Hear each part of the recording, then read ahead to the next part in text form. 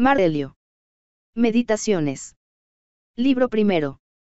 De mi abuelo Vero, el buen carácter y la ausencia de cólera. De la fama y recuerdo del que me engendró, la decencia y la virilidad. De mi madre, la devoción, la generosidad y refrenarse tanto de hacer daño como de tener la idea de hacerlo, además, la sencillez en el régimen de vida lejos de las costumbres de los ricos. De mi bisabuelo, no frecuentar las escuelas públicas, disfrutar de buenos maestros en casa, saber que en eso hay que gastar de forma espléndida. De mi preceptor, no ser de los verdes, ni de los azules en el circo, ni de los del escudo tracio, ni de los del samnio en el anfiteatro, aguantar, necesitar poco, bastarse con sus propias manos, saber estarse tranquilo y no ser receptivo a la calumnia. De Diogneto, no perseguir la frivolidad, desconfiar de las palabras dichas por fantasiosos o charlatanes sobre encantamientos, exorcismos y cosas por el estilo, no jugar a la codorniz y no apasionarme por tales futilidades, soportar que le hablen a uno claro, tener familiaridad con la filosofía, escuchar a Baquio, después a Tandasis y a Marciano, a escribir diálogos de niño, anhelar el camastro con su pellejo y cosas semejantes propias del entrenamiento helénico. De rústico, haberme representado la necesidad de un enderezamiento y tratamiento moral del carácter, no haberme dejado arrastrar a la emulación propia de los sofistas, ni a escribir sobre teorías, ni declamar discursitos exhortativos ni exhibirme con ostentación impactante como hombre ascético y bienhechor, haberme apartado de la retórica, el arte poético y el preciosismo, no pasearme por casa con ropa solemne ni cosas por el estilo, escribir las pequeñas cartas en estilo sencillo como lo que él mismo escribió a mi madre desde Sinuesa, frente a los que tienen mal carácter y ofenden ser dócil y complaciente en cuanto quieren retroceder, leer con precisión y no conformarse con hacer un recorrido mental genérico ni con agregarse con rapidez a la opinión de los que charlan en demasía, toparme con los apuntes de Epicteto, de los que me hizo participar siendo suyos. De Apolonio ser libre y no depender sin discusión de una tirada de dados, no mirar a ninguna otra cosa, ni un poco siquiera, sino a la razón, mantenerse sin alteración en los dolores agudos, en la pérdida del hijo y en las enfermedades graves, ver de forma resplandeciente en el ejemplo de su propia vida que la misma persona puede ser a un tiempo muy vehemente y muy relajada, no ensarzarse en los comentarios filosóficos, ver a un hombre que tenía en mínima estima, entre sus propios méritos, la experiencia y habilidad de transmitir sus teorías, Aprender cómo hay que tomarse los favores aparentes de los amigos sin hacerse de menos ante ellos ni dejarlos pasar inadvertidamente. De sexto, el buen ánimo, el ejemplo de su casa administrada de forma patriarcal, la determinación de vivir conforme a la naturaleza, la solemnidad sin artificio, la preocupación solícita por los amigos, la capacidad de soportar las creencias irreflexivas de los profanos, su compenetración con todos hasta el punto de resultar su trato más agradable que cualquier adulación y el digno del máximo respeto para todos más allá de la ocasión concreta, su comprensión y método para descubrir y ordenar las convicciones necesarias para la vida, no hacer manifestación ni de la cólera ni de ninguna otra pasión, sino ser al tiempo el más impasible y el más afectuoso, alabar sin disonancia, ser versado en muchas cosas sin ostentación. Audiolibro cortesía de la comunidad de audiolectores, búscanos en el canal de YouTube Filosofía y Letras. Director Arturo Garcés. De Alejandro el Gramático no hacer reproches, no atacar con críticas las expresiones bárbaras, incorrectas o disonantes, sino tener la habilidad de expresar justamente aquello que debería haberse dicho a modo de respuesta, ratificación, reflexión conjunta o alguna otra insinuación armoniosa, sobre al asunto en sí, no sobre la forma de expresarlo. De frontón, poner en cuestión cuál es la malignidad, el doblez y el fingimiento propios de la tiranía y que en general los que llamamos patricios son los menos afectuosos.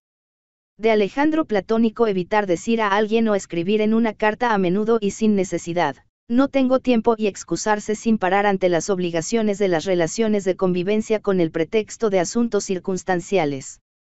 De Catulo no hacer de menos a un amigo que imputa algo, incluso si se da la circunstancia de que lo hace sin razón, sino intentar restaurar la camaradería, hacer la alabanza de los maestros con ardor como las anécdotas que se cuentan de Domicio y Atenodoto, tener un amor verdadero a los hijos. De severo el amor a los familiares, el amor a la verdad y el amor a la justicia, conocer gracias a él a Traceas, el vídeo, Dion y Bruto y haberme representado una constitución con igualdad ante la ley que administra mediante la equidad y la libertad de expresión y una monarquía que honra sobre todas las cosas la libertad de sus súbditos, también la constancia y perseverancia en la honra de la filosofía, hacer el bien y compartir con ansia, tener esperanza y confiar en recibir el amor de los amigos, no disimular frente a los que merecen nuestra condena, que los amigos no precisen conjeturar sobre qué quiere o no quiere uno, sino dejarlo claro. De máximo dominarse y no dejarse llevar por nada, tener buen ánimo en otros momentos críticos y especialmente en las enfermedades, la apacibilidad en el carácter, la dulzura y empaque, llevar a cabo sin quejas lo propuesto, que todos confíen en que uno piensa las afirmaciones que hace y que actúa sin maldad en aquello que actúa, no admirarse ni demostrar asombro, nunca tener prisa ni demorar, no quedarse sin recursos con la mirada baja, con una mueca, al contrario, enojado y receloso, ser bienhechor, inclinado al perdón y lejos de la mentira, ofrecer la imagen de quien no se tuerce más que la de quien se endereza. Nadie nunca hubiera creído que lo miraba por encima ni él hubiera tolerado que se sospechara que él se creía superior, gastar bromas con buena intención.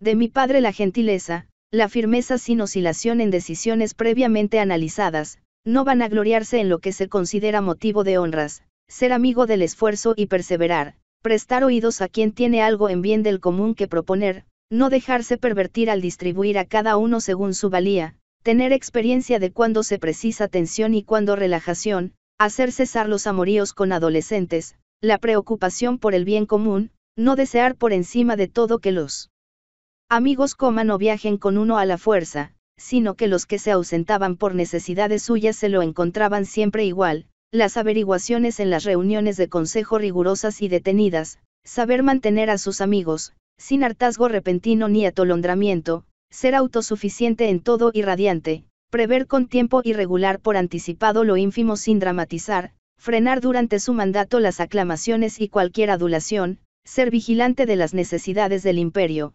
Ecónomo. De los gastos públicos y capaz de encajar la crítica de algunos sobre tales actitudes, con relación a los dioses no ser supersticioso, con relación a los hombres no ser demagogo, obsequioso, ni buscar el favor de la turba, sino ser sobrio y seguro en cualquier ocasión, nunca vulgar ante la belleza ni deslumbrado ante la novedad, de las cosas que hacen la vida fácil y que con abundancia proporciona la fortuna, hacer uso sin delirio y sin buscar excusas, de forma que si estaban a mano las alcanzaba sin preocuparse, si estaban ausentes no las precisaba, que ninguno pudiera decir que era un sofista, un impostor o un pedante, sino que era un hombre cabal, completo, ajeno al halago, capaz de ponerse al frente de sus propios asuntos y de los ajenos, además de eso su aprecio a los que hacen filosofía de verdad, sin ser crítico en demasía frente al resto y sin dejarse arrastrar por ellos, Además su buena compañía y donaire sin hartar, preocuparse de su propio cuerpo con mesura, no como. Si tuviera apego a la vida, sin llegar al maquillaje pero tampoco desde luego al abandono, de forma que por su propia diligencia precisaba poquísimo de la medicina, de sus medicamentos o ungüentos, de uso interno o externo, ceder terreno sin prejuicios a los que estaban en posesión de alguna capacidad como la de la elocuencia o la que proporciona la investigación de las leyes, costumbres u otros asuntos y colaborar con entusiasmo con ellos de forma que cada uno tuviese buena reputación en lo que era en concreto superior, todos sus actos los hacía de acuerdo con las tradiciones patrias sin aparentar que era justamente eso por lo que se esforzaba, también no cambiar con facilidad ni mariposear, sino frecuentar los mismos lugares y hechos, después de los ataques agudos de dolor de cabeza volver al punto con vigor y energía a las tareas habituales, no tener muchos secretos, solo los mínimos, en muy rara ocasión y en bien del común, su prudencia y moderación en la realización de los espectáculos, obras públicas, repartos y cosas por el estilo, que solo atendía a la propia necesidad de su realización, no a la fama una vez realizados, no bañarse a deshora, ni tener manía constructora, y no preocuparse de las comidas ni de los tejidos o colores de sus ropas ni de que sus esclavos estuvieran en sazón, la ropa que le llegaba desde Lorio o desde su villa de abajo y muchas cosas del Anubio, cómo trató al recaudador de Túsculo que se excusaba y todo ese tema, en absoluto rudo ni. Desde luego inexorable, tampoco tan turbulento que uno pudiera llegar a decir incluso sudó, sino que todos sus comportamientos estaban diferenciados razonadamente con minucia, sin turbación, con orden, con fuerza y en concordancia mutua. Se le podría aplicar la anécdota referida a Sócrates de que podía al tiempo abstenerse y disfrutar de aquello por lo que la mayoría en caso de abstinencia se siente débil y en caso de disfrute se dejan llevar, ser fuerte y resistente y en ambas cosas ser. Sobrio es propio de un hombre que tiene un espíritu articulado e invencible, como en la enfermedad de Máximo. De los dioses, tener buenos abuelos, buenos padres, buena hermana, buenos maestros, buenos allegados, parientes, amigos, casi todos buenos, que no me ocurrió faltar a ninguno de ellos, aunque yo tenía tal disposición, por la cual, si hubiera coincidido así, hubiera podido faltarles. Buena acción de los dioses es que no tuviera lugar ninguna acumulación de hechos que me pusiera a prueba, no ser criado demasiado tiempo donde la concubina de mi abuelo, mantener tiempo la flor de la juventud y no haberme hecho hombre antes de su momento sino haberlo demorado en el tiempo, haberme subordinado a quien era emperador y padre, que me iba a quitar cualquier delirio de grandeza y me iba a llevar a la determinación de que es posible vivir en la corte sin precisar de guardaespaldas, ropas significativas, candelabros, estatuas y cosas tales y de igual pompa, se puede, al contrario, hacerse pequeño y acercarse al ciudadano normal sin por eso ser más humilde o más timorato frente a lo que debe. Llevarse a cabo con autoridad en bien del común, tener a un hermano que pudiera por su carácter recto despertar en mí mi propia preocupación moral, alegrándome con su estima y amor, que mis hijos no fueran torpes ni contrahechos en su cuerpecillo, no progresar demasiado en la retórica, poética y demás dedicaciones en las que quizá me hubiera mantenido de haberme dado cuenta de que avanzaba por buen camino, haberme adelantado en otorgar a mis maestros el puesto de honor que me parecía que anhelaban y no haberlo pospuesto con la esperanza, dado que eran jóvenes, de que luego lo haría, conocer a Apolonio, a Rústico, a Máximo, en cuanto a la vida según la naturaleza haberme representado con nitidez y muchas veces como es, de forma que en lo que depende de los dioses, de sus comunicaciones con los hombres desde allá, sus apoyos, sus iluminaciones, nada me impide vivir según la naturaleza y me aparto de eso por mi responsabilidad y por no prestar atención a las rememoraciones divinas.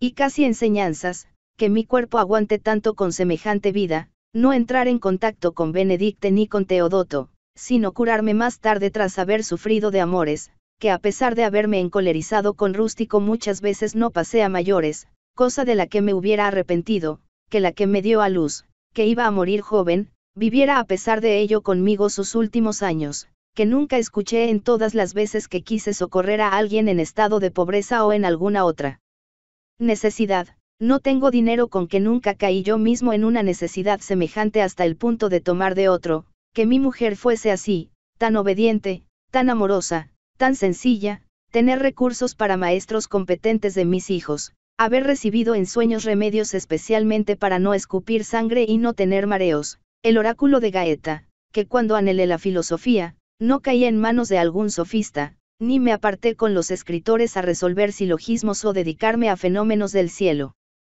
porque todas esas cosas precisan auxilios y fortuna de los dioses.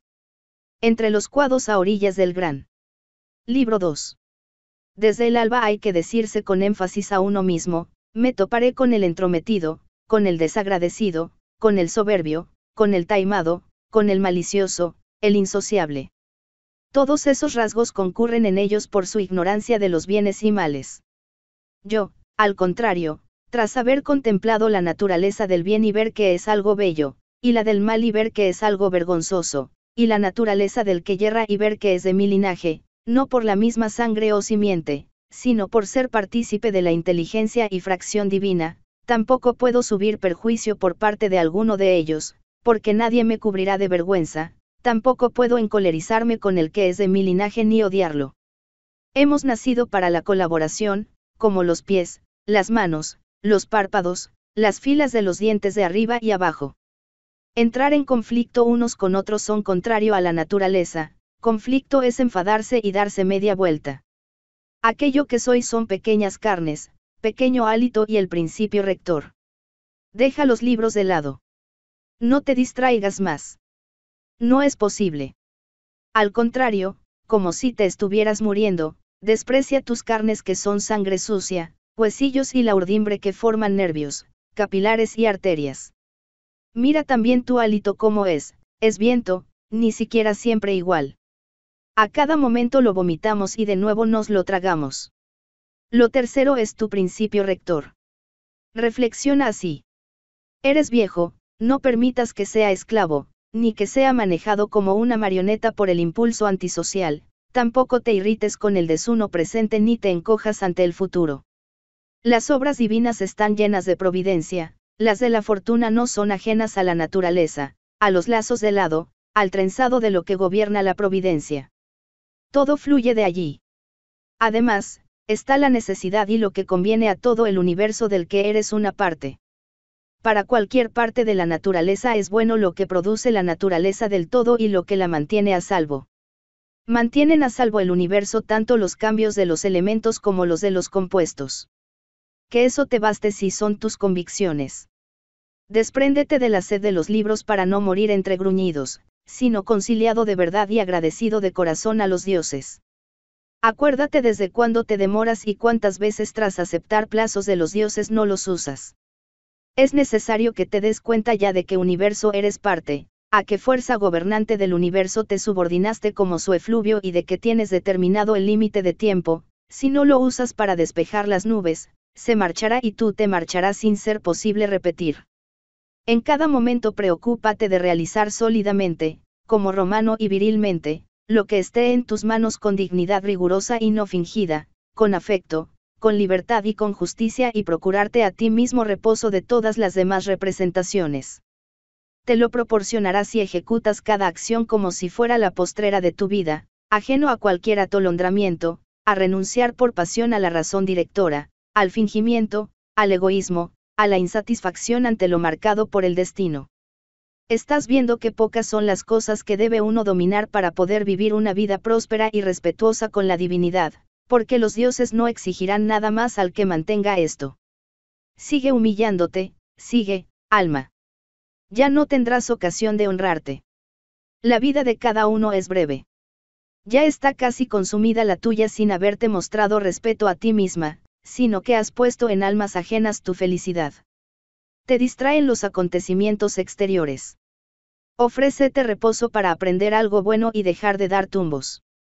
Pero entonces también hay que guardarse de otro extravío, en efecto, cometen también tonterías los que por culpa de sus actos están cansados de vivir y no tienen objetivo al que dirigir de una vez por todas todo impulso y representación. No es fácil que se pueda ver que alguien es infeliz por no fijarse en lo que sucede en el alma de otro, pero es forzoso que sean infelices quienes no siguen de cerca los movimientos de su propia alma.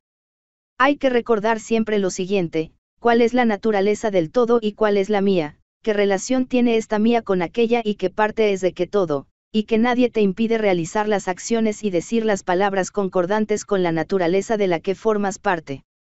Teofrasto, como filósofo, en su comparación entre los tipos de faltas, según uno las podría comparar de forma más elemental, dice que son más graves aquellas en las que se yerra por apetencia que las causadas por enojo. El que está enojado se revuelve contra la razón aparentemente con cierta tristeza y encogimiento inconsciente, mientras que el que yerra por apetencia se deja vencer por el placer y aparentemente es más licencioso y femeninamente débil en sus faltas. Con razón y como filósofo afirmó que es merecedor de una acusación mayor la falta cometida con placer que con tristeza. En una palabra, este se parece más a quien ha sufrido injusticia previamente y se ve forzado con tristeza a enojarse, el otro por sí mismo tiene el impulso de cometer injusticia y se deja llevar a hacer algo por apetencia. Como si fuese algo inmediato salir de la vida, así hay que ejecutar cada acción, decir cada palabra y tener cada pensamiento. Marcharse de entre los hombres y los dioses existen no es nada terrible, porque estos no te endosarían un mal. Si por el contrario no existen o no les importan las cosas de los hombres, ¿qué me supone estar vivo en un universo vacío de dioses o vacío de providencia? Pero existen y les importan las cosas de los hombres y para que el hombre no caiga en los males verdaderos le pusieron todo en sus manos. Si algo de lo restante fuera malo, también eso lo hubieran previsto de forma que en cualquier caso tuviera la capacidad de no caer en ese mal. Aquello que no hace al hombre peor, ¿cómo eso podría hacer la vida del hombre peor? No lo hubiera pasado por alto la naturaleza del todo por ignorancia, o, aunque lo supiera, por no poder precaverse o enderezarlo, tampoco hubiera cometido un error tan grande por incapacidad o por falta de pericia, para que indistintamente los bienes y los males acontecieran de forma revuelta tanto a los hombres buenos como a los malos.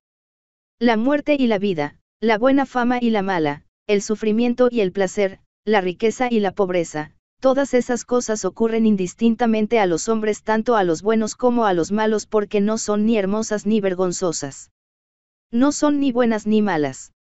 Es propio de la facultad inteligente fijarse en cómo desaparece rápidamente todo, las propias personas en el universo, los recuerdos de esas personas en el tiempo, en cómo son las cosas que son perceptibles y especialmente las que nos atraen con el cebo del placer o las que nos atemorizan con el sufrimiento o las que se pregonan con delirios de grandeza, en cómo no tienen valor, son fáciles de despreciar, sucias, perecederas, muertas, en quiénes son esos cuyas suposiciones y palabras proporcionan buena o mala reputación, en qué es morir, si uno viera la muerte en sí y con clasificación reflexiva descompusiera las supersticiones que se le añaden, supondrá que no es otra cosa que obra de la naturaleza, y si uno le tiene miedo a una obra de la naturaleza es un niñato, no es que sea solo obra de la naturaleza, es que le conviene, en cómo el hombre está en contacto con Dios y en qué parte de sí mismo, en caso de que esa porción del hombre se encuentre de una manera determinada.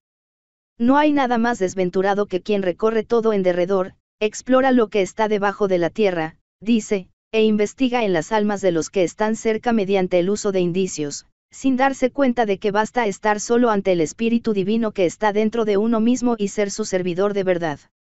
Este servicio consiste en vigilar que esté purificado de pasión, de atolondramiento, de insatisfacción frente a lo que acontece por los dioses y los hombres, porque las cosas que dependen de los dioses hay que venerarlas por su virtud y las que dependen de los hombres se hacen queridas por el parentesco común, a veces, incluso de alguna manera son objeto de compasión por la ignorancia de qué es bueno y qué es malo. Ese impedimento no es menor que el que impide distinguir lo blanco de lo negro. Aunque vayas a vivir tres mil años o tres mil veces diez mil, sin embargo, Recuerda que nadie deja atrás otra vida que esa que está viviendo y tampoco está viviendo otra que no sea la que deja atrás. Se iguala por tanto lo más duradero con lo más breve.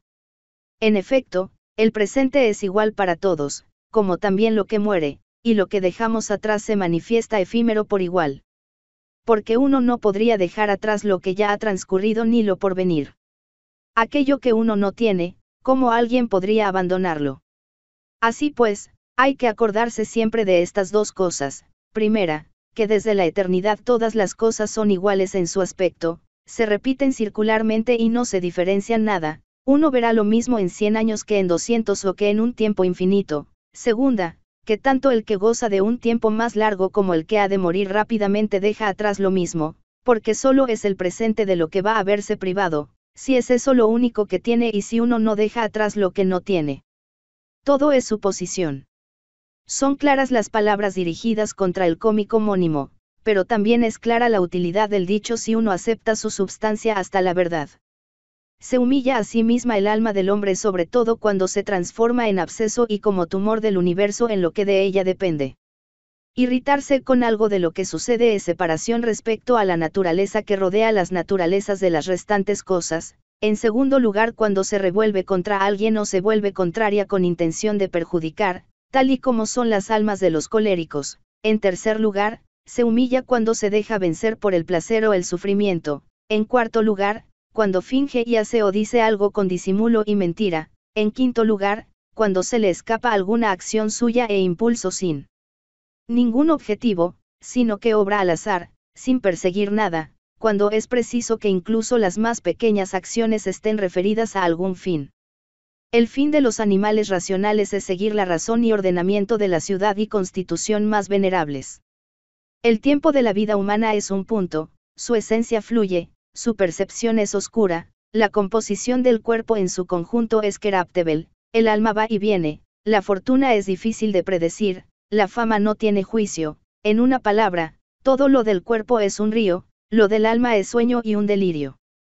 La vida es una guerra y un exilio, la fama póstuma es olvido. Entonces, ¿qué es lo que puede escoltamos? Solo una cosa, la filosofía. Esto es vigilar que el espíritu divino interior esté sin vejación, sin daño, más fuerte que los placeres y los sufrimientos, que no haga nada al azar ni con mentira o fingimiento, que no tenga necesidad de que otro haga o deje de hacer algo. Y además que acepte lo que ocurre y lo que se le ha asignado como algo que viene de allí de donde él vino. Por encima de todo, aguardar la muerte con el pensamiento favorable de que no es otra cosa sino disgregación de los elementos de los que está compuesto cada ser vivo. Si precisamente para los elementos en sí no hay nada terrible en que cada uno se transforme sin interrupción en otro, ¿por qué uno ve con malos ojos la transformación y disgregación de todos? En efecto, se produce según la naturaleza y nada es malo si es según la naturaleza. Libro 3. En Camunto.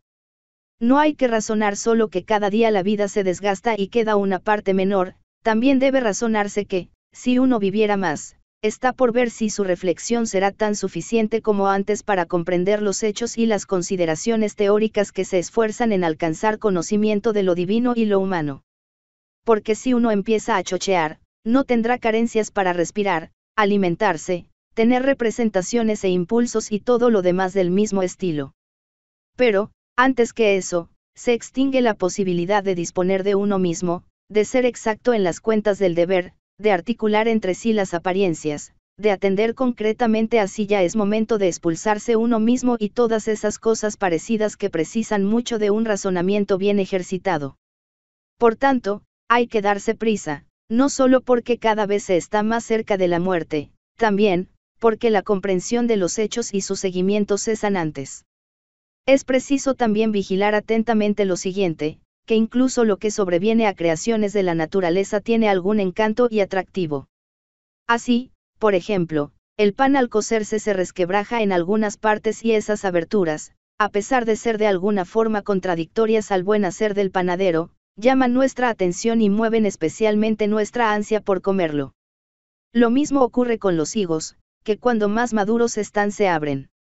También en las aceitunas muy en sazón el propio hecho de estar a un paso de pudrirse le añade cierta belleza al fruto. Lo mismo las espigas que doblan su cabeza, el entrecejo del león, la espuma que fluye de la boca de los jabalíes y muchas otras cosas que si uno las observara en particular vería que están lejos de tener un buen aspecto, sin embargo, por concurrir a sucesos naturales, los adornan y los hacen atractivos, de forma que si uno tiene un sentimiento y una perspicacia más profunda frente a lo que sucede en el todo, casi nada le parecerá, incluidas las cosas que acontecen de forma concomitante, no. Estar conformado de forma más o menos agradable. Esa persona verá las verdaderas fauces de las fieras con no menor agrado que las que los pintores y escultores muestran en imitación. Incluso en una vieja o en un viejo podrá ver cierto esplendor y sazón y el atractivo sexual de los adolescentes con ojos honestos. Muchas de estas cosas no son cautivadoras a todos, solo se le ocurrirán al que está familiarizado genuinamente con la naturaleza y sus obras. Hipócrates, tras sanar muchas enfermedades, enfermó él y murió. Los caldeos predijeron la muerte de muchos, después también a ellos los arrebató el destino. Alejandro, Pompeyo, Cayo César, tras haber arrasado completamente tantísimas ciudades y muchísimas decenas de millares de tropas de caballería e infantería, también ellos en algún momento dejaron atrás la vida. Heráclito tras haber estudiado tanto la naturaleza de la conversión en fuego del universo murió lleno de agua por dentro y embadurnado de boñiga. A Demócrito lo mataron los piojos, otros piojos a Sócrates. ¿Qué quiere decir eso? Te embarcaste, navegaste, arribaste desembarca. Si esa otra vida, nada está vacío de dioses, tampoco allí. Si es en la insensibilidad, dejarás de soportar sufrimientos y placeres, dejarás de ser esclavo para un recipiente tan inferior como superior es la parte que manda comparada con la que sirve, porque mandan la inteligencia y el espíritu divino mientras que son sirvientes la tierra y los despojos sanguinolentos. No malgastes la parte que te resta de vida, si no lo haces referido al bien común, en representaciones sobre el prójimo, esto es al representarte qué hace fulano, por qué, qué dice, qué se propone, qué máquina, todo lo que te hace vagar lejos de la atención al principio rector. Por tanto, es preciso que dejes de lado en el hilo de tus representaciones el azar, la inutilidad y, con mucho mayor motivo, el entrometimiento y la malignidad. Hay que acostumbrarse a representarse solo aquello sobre lo que si alguien de repente te interrogara, ¿en qué estás pensando ahora? Pudieras responder con franqueza inmediatamente, esto y aquello, de forma que de tus palabras quedara claro que todas tus representaciones son sencillas, favorables, propias de un animal comunitario, despreocupado de representaciones placenteras o en general regaladas o que tenías eso en mente por alguna rivalidad, malignidad, sospecha o alguna otra cosa por la que te sonrojarías al exponerla. Un varón así, que no aplaza estar ya entre los mejores, es como un sacerdote y servidor de los dioses que trata con el dios aposentado en su interior, lo que le permite ser un hombre ajeno a los placeres, invulnerable a cualquier sufrimiento, inasequible a cualquier soberbia, insensible a cualquier maltrato, campeón en la mayor competición, no dejarse sobrepasar por ninguna pasión, estar empapado hasta el fondo de justicia, conformarse con toda su alma con todo lo que ocurre y se le ha asignado. No representarse, si no es excepcionalmente y por una gran necesidad en bien del común, que dice, hace o piensa otro. Solo está atento a cómo podría ejecutar sus propias acciones y reflexiona sin parar en su propio destino entrelazado con el todo, las acciones que produce son honestas, su destino está convencido de que es bueno, porque el lado asignado a cada uno lo lleva uno consigo y a uno lo lleva consigo. Se acuerda también de que todo lo racional es de su linaje y de que la preocupación por todos los hombres es acorde a la naturaleza del hombre, pero no hay que atenerse a la opinión de todos, sino solo a la de los que sin discusión viven según la naturaleza. Continuamente se acuerda de cómo son tanto en casa como fuera de casa los que no viven así y con quienes se juntan de noche y de día. Por tanto, no pone en consideración el elogio que viene de aquellos que no están conformes con ellos mismos. No obres ni contra tu voluntad ni contra la comunidad ni contra la reflexión ni resistiéndote. Que la afectación no maquille tu reflexión. No seas verboso ni activo en exceso. Que la divinidad que está en ti sea guía de un ser varonil, respetable, social, romano, de un jefe que se coloca en su puesto como alguien que, liberado, esperara el toque de retreta para escapar de la vida, sin necesidad de un juramento ni de ningún hombre como testigo. Por dentro, radiante sin necesidad de servidumbre o tranquilidad exteriores. Hay que ser recto, no corregido. Si descubres en la vida humana algo mejor que la justicia, la verdad, la prudencia, la valentía y, dicho de una vez, que tu mente se baste a sí misma tanto en los hechos en los que ofreces tu actuación según la razón recta como en los que sin elección previa asigna el destino, si, digo, ves algo mejor que eso, dirígele tu atención con toda tu alma y aprovecha ese bien supremo si lo has descubierto. Pero si se hace evidente que no existe nada mejor que el propio Espíritu Divino que se asienta en ti, que tiene subordinados a su control tus impulsos particulares, que analiza tus representaciones, que sea apartado de las emociones sensoriales, como decía Sócrates, que sea subordinado a los dioses y que se preocupa de los hombres, si descubres que todo lo demás es menor y de inferior valor que eso, no cedas terreno a ninguna otra cosa, porque si te postras y te inclinas una vez, no podrás. Ya tranquilamente rendir honor preferente a ese bien que te es particular. No es recto colocar frente a lo que es el bien de la razón y de la sociedad ninguna otra cosa distinta como el elogio de la mayoría, los cargos, la riqueza, los disfrutes de distintos placeres. Cualquiera de ellas, aunque parezca que la acomodas algún tiempo, al punto se apodera de ti y te desvía. Pero tú, digo, escoge con sencillez y libertad lo mejor y confróntalo a todo eso. Pero es mejor la conveniencia. Vigila que sea para ti en cuanto racional. Pero si es en cuanto animal, expon y mantén tu juicio contrario sin delirios de grandeza. Basta que hagas tu examen con seguridad. No honres nunca como tu conveniencia lo que te fuerce en alguna ocasión a infringir la confianza de la que gozas, a dejar a un lado la vergüenza, odiar a alguien, sospechar, maldecir, aparentar, anhelar algo que precisa de muros y cortinajes. Quien escoge su propia inteligencia, el espíritu divino y los ritos propios de su virtud no hace una elección trágica, no se lamenta, no precisará ni de soledad ni de muchedumbre. Y lo más importante, vivirá sin perseguir ni huir. Si hace uso de su alma, encerrada en su cuerpo, durante mayor o menor intervalo de tiempo no le importa nada en absoluto. Porque, aunque tenga ya que separarse se alejará tan liberado como si ejecutara alguna otra de las acciones que pueden ejecutarse con decencia y orden, con esta única preocupación durante toda su vida, que su reflexión se ocupe en algo impropio de un animal inteligente y social. En la reflexión de quien se ha disciplinado y purificado no podrías encontrar nada purulento, ni tampoco contaminado, ni anfractuoso. Tampoco el hado arrebata esa vida incompleta, cosa que uno diría del actor trágico que desapareciera antes de completar y llegar al último acto. Además, no es en absoluto esclavo ni afectado, no es dependiente ni despegado, no está sujeto a rendir cuentas ni a zafarse. Reverencia tu capacidad para suponer. De esa capacidad depende todo para que la suposición de tu principio rector no llegue a despegarse de la naturaleza y de la constitución propia de un animal racional. Esta proclama la no precipitación, la familiaridad con los hombres y el acatamiento a los dioses. Pues bien, arrójalo todo, quédate solo con estas pocas cosas y además rememora que cada uno solo vive este presente efímero. Lo demás o ya está vivido o es incierto. Pequeño es por tanto lo que vive cada uno, pequeño el rincón de la tierra donde vive. Pequeña también la reputación postrera, incluso la más extensa, y dependiente de la transmisión por hombrecillos que han de morir al punto, que no se conocen ni a sí mismos ni tampoco al muerto de tiempo atrás.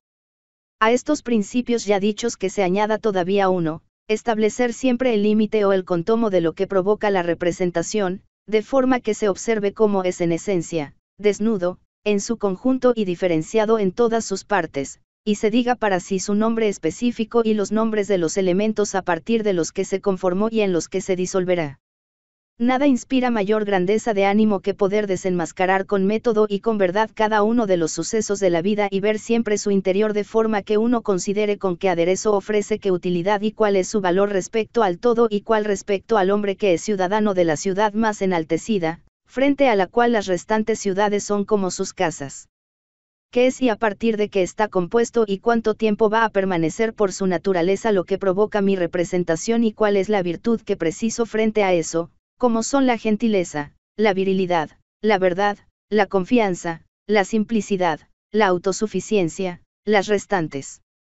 Por ello es necesario decir ante cada cosa, esto procede del Dios, esto otro es según el destino y el lado que se entrelaza, según tal coincidencia y fortuna, eso otro procede de alguien que comparte mi estirpe, mi linaje, que es camarada, aunque él desconozca que tiene conforme a la naturaleza pero yo no lo desconozco y por eso lo trato según la ley natural de la participación común con buen ánimo y con justicia. Al tiempo persigo según su valor lo que no es ni bueno ni malo. Si llevas a cabo la tarea presente de acuerdo con la razón recta, con diligencia, con fuerza, con buen ánimo y no te desvías en nada accesorio, sino que vigilas que tu espíritu divino permanezca puro como si ya hubiera que devolverlo, si te agarras a eso sin esperar ni evitar nada, sino que te conformas en tu actuación presente a la naturaleza y en lo que dices y declaras a la verdad romana, tendrás una buena vida. Nadie hay que pueda impedírtelo. Igual que los médicos siempre tienen a mano sus instrumentos y herramientas para tratamientos urgentes, así tú ten preparadas tus convicciones para conocer lo divino y lo humano y hacer así incluso lo más nimio, como si recordaras su vínculo mutuo. En efecto, ni tendrás éxito en lo humano sin referirlo a lo divino ni al revés. No voy a divagar más. Porque ni vas a leer tus apuntes ni los hechos históricos de los antiguos romanos y griegos ni los extractos de sus escritos que reservaste para tu propia vejez. Así pues, apresúrate para el fin, deja al lado las esperanzas vanas y ayúdate a ti mismo, si es que te importas, mientras es posible. No saben cuántas cosas significan robar, sembrar, comprar, mantener la tranquilidad, ver qué debe hacerse, lo cual no se realiza con los ojos sino con otra visión. Cuerpo, alma, inteligencia. Las sensaciones son del cuerpo, los impulsos del alma, las convicciones de la inteligencia. Recibir impresiones representadoras es propio también de las bestias. Que lo manejen a uno como marioneta los impulsos es propio también de fieras, putos, Falaris y Nerón que la inteligencia sea rectora para deberes solo aparentes es propio también de los que no creen en los dioses, abandonan su patria y hacen cualquier cosa, una vez que cierran las puertas de la calle. Si, por tanto, lo demás te es común con los mencionados, queda como propio de la persona buena desear y conformarse con lo que le ocurre y estar entrelazado con su destino. Al Espíritu Divino asentado dentro del pecho no hay que confundirlo ni embrollarlo en el tumulto de las representaciones, sino vigilar que esté propicio a obedecer con orden al Dios, sin hablar nada contra la verdad ni ejecutar nada contra la justicia.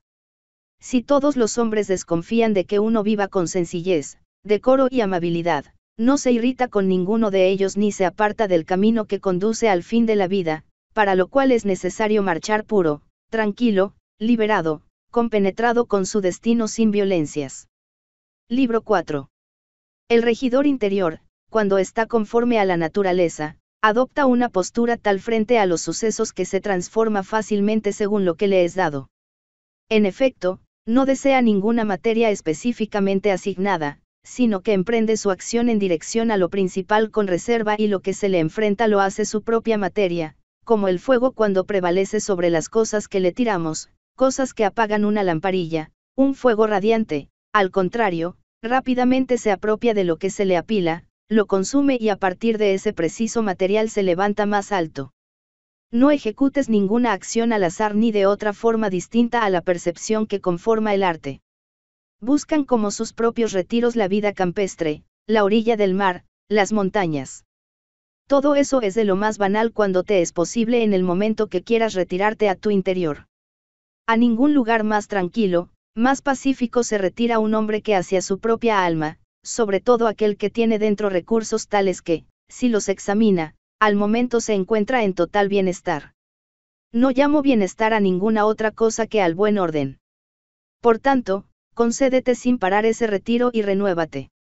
Que sean preceptos breves y elementales los que, nada más encontrarlos, te resulten suficientes para disolver toda tu insatisfacción y reenviarte de vuelta sin irritación a las actividades a las que retornas. Porque, ¿con qué te irritas? Con la maldad de los hombres. Reconsidera el dictamen de que los animales racionales han surgido unos por otros, que soportarse es parte de la justicia, que los hombres yerran sin querer, que muchos por sentir enemistad, sospecha, odio, rivalidad han sufrido tormento, se han hecho cenizas, ceja en tu irritación. ¿Acaso te irritas con el reparto que se ha hecho del total? Renueva el dilema o providencia o átomos y considera en cuántos hechos se demuestra que el universo es como una ciudad. ¿Acaso la parte corporal te afecta?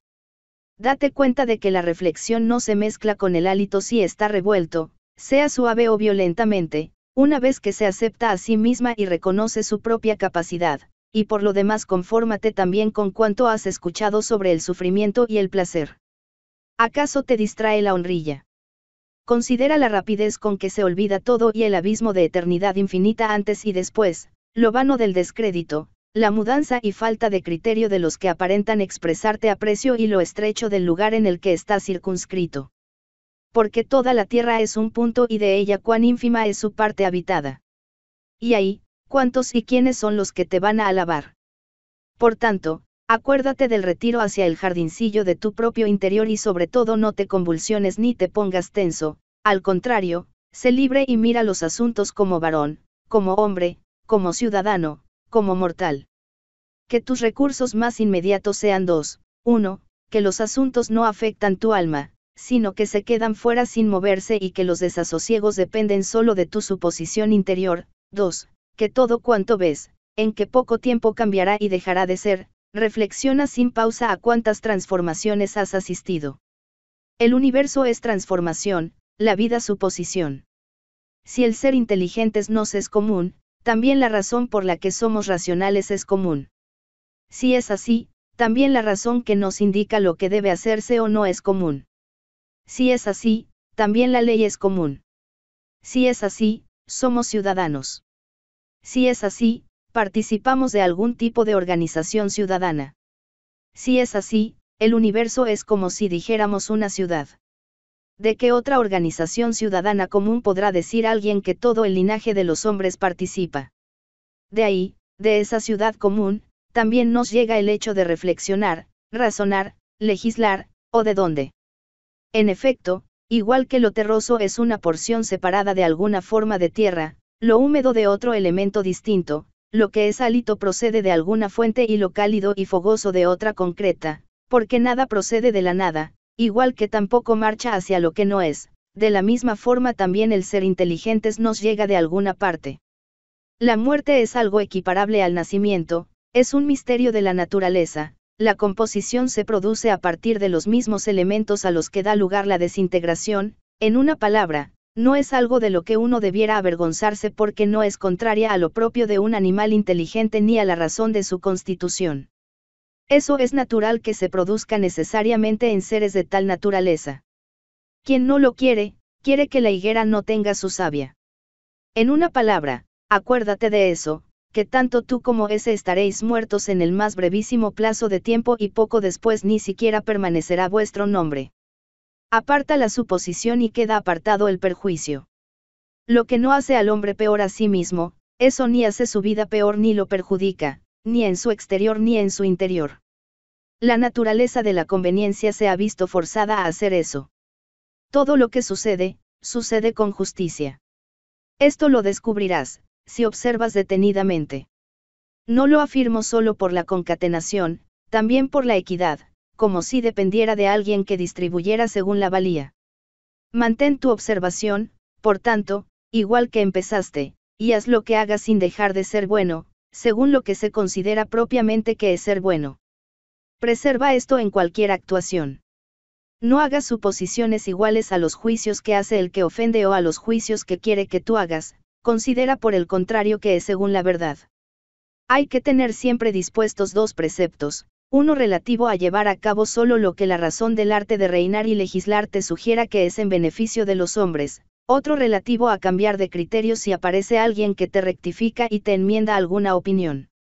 Sin embargo, que esa enmienda se produzca por alguna convicción que sea justa y en bien del común y que los perfeccionamientos sean solo tales, no porque te haya parecido que es algo agradable o reputado. Tienes la razón. Sí. ¿Por qué no la usas? Si ella hace lo que le es propio, ¿qué más quieres? Surgiste como parte subordinada. Desaparecerás uniéndote al que te engendró, es más, serás devuelto a su razón seminal por el cambio. Muchos granos de incienso en el mismo altar. Uno se depositó antes, otro después. No importa. En el espacio de diez días les parecerás un dios a los que ahora pareces una bestia y un mono, si das media vuelta y vuelves a los principios y respeto debidos a la razón. No vivas como si fueras a vivir diez mil años. Tu desuno está pendiendo. Mientras estás vivo, mientras es posible, hazte bueno. ¿De cuánto sosiego se beneficia el que no observa qué ha dicho, qué ha hecho, qué ha pensado el prójimo, sino solo que hace él mismo para que su actuación por sí misma sea justa, virtuosa? Deja el carácter sombrío, Deja de mirar en derredor, por el contrario, corre sobre la línea de meta con el cuerpo recto sin dispersarte. El que se queda embelesado por su reputación postrera no se representa que cada uno de los que lo recuerden morirá rápidamente como él, luego a su vez lo hará el que le suceda en el recuerdo hasta que toda memoria se apague del todo también a media que avanza entre personas que se encienden y se apagan. Pero supón que los que te van a recordar son incluso inmortales y que el recuerdo es inmortal. ¿Y eso a ti qué? Y no afirmo solo que no signifique nada para el que está muerto, pero, ¿qué es el elogio para el que está vivo? Nada, si no es, quizá, por algún arreglo práctico. En efecto, ahora en el momento más inoportuno dejas a un lado el donativo de la naturaleza para agarrarte a alguna otra razón. Además, todo lo que es bello, sea como sea, lo es por sí mismo y culmina en sí mismo sin que tenga parte en él el elogio. Está claro que tampoco lo que recibe el elogio se hace peor o mejor. Afirmo eso a propósito de las cosas que se afirman que son bellas comúnmente, por ejemplo, los productos bellos por su materia o bellos por efecto del arte.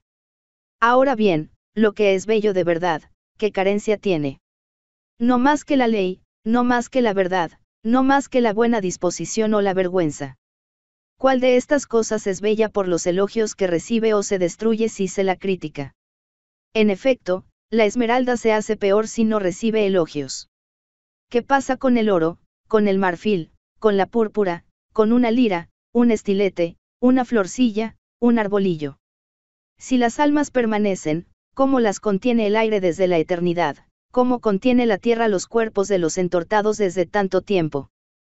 Porque, igual que su alteración y descomposición deja espacio para otros cuerpos, así las almas que se han mudado al aire tras permanecer un cierto tiempo se alteran, se diluyen y se inflaman recogidas en la razón seminal del todo y de esa manera ofrecen espacio a las que se van instalando a su vez. Eso sería la respuesta si se supone que las almas permanecen. Pero es necesario no solo tener en cuenta el número de los cadáveres entortados de esa manera, también el número de los animales que comemos cada día nosotros y los demás animales.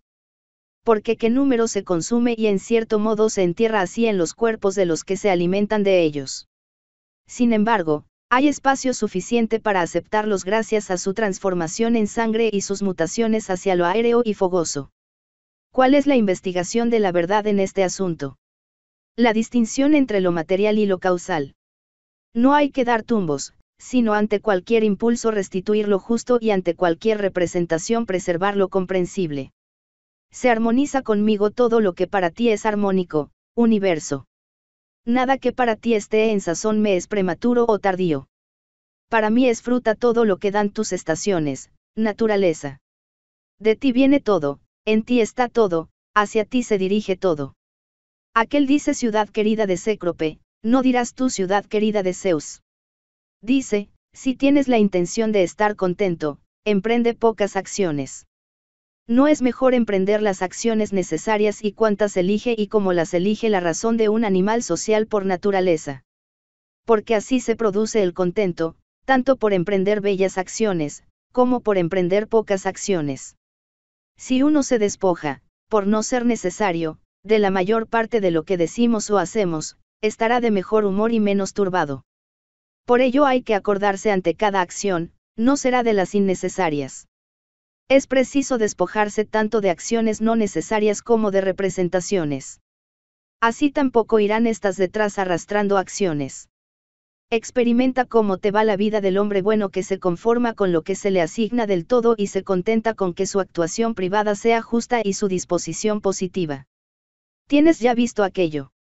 Mira esto otro. No te perturbes. Líbrate de tus dobleces. Alguien yerra. Yerra para su perjuicio. ¿Te ocurre algo? Está bien. Desde el principio te fue asignado e hilado el destino de todo lo que te ocurre. En resumen, la vida es breve, hay que explotar el presente con prudencia y justicia. Mantente sobrio en la relajación. O el universo está estructurado o está removido, reunido, sí, pero sin orden. Es que en ti puede subyacer un universo ordenado, pero en conjunto existe desorden. Y eso es así cuando todas las cosas son distintas, compenetradas, sometidas a influjos mutuos. Un carácter sombrío, un carácter femenino, un carácter reseco, fiero, bruto, infantil, estúpido, estafador, mendicante, tramposo, tiránico. Si es forastero del universo quien no conoce lo que hay en él, no lo es menos quien desconoce sus sucesos. Es un desterrado quien destierra la razón social. Es ciego quien guiña el ojo de la inteligencia. Es mendigo quien precisa de otro y no tiene en sí mismo todo lo útil para la vida. Es absceso del universo quien se aparta y aleja de la razón de la naturaleza común por soliviantarse con los sucesos, porque es la naturaleza la que los trae, ella que te trajo también a ti. Es una escisión de la ciudad quien escinde su alma de la de los racionales, cuando es una. Uno hace filosofía sin túnica, otro sin libro, aquel otro semidesnudo dice no tengo pan y permanezco firme en la razón. Yo, por mi parte, no tengo los alimentos que proporcionan los conocimientos y permanezco firme. El arte que aprendiste, ámalo, tómate un respiro en él, pero recorre lo que te reste de vida tras depositar con toda tu alma en manos de los dioses todo lo tuyo y sin instalarte ni como tirano de ningún hombre ni como esclavo. Trae a tu mente como ejemplo los tiempos de Vespasiano. Verás que todo es igual. Gente que se casa y cría niños, que enferma y muere, que hace la guerra y fiestas, que se desplaza y cultiva su tierra, que adula y es arrogante, que sospecha y conspira, que desea la muerte de alguien y refunfuña por su presente, gente que se enamora, que atesora, que anhela el consulado y el imperio.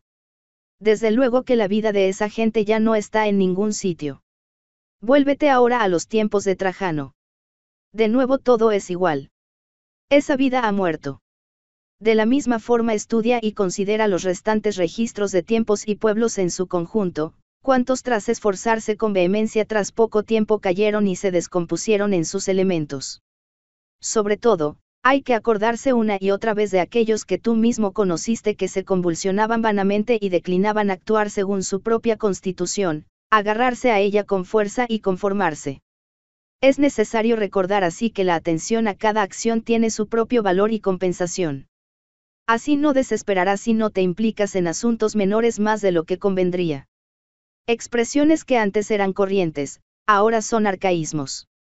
Así también, los nombres de los que antes eran agasajados con muchos himnos ahora son de alguna forma arcaísmos, Camilo, Cesón, Boleso, Dentato, por poco tiempo Escipión y Catón, más adelante también Augusto, posteriormente Adriano y Antonino. Pues todo se marchita y se vuelve rápidamente legendario. Rápidamente también el olvido absoluto lo entierra. Y hago esas afirmaciones a propósito de los que brillaron hasta la admiración, porque los restantes, nada más exhalar el alma, son desconocidos e ignorados. ¿Qué es en definitiva el recuerdo imperecedero? Es hueco del todo. ¿Qué es, entonces, hacia lo que es necesario dirigir el empeño? Solo una cosa, reflexión justa, acciones comunitarias, razón capaz de no equivocarse y disposición que se conforma con cualquier suceso como algo necesario, familiar y que fluye desde tal principio irruente. Entrégate voluntariamente a Cloto para tejer con ella cualquier acción que desee. Todo es flor de un día, tanto el que recuerda como lo que se recuerda. Estudia sin cesar cómo todo nace por cambio y acostúmbrate a pensar que nada desea tanto la naturaleza del todo como cambiar lo que es y hacer cosas nuevas que son iguales, porque de alguna forma todo será semilla de lo que será a partir de él. Tú te representas que son solo simientes las que se arrojan dentro de la tierra o de una matriz. Eso es vulgar por completo. Estarás muerto y todavía tendrás doblez, te turbarás, sospecharás que te perjudica lo externo, no serás favorable a todos, no pondrás la mente solo en actuar con justicia. Medita en los principios rectores de otros, de que huyen y que persiguen. Tu mal no reside en un principio rector ajeno, tampoco en una modificación o alteración de lo que te rodea. ¿Dónde, entonces? ¿Dónde se encuentre tu suposición sobre los males? Que no se produzca esa suposición y todo está bien. Incluso si lo que le es más cercano, el cuerpo, se corta, se quema, supura todo él, se gangrena, a pesar de ello que se mantenga tranquila la parte que hace suposiciones sobre eso, esto es, que no juzgue que algo es malo ni bueno de lo que por igual le puede acontecer al hombre malo y al bueno. Porque lo que acontece por igual al que vive contra la naturaleza como al que según la naturaleza, eso no es ni contra ni según la naturaleza. Sin interrupción hay que reflexionar en que el universo es como un único animal con una única substancia y una única alma, también en cómo todo desemboca en la sensibilidad única de ese animal, cómo todo lo hace por un único impulso, cómo todo es con causa de todos los sucesos y cuál es su entrelazamiento y entretejimiento. Eres un alma diminuta que lleva un cadáver, como decía Epicteto. Nada es malo para lo que nace por transformación como tampoco nada es bueno para lo que subsiste por transformación. El tiempo es como un río de sucesos y un flujo violento. En cuanto algo se ve, ya ha pasado de largo y otra cosa distinta es la que pasa, que también pasará. Todo suceso es tan cotidiano y conocido como la rosa en la primavera o la fruta en el verano. Tal es la enfermedad, la muerte, la injuria, la maquinación y todas las cosas que alegran o entristecen a los estúpidos. Lo posterior sucede siempre con afinidad tras lo precedente. Porque no es una especie de listado numerado de cosas independientes en el que solo quepa la necesidad, además existe una concatenación llena de juicio. Igual que están entrelazados armoniosamente los seres, así los sucesos no evidencian una sucesión sin más, sino una afinidad admirable. Acuérdate siempre de Heráclito, de que la muerte de la tierra produce agua, que la muerte del agua produce aire, que la del aire produce fuego y así sucesivamente. Acuérdate también del que olvida a dónde lleva su camino y de que en lo que coinciden continuamente, en la razón que gobierna el universo, en eso es en lo que más difieren y aquello con lo que se encuentran cada día, eso es lo que les parece extraño. También de que no hay que actuar ni hablar como si estuviéramos dormidos, porque incluso entonces parece que hacemos y hablamos. También de que no hay que ser como hijos de sus padres, esto es, estrictamente según lo que hemos recibido. Igual que si te dijera algún Dios morirás mañana o en cualquier caso dentro de dos días, no harías gran diferencia si en dos días o mañana, así también no consideres que tiene importancia llegar hasta un año alejadísimo o hasta mañana. Hay que reflexionar continuamente en cuántos médicos han muerto tras haber fruncido el entrecejo muchas veces por sus enfermos, cuántos astrólogos tras haber predicho la muerte ajena como una gran noticia, cuántos pensadores tras hacer miles de proclamaciones encendidas sobre la muerte y la inmortalidad, cuántos caudillos tras haber matado a muchos, cuántos tiranos que como si fueran inmortales habían usado de su poderío sobre las almas con terrible arrogancia, cuántas ciudades completas, por decirlo así, han muerto, como Hélice, Pompeya, Herculano y otras muchas incontables. Acércate también a todos los que conoces que han muerto uno después de otro, a este tras enterrar a ese se le dio sepultura y a aquel tras enterrar a aquel otro, todo eso en poco tiempo. En resumen, hay que ver siempre lo humano como flor de un día e inconsistente, ayer era una mucosidad, mañana será momia y cenizas. Ese instante de tiempo hay que recorrerlo según la naturaleza y disolverse con ánimo favorable, como caería la aceituna tras haber madurado, dando vivas a la que la produjo y reconociendo los favores al árbol que la hizo crecer. Se iguala al promontorio contra el que sin interrupción baten las olas. Él permanece quieto mientras que en su derredor sucumben las aguas que bulen. Soy desgraciado porque me ocurrió eso a mí. Bien al contrario, soy afortunado porque, a pesar de haberme ocurrido eso, permanezco sin pena y no me rompo por el presente ni temo el porvenir. Porque tal cosa podría haberle sucedido a cualquiera, sin embargo, cualquiera no hubiera permanecido sin pena por ello. Porque, entonces, aquello es mayor desgracia que esta buena fortuna. Consideras, en resumen, que es desgracia del hombre lo que no es desacierto de la naturaleza humana. A ti te parece que es desacierto de la naturaleza humana lo que no va contra el propósito de su naturaleza. Entonces, ¿qué? Has aprendido su propósito. Ningún suceso te impide ser justo, tener grandeza de ánimo, ser prudente, tener cabeza, no precipitarse, no ser engañoso, tener vergüenza, ser libre y las demás cualidades que si están presentes hacen que la naturaleza obtenga lo que le es propio. Acuérdate en adelante ante cualquier circunstancia que te provoque pena de usar esta máxima, que eso no es desgracia y que por el contrario soportarlo con nobleza es buena fortuna. Existe un remedio vulgar, aunque eficaz, de cara a despreciar la muerte, rememorar a los que se empeñaron en vivir hasta ser pegajosos. Que adelantaron respecto a los que murieron prematuramente. De cualquier forma, de alguna manera yacen muertos en algún lugar sediciano, Fabio, Juliano, Lépido o algún otro igual, ellos entortaron a muchos, después fueron entortados. En una palabra, el intervalo es pequeño y hay que sobrellevarlo con cuantos trabajos, con qué compañías y en qué cuerpecillo. Por tanto, que no sea un problema. En efecto, mira hacia atrás lo dilatado del tiempo y hacia adelante también hay otra infinitud. Ante eso, ¿qué diferencia hay entre el que vive tres días y Néstor tres veces viejo? Corre siempre por el camino corto, corto es vivir según la naturaleza. Por tanto, habla y actúa en todo según lo que sea más sano. Ese planteamiento te libera de golpes, de vacilación, de preocupación y afectación. Libro V. Al amanecer, cuando te despiertas perezoso, ten a mano lo siguiente, me despierto para una tarea humana, y todavía me irrito si me dirijo a hacer aquello por lo que he nacido y para lo que me han traído al mundo. O me han fabricado para esto, para reconfortarme al calor de las mantas. Pero esto es más placentero. Entonces has nacido para complacerte. En resumen, para sentir o para actuar. ¿No ves que las pequeñas plantas, los gomoncillos, las hormigas, las arañas, las abejas hacen lo que les es propio y conjuntamente forjan en su medida el universo. Resulta que tú no quieres hacer lo propio del hombre. No vas a correr a la tarea que es conforme a tu naturaleza. Sí, pero hay que tomarse un descanso. Sí, yo también lo afirmo. Sin embargo, la naturaleza también nos dio su medida, también nos la dio del comer y del beber, no obstante, tú sobrepasas lo que es suficiente. Pero en las acciones ya no, sino que te quedas, dentro de lo posible. En efecto, no te amas a ti mismo porque, si no, amarías tu naturaleza y su propósito. Otros por amor a sus oficios se consumen en las tareas propias de su oficio sin lavarse ni comer. Honras tu propia naturaleza menos que el escultor el arte de la escultura, el danzarín el de la danza, el avaro el dinero, el vanidoso la honrilla. Estos, cuando están apasionados, ni comer ni dormir lo desean más que acrecentar las dedicaciones que sienten que les conciernen.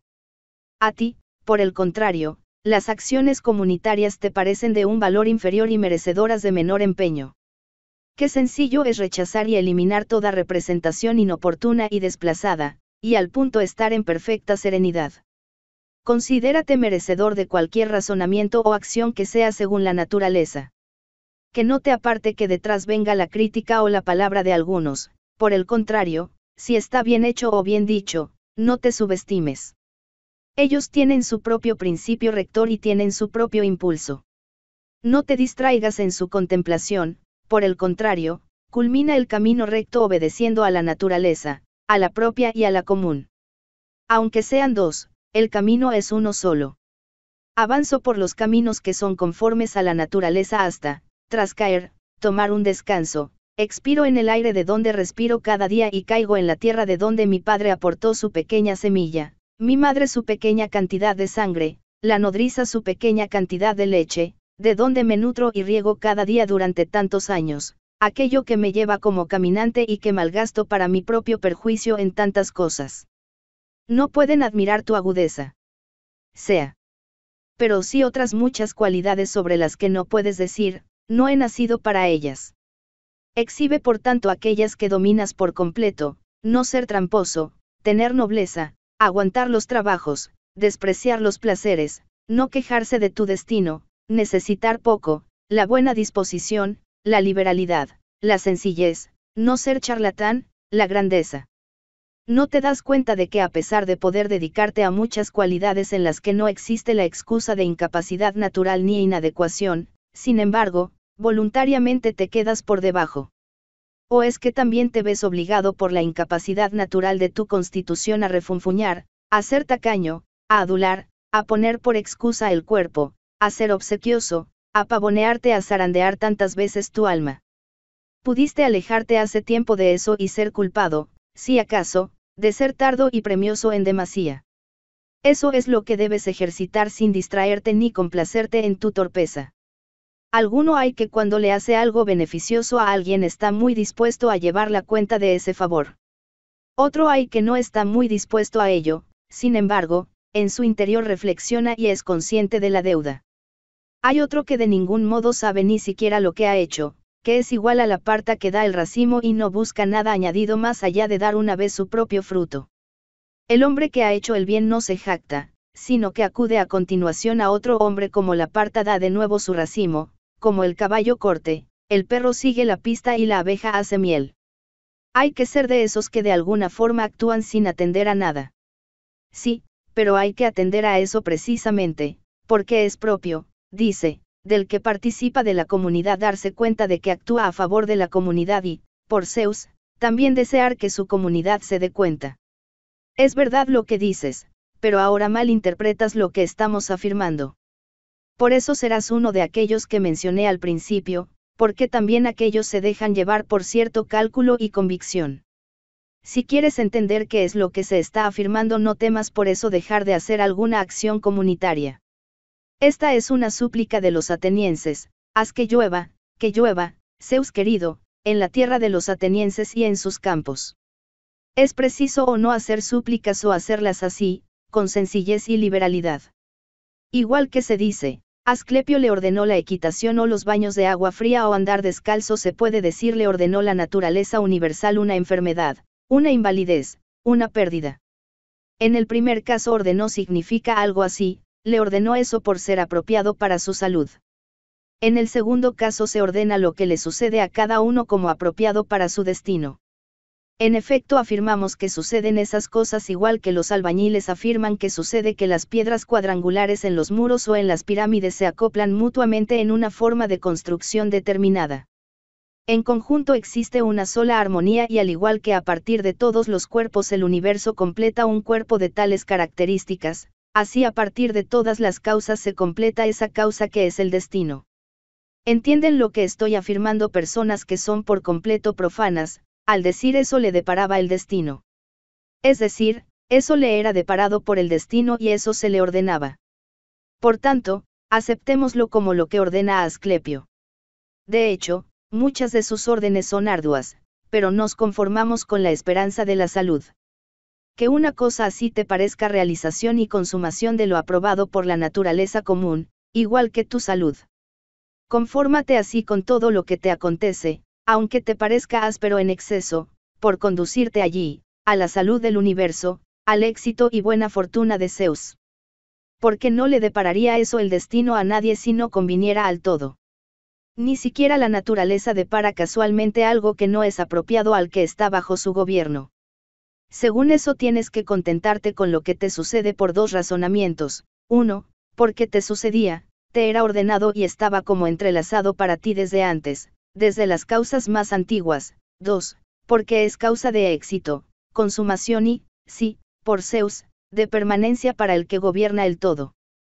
En efecto, se mutila lo que es perfecto tanto si le cercenas cualquier cosa que está en contacto o unión, por ejemplo, alguna de sus partes, como también si alguna de sus causas. Cercenas, en lo que de ti depende, cuando estás a disgusto y de alguna forma destruyes. No reniegues, ni renuncies, ni te impacientes, si no se materializa la ejecución de cada acción según criterios rectos, por el contrario, aunque te quedes fuera de combate, vuelve a él con insistencia, conténtate si la mayor parte de tus acciones están por encima de lo humano y desea el combate al que vuelves. No vuelvas a la filosofía como a un maestro, sino como los que por padecer de ojos hinchados acuden a la esponja y al lavaojos, como otro a la cataplasma o a los fomentos. Así no harás exhibición de seguir el mandato de la razón, sino que descansarás sobre ella. Recuerda que la filosofía solo quiere eso que quiere tu naturaleza y que tú querías otra cosa no conforme a la naturaleza. ¿Qué es más atractivo que eso? Pues, no nos hace caer el placer con atractivos. Observa por si es más atractiva la grandeza de ánimo, la libertad, la sencillez, la cortesía, la virtud que hay más atractivo que la propia reflexión, cuando percibes firmeza y prosperidad en todo lo que viene de la facultad de comprender y conocer. Las cosas están de alguna manera tan veladas que pareció a no pocos filósofos, y no a unos cualesquiera, que son inesibles, incluso los propios estoicos opinan que son difíciles de asir. Cualquiera quiesencia nuestra está sujeta a cambio. ¿Dónde está el infalible? Acércate después a los objetos concretos como a algo perecedero, de poco valor y susceptible de ser propiedad de un canalla, una puta o un pirata. Tras eso aproxímate a las conductas de tus congéneres, que son soportables a duras penas incluso la del más agraciado, por no hablar de que con dificultad se soporta uno a sí mismo. Por tanto, en tales tinieblas, en tal basura, en tan gran flujo, qué es lo que hay que estimar especialmente o puede sin más tomarse en serio de la realidad, del tiempo, del movimiento, de lo que se mueve. Ni siquiera lo intuyo. Por el contrario, hay que esperar con ánimo la descomposición natural y no desesperar en la demora, es más, descansa en los siguientes preceptos. 1. No me ocurrirá nada que no es conforme a la naturaleza del todo. 2. Me es posible no hacer nada contra mi Dios y Espíritu, porque no hay quien me obligue a ir contra él. ¿Con qué fin uso ahora mi alma? Pregúntate e investiga a cada ocasión esto, que tengo en esa parte que llaman rectora. ¿De quién es el alma que ahora tengo? Es la de un niño, la de un joven, la de una mujercilla, la de un tirano, la de una res, la de una fiera. Podrías entender que son bienes en la opinión de la mayoría por lo que sigue. Si uno cavilara cuáles son los bienes de verdad, es decir, la reflexión, la prudencia, la justicia, la valentía, no podría ya escuchar que al bien se le hiciera esa apostilla porque no coincidirá nada respecto a lo que ha cavilado previamente. pero si uno cavila previamente en lo que resulta que son bienes para la mayoría, dará crédito y aceptará fácilmente que el dicho del cómico es una apostilla oportuna. Así también barrunta la mayoría la diferencia. En efecto, no podría ser que se atacase y denigrara esa apostilla pero que se aceptara que aplicada a la riqueza y a los azares favorables que conducen al lujo y a la fama es apropiada y elegante.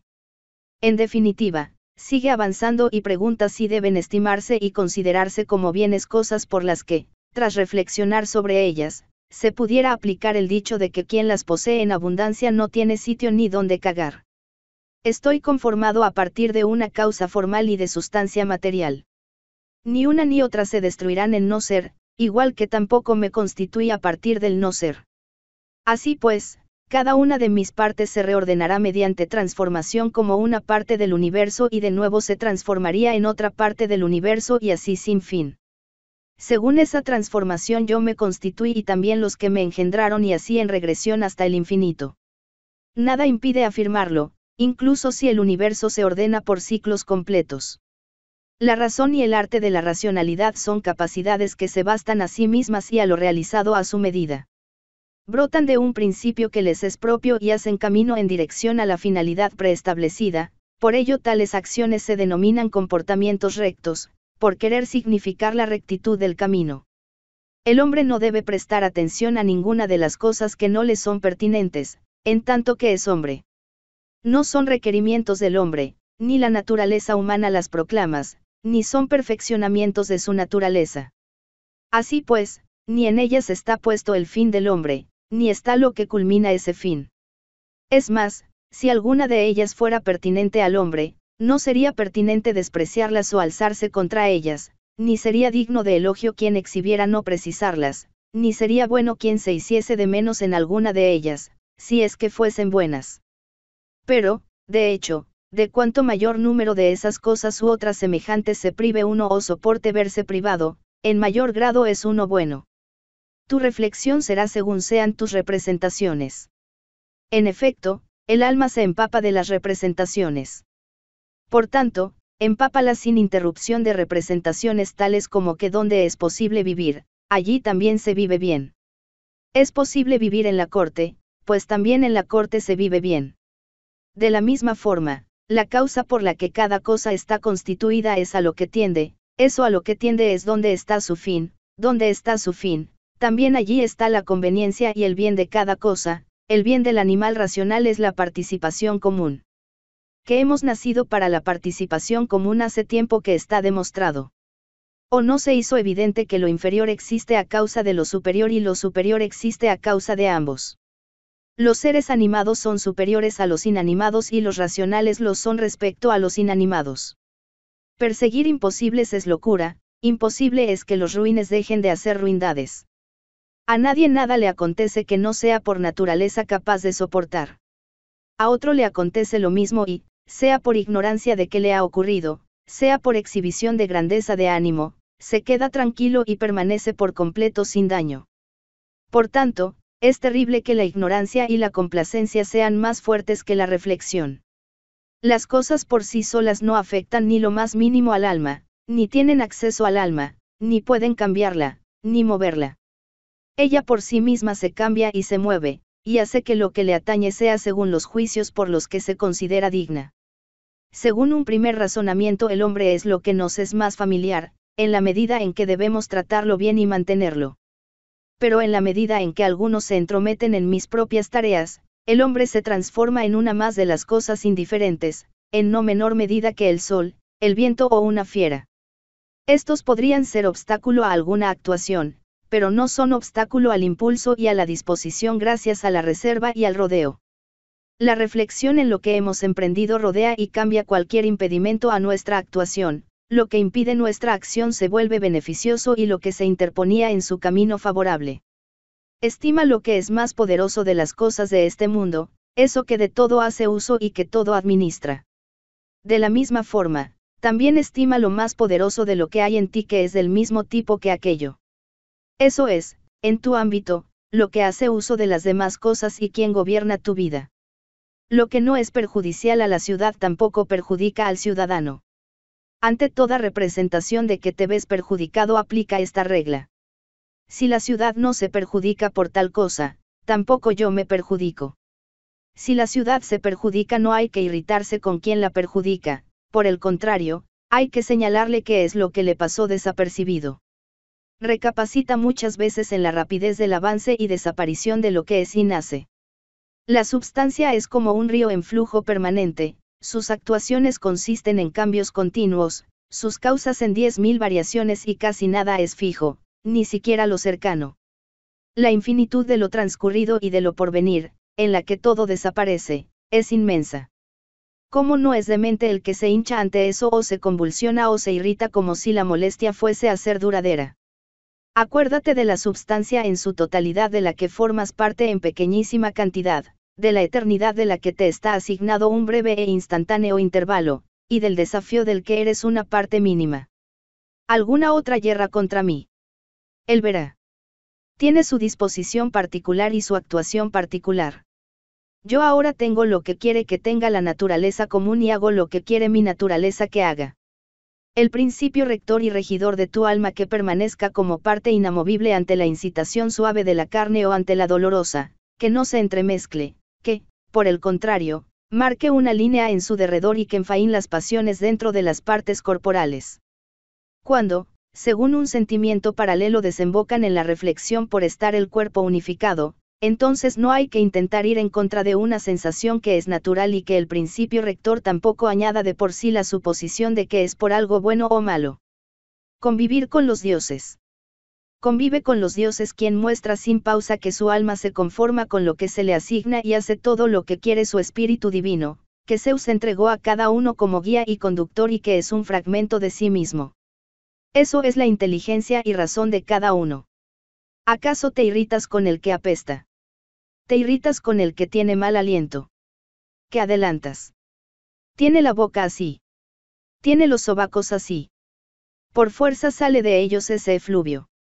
Pero, se afirma, el hombre tiene razón y puede reflexionar, si repara en ello, sobre por qué es ofensivo. Pues, muy bien, porque, en definitiva, también tú tienes razón.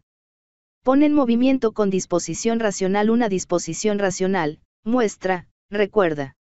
Si presta atención, podrás curarlo y no habrá necesidad de la cólera. Ni actor ni puta. Como medites vivir tras tu marcha definitiva, Así te es posible vivir acá. Si no te dejan, entonces márchate de la vida, pero hazlo como si no hubieras sufrido ningún mal. Hay humo y me voy. ¿Por qué te parece que eso es un problema? Mientras nada así me saque, sigo siendo libre y nadie me impedirá hacer lo que quiero. Y quiero vivir según la naturaleza de un animal racional y comunitario. La inteligencia del universo es comunitaria. Así por ejemplo ha hecho lo inferior a causa de lo superior e hizo concordar lo superior entre sí. Puedes ver cómo subordinó, coordinó, distribuyó según su valía a cada uno y reunió en concordia mutua a los seres superiores. ¿Cómo te comportaste hasta ahora con los dioses, con tus padres, con tus hermanos, con tu mujer, con tus hijos, con tus maestros, con tus tutores, con tus amigos, con tus parientes, con tus esclavos? Si hasta ahora en relación a todos ellos, es aplicable, contra nadie actuó mera de la ley ni dijo.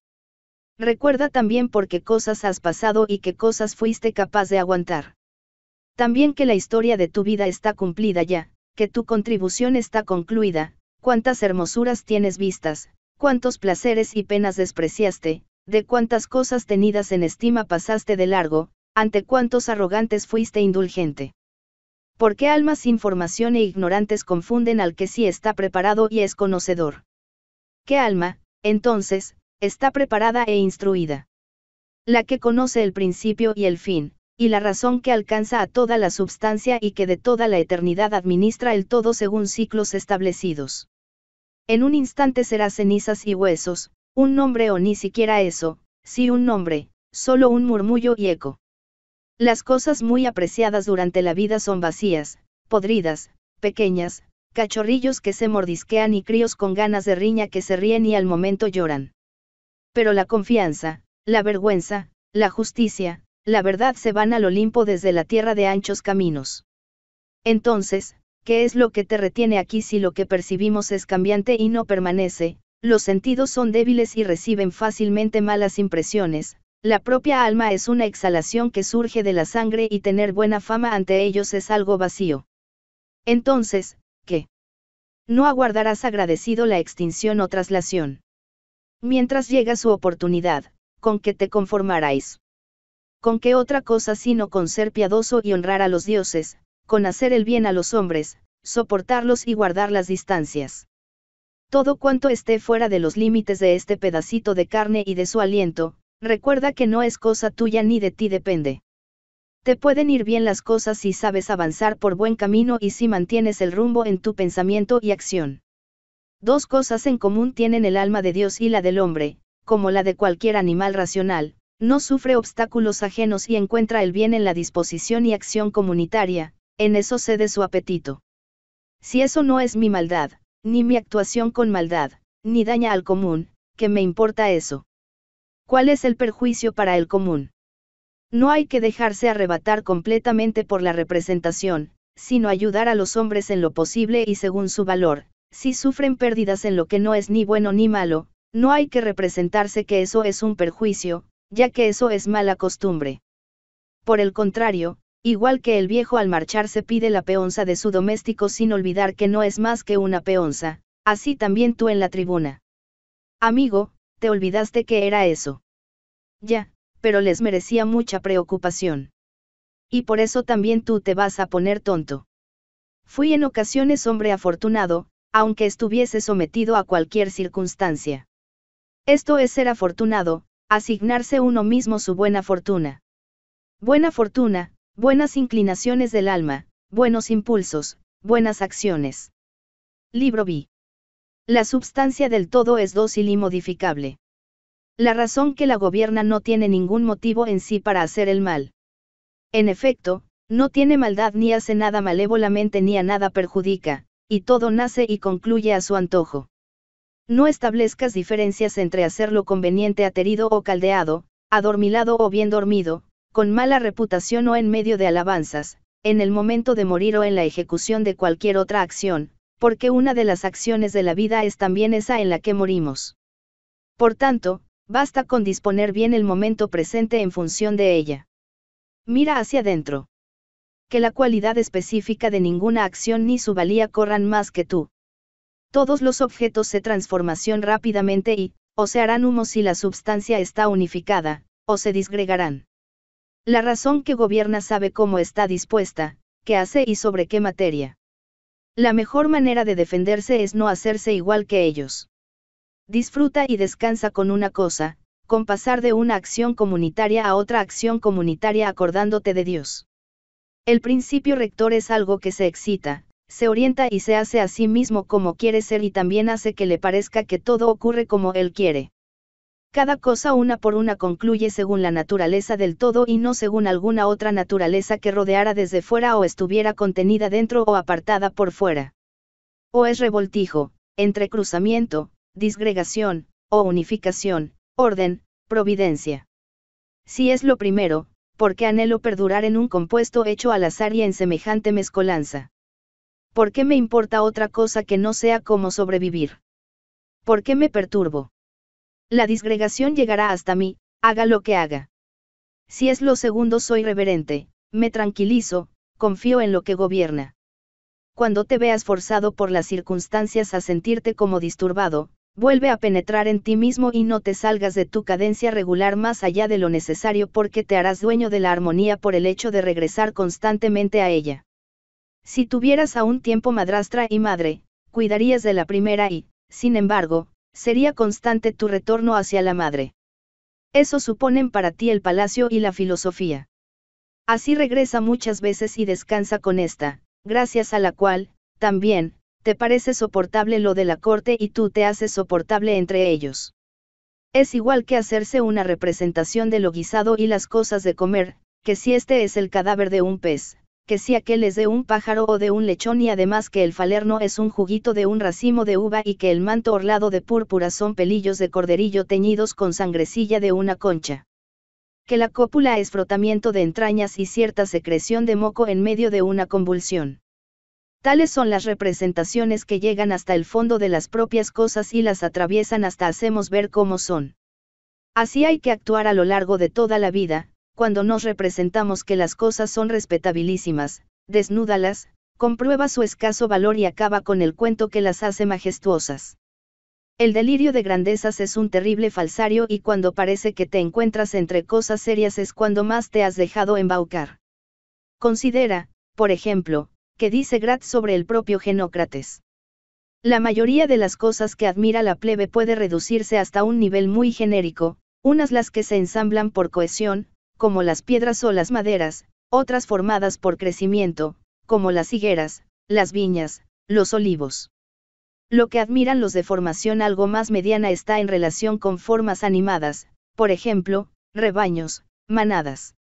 Los algo más agraciados lo que está en relación con el alma racional, sin embargo, no en cuanto racional, sino en cuanto conocedora de una industria, dicho de otra forma, por ser muy afanosa o, en expresión llana, por poseer una multitud de esclavos.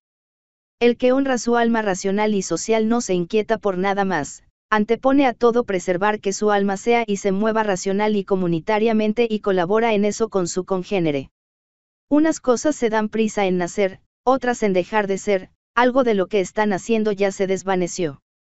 Los flujos, las transformaciones renuevan el universo constantemente igual que la gestación incesante del tiempo renueva siempre la eternidad infinita.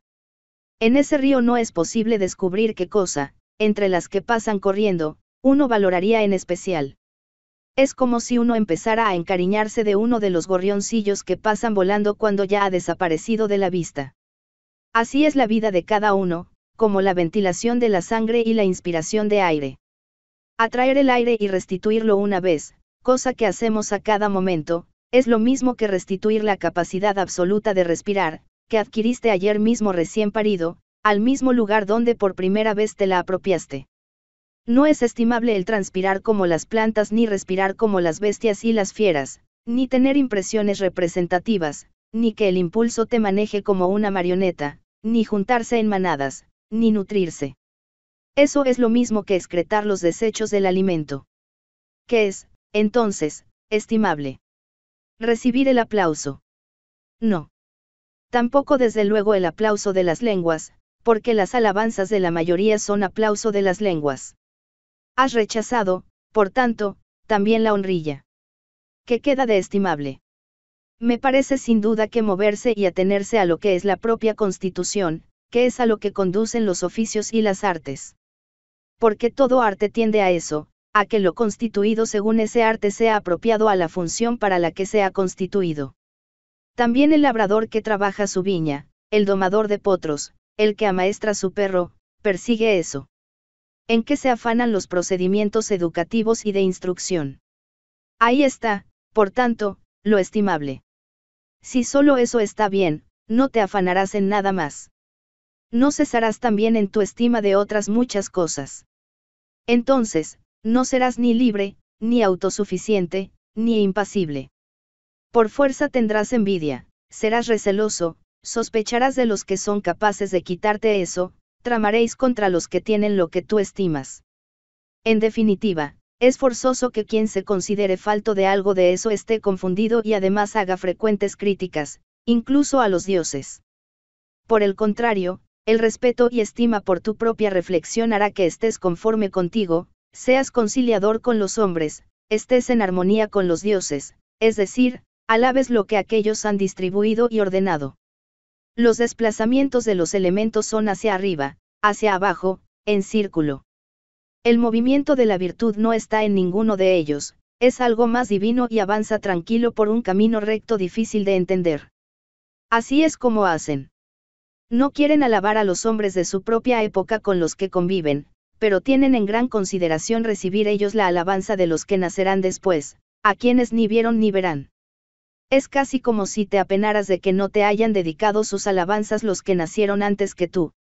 No supongas que si algo te resulta a ti muy penoso eso sea imposible para el hombre, por el contrario, si algo es posible y resulta familiar al hombre, considera que a eso tú también puedes llegar. En los ejercicios en el gimnasio alguno te araña con sus uñas o te propina un cabezazo. pero no se lo recriminamos, ni nos ofendemos, ni sospechamos de él a partir de ahí como insidioso. Es verdad que nos precavemos, pero no como si fuera enemigo ni con sospechas, solo lo evitamos benévolamente. Que ocurra lo mismo en los restantes ámbitos de la vida, no prestemos mucha atención a los que son como nuestros compañeros de gimnasia. Porque es posible, como decía, evitarlos sin recelar o aborrecer. Si alguien puede rebatirme y probarme que no entiendo o actúo rectamente, cambiaré de opinión agradecido. En efecto, busco la verdad que a nadie nunca perjudicó. Se perjudica el que persiste en su propio engaño e ignorancia. Yo hago mi propio deber, lo demás no me distrae. Pues son seres inanimados o irracionales o descamados que no conocen su camino. Los animales irracionales y, en general, los objetos, por estar tú dotado de razón y ellos no, trátalos generosa y liberalmente, a los hombres, que están dotados de razón, trátalos además comunitariamente. En todos los casos invoca a los dioses y no establezcas diferencia por la cantidad de tiempo que podrás actuar de esa forma.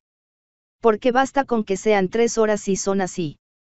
Alejandro de Macedonia y su palafrenero una vez muertos vinieron a parar en lo mismo. O regresaron a las mismas razones generadoras del universo o se dispersaron por igual en átomos. Reflexiona sobre cuántos sucesos en el mismo breve instante ocurren en cada uno de nosotros a un tiempo, tanto físicos como psíquicos. Así no te admirarás de que muchísimos más, mejor, todos los sucesos subsistan a un tiempo en el uno y en el todo que denominamos universo. Si alguien te plantea cómo se escribe el nombre de Antonino, mostrarás sin ponerte tenso cada uno de sus elementos, no llevarás paso a paso con tranquilidad la cuenta de cada una de las letras. Y que, si se encolerizan, te encolerizarás en respuesta. Así, por tanto, también acuérdate ahora de que todo deber se lleva a término con determinadas cuentas. Es preciso observarlas y, sin dejarse turbar ni enojarse en respuesta a los que se enojan, completar con método la tarea propuesta. Qué crudo es no dejar a los hombres que apetezcan lo que les parece adecuado y conveniente. Sin embargo, de alguna forma no estás de acuerdo en que ellos actúan así cuando te irritas porque yerran. Se dejan llevar completamente por pensar que van hacia lo adecuado y conveniente. Pero eso no es así. Enséñaselo, por tanto, y muéstraselo sin irritarte. La muerte es una tregua a la reacción sensorial, a que te manejen como marioneta los impulsos, al rodeo de la reflexión, al tributo que se rinde a la carne. Es vergonzoso que en la vida en la que el cuerpo no renuncia, el alma renuncie antes. Sé vigilante, no te cesarices, no te empapes en púrpura, cosa que ocurre. Mantente, por tanto, sencillo, bueno, puro, digno, sin pompa, amigo de lo justo, piadoso, bien intencionado, afectivo, fuerte para ejecutar lo conveniente. Lucha para permanecer, así como te quiso hacer la filosofía. Respeta a los dioses, salva a los hombres.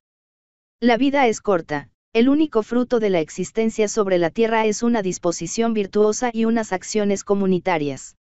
En todo como discípulo de Antonino, su vigor a favor de acciones realizadas de acuerdo con la razón, su equilibrio en todo, su virtud, la calma de su rostro, su dulzura, su ausencia de vanagloria, su empeño para captar los asuntos cómo no rechazaba nada en absoluto sin considerarlo antes mucho y reflexionarlo con seguridad. Cómo soportaba a los que lo criticaban injustamente sin criticarlos a su vez. Cómo no se apresuraba para nada, cómo no aceptaba las calumnias. Cómo era un examinador riguroso de los comportamientos y de las acciones, pero ni crítico, ni asustadizo ante rumores, ni sospechoso, ni enrevesado. Cómo se conformaba con poco, así en la vivienda, en el lecho, en el vestir, en el alimento, en su servidumbre. Cómo era sufrido y perseverante.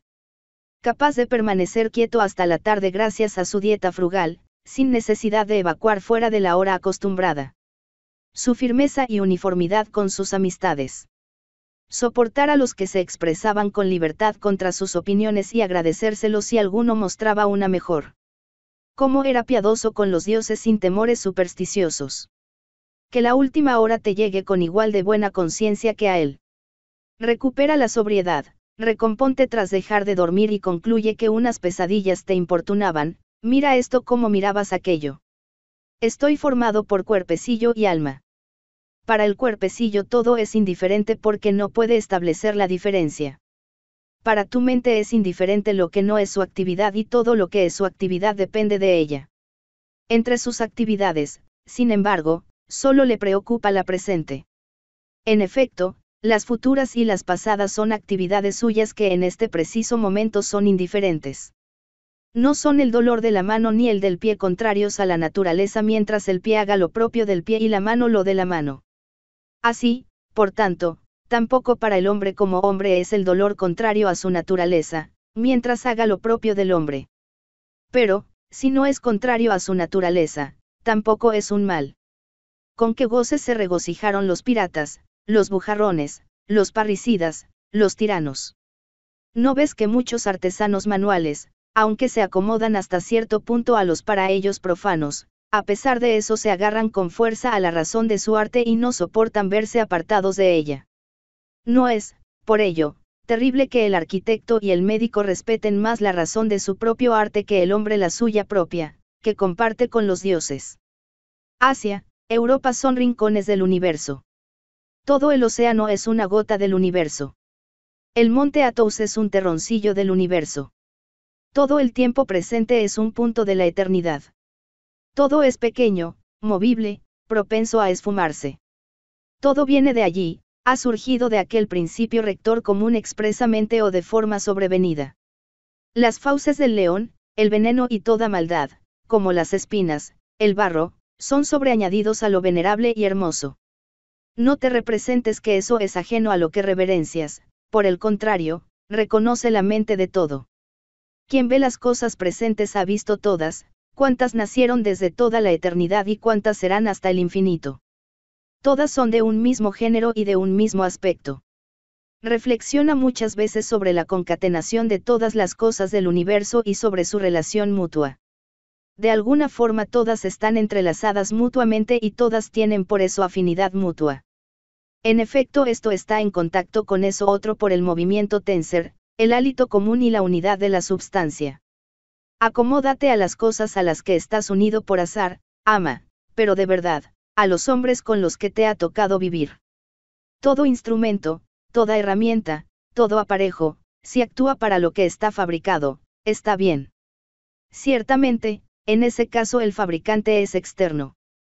En lo ensamblado por la naturaleza la fuerza fabricadora está dentro y permanece. Por ello es necesario en mayor grado respetarla y considerar que, si la mantienes y la tratas según su deseo, todo en ti está según la inteligencia. Así también están según la inteligencia las cosas en conjunto. Lo que no has escogido deliberadamente y supones que es tu bien o tu mal, por fuerza, en el caso de experimentar el mal mencionado o en el de fracasar el bien indicado, se lo criticas a los dioses y es motivo de odio contra los hombres que son causantes o supones que podrán serlo de ese fracaso. Además, cometemos muchas injusticias por desacuerdo en esas cuestiones. Por el contrario, si solo juzgamos como bueno y malo lo que de nosotros depende, no queda ya motivo alguno ni de acusar a la divinidad ni de tomar partido hostil contra el hombre.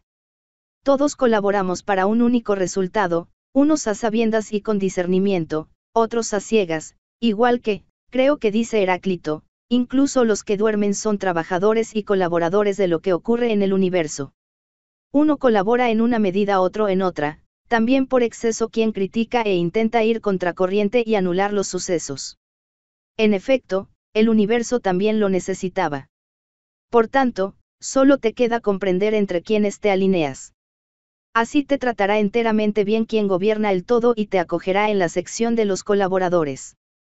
Pero tú no seas un elemento como el verso barato y ridículo de un drama que menciona Crisipo. ¿Acaso el sol reivindica hacer lo que es propio de la lluvia? ¿Acaso Asclepio reivindica lo de la portadora de frutos? ¿Y qué ocurre con cada uno de los astros? No son distintos, pero colaboran en lo mismo. Si los dioses decidieron sobre mí o sobre lo que debía ocurrirme a mí, decidieron bien.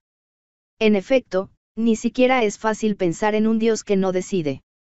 Pero, ¿por qué causa iban a ponerse a hacerme el mal? ¿En qué se hubieran aventajado ellos o el común, que es en lo que más ejercen su providencia? si no decidieron en particular sobre mí, decidieron, al menos, sobre lo común en conjunto, a lo que, en consecuencia, debo abrazar y amar. Si, por el contrario, no deciden sobre nada. Creerlo, desde luego, no es virtuoso o si lo es, no sacrifiquemos ya, ni oremos, ni juremos ni realicemos lo demás que realizamos dirigido a dioses que supuestamente están presentes y nos acompañan, si no deciden sobre nada de lo que nos afecta, yo puedo, sin embargo, decidir sobre mí y yo tengo análisis sobre lo que conviene. A cada uno le conviene según su constitución y naturaleza, y mi naturaleza es racional y social. Mi ciudad y mi patria, como Antonino que soy, es Roma. Como hombre, es el universo. Por tanto, las que son beneficiosas para esas ciudades, solo esas considero que son buenas. Cuánto ocurre a cada uno le conviene al todo. Con eso bastaba. Pero además observarás en general, si miras con detenimiento, que lo que conviene a un hombre también conviene a los demás. En este caso tómese lo conveniente en su uso más habitual aplicado a lo que no es ni bueno ni malo. Igual que te ofenden los espectáculos de los anfiteatros y lugares semejantes porque ver siempre lo mismo y similar hace que su contemplación arte, eso te ocurre aplicado a toda tu vida, porque todas las cosas de arriba abajo son las mismas y surgen de lo mismo. Entonces, ¿hasta cuándo? Reflexiona sin pausa sobre la gran variedad de hombres ya muertos, variedad en sus actuaciones y variedad en sus razas, hasta llegar a Filistión, Febo y Origanión. Recorre ahora otras estirpes. Es necesario que nos traslademos allí donde florecieron tantos oradores competentes, tantos filósofos venerables, Heráclito, Pitágoras, Sócrates, antes de eso tantos héroes, después tantos generales, tiranos.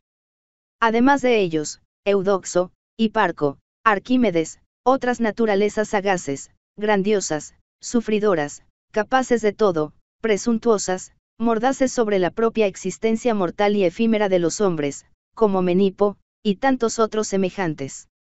Reflexiona sobre todos estos que están muertos hace tiempo. Así pues, ¿qué tiene eso de terrible para ellos? Y que para los no renombrados en absoluto. Solo una cosa es digna de mucha estima, pasar la vida siendo benévolo con verdad y justicia frente a los falsos e injustos. Cuando quieras reconfortarte, recapacita en los puntos sobresalientes de los que conviven contigo.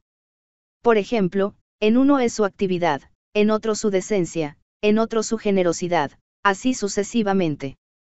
En efecto, nada reconforta tanto como que las copias de las virtudes aparezcan en el carácter de contemporáneos tuyos y que concurran lo más agrupadamente posible. Por ello hay que tenerlas a mano. Te vas a irritar porque pesas tantas libras y no 300. Así entonces también por tener que vivir hasta tantos años y no hasta más. Igual que te conformas con la substancia que se te ha asignado, así también aplicado al tiempo. Intenta convencerlos, pero actúa también contra su voluntad cuando la razón de la justicia así te guíe. Si, a pesar de ello, alguien usando violencia se te opone, cambia a una actitud complaciente y no dolida, que haber sido impedido te sirva para otra virtud y recuerda que emprendías tu actuación con reserva y que no apetecías imposibles. ¿Qué apetecías? Una empresa así. ¿Alcanzas eso? Sucede aquello por lo que nos pusimos en camino. El ansioso de fama supone que su bien está en la actuación de otro, el ansioso de placeres que está en su propia sensación, por el contrario, el que tiene inteligencia que está en su propia actuación. Es posible no hacer ninguna suposición sobre eso y no turbarse en el alma porque las cosas en sí no tienen naturaleza capaz de provocar nuestros juicios.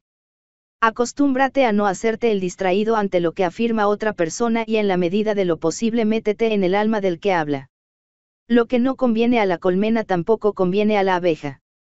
Si los marinos criticaran al capitán o los enfermos al médico, se fijarían en algo que no fuera como procuraba él la salvación de los embarcados o la salud de los pacientes. ¿Cuántos de los que entraron conmigo en este mundo se han marchado ya? La miel parece amarga a los que tienen ictericia, el agua pavorosa a los que ha mordido un rabioso y una pelotita algo hermoso a los niños pequeños. ¿Por qué, entonces, me irrito? ¿Te parece que tiene menos fuerza creer falsedades que la hiel para el ictérico y el veneno para el rabioso? Nadie te podrá impedir vivir según la razón de tu naturaleza. Nada te podrá ocurrir al margen de la razón de la naturaleza común. ¿Cómo son aquellos a los que quieren complacer y por qué medios y con qué actuaciones buscan su propio beneficio? ¿Con qué rapidez la eternidad lo cubrirá todo y cuántas cosas tiene ya cubiertas? Libro 7. ¿Qué es la maldad? Es eso que has visto muchas veces. Ante cualquier suceso ten a mano que es eso que has visto muchas veces.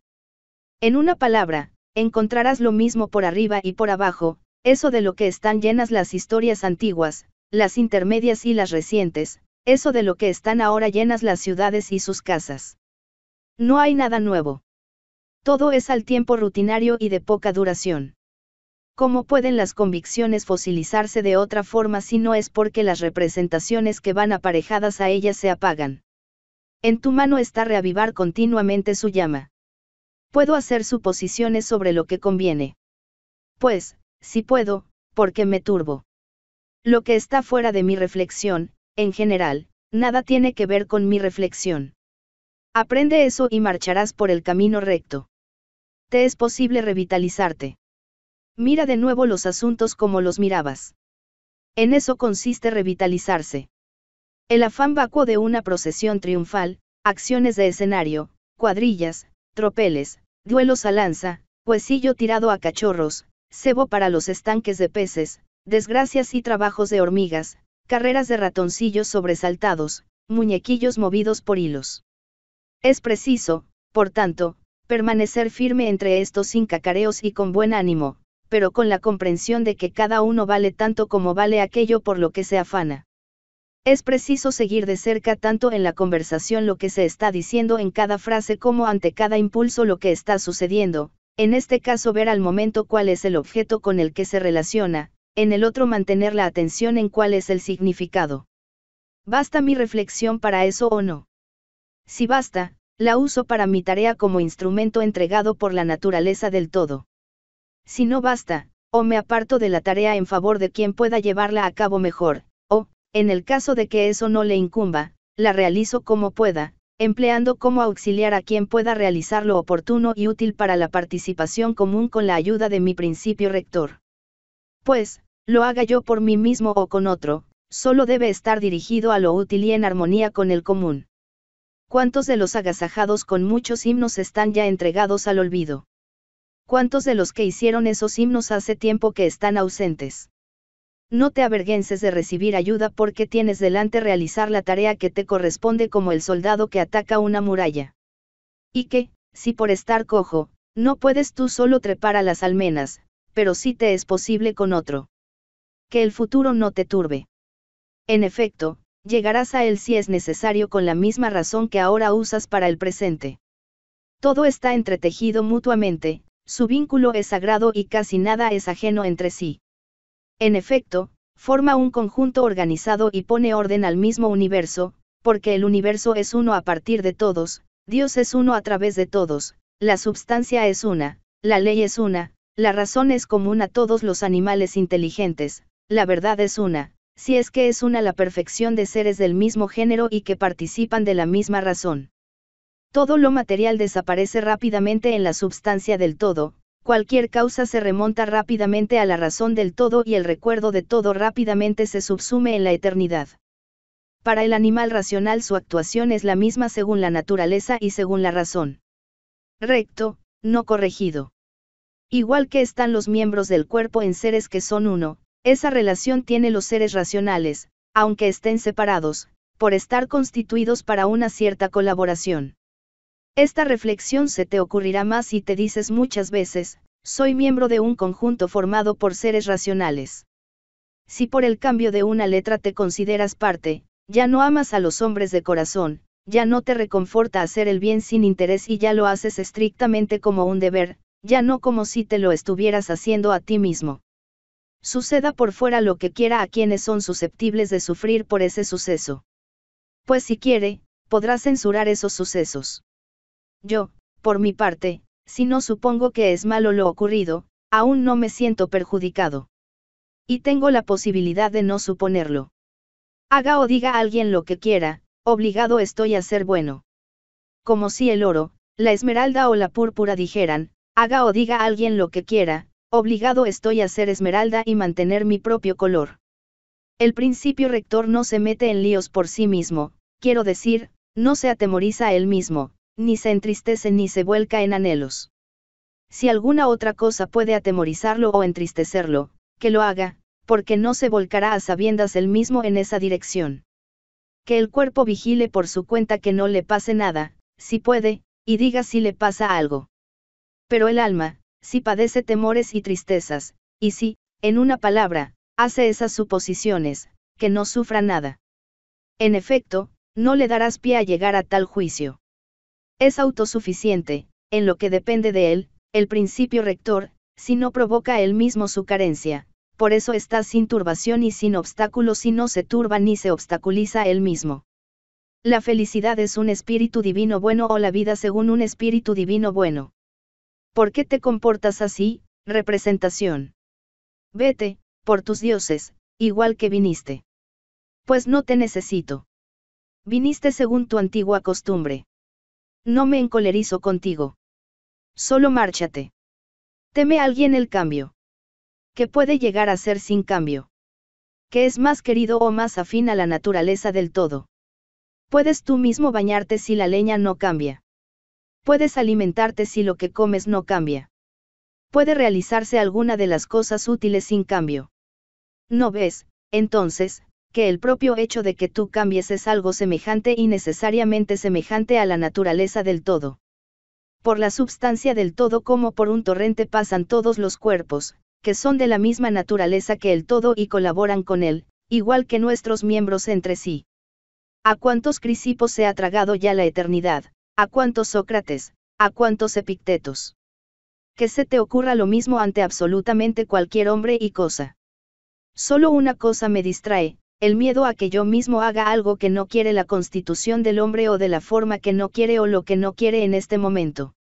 Está cerca que tú te olvides de todo y también lo está que todos te olviden.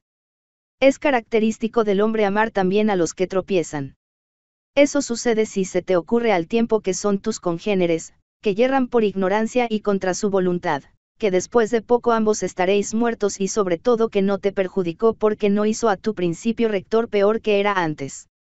La naturaleza del todo modeló a partir de toda la substancia, como si fuera cera, un caballito, tras fundirlo, usó su materia para hacer un arbolito, después un hombrecito, después otra cosa. Cada uno de esos se mantuvo poquísimo tiempo. No tiene nada de terrible para un cofre que lo descompongan, como tampoco que lo ensamblen. La expresión vengativa en la cara es contraria en exceso a la naturaleza. Cuando muere muchas veces en la cara la expresión noble, finalmente se extingue hasta el punto de no poder ser reavivada su llama en absoluto. Procura prestar atención precisamente a eso que va contra la razón, porque si la conciencia del error se marcha, ¿qué motivo hay para vivir? Todo cuanto ves lo cambiará ya mismo la naturaleza que gobierna todo y hará otras cosas a partir de su substancia y otras distintas de nuevo a partir de la substancia de estas para que el universo esté siempre recién hecho. Cuando alguien yerre contra ti, al punto medita que ha errado por sus supuestos sobre qué es bueno y qué es malo. Pues al considerar eso te compadecerás de él, no te sorprenderás ni te encolerizarás. En efecto, o bien también tú supones que es bueno lo mismo que él o alguna otra cosa similar, por tanto, hay que perdonar, o bien, si no supones que tales cosas sean buenas y malas, podrás tener buen ánimo más fácilmente con quien está confundido. No reflexiones en los bienes ausentes como ya presentes, sino selecciona de los que están a tu lado los de mejor augurio y evoca a través de ellos cómo los perseguirías de no estarlo. Sin embargo, al mismo tiempo, por complacencia en ellos guárdate de acostumbrarte a valorarlos en exceso hasta el punto de que si alguna vez no estuvieran a tu lado te sintieras perturbado. Recógete en ti mismo. Tiene el principio rector la naturaleza de bastarse él solo si actúa con justicia y gracias a eso mantiene la serenidad.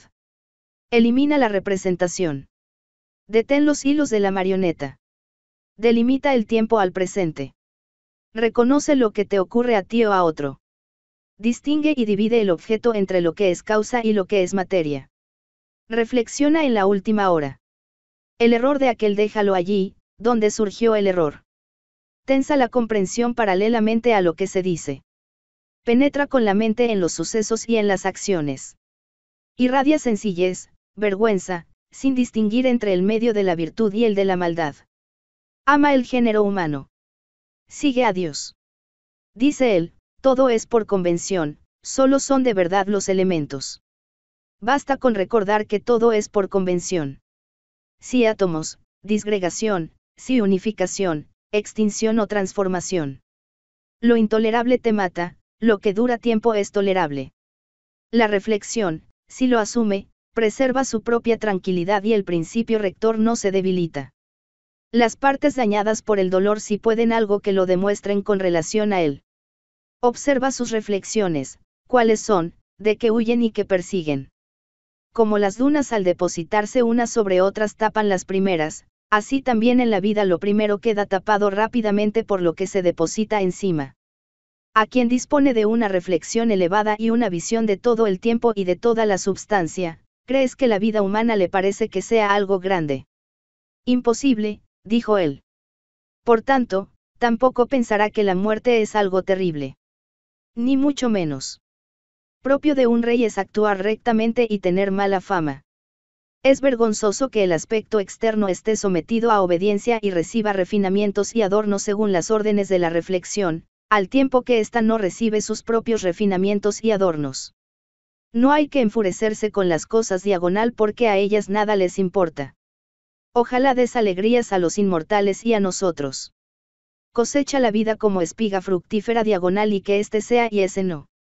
Si fui abandonada yo y mis dos hijos por los dioses diagonal incluso eso tiene su razón. El bien está conmigo y la justicia. Ni entones el treno, ni tengas palpitaciones.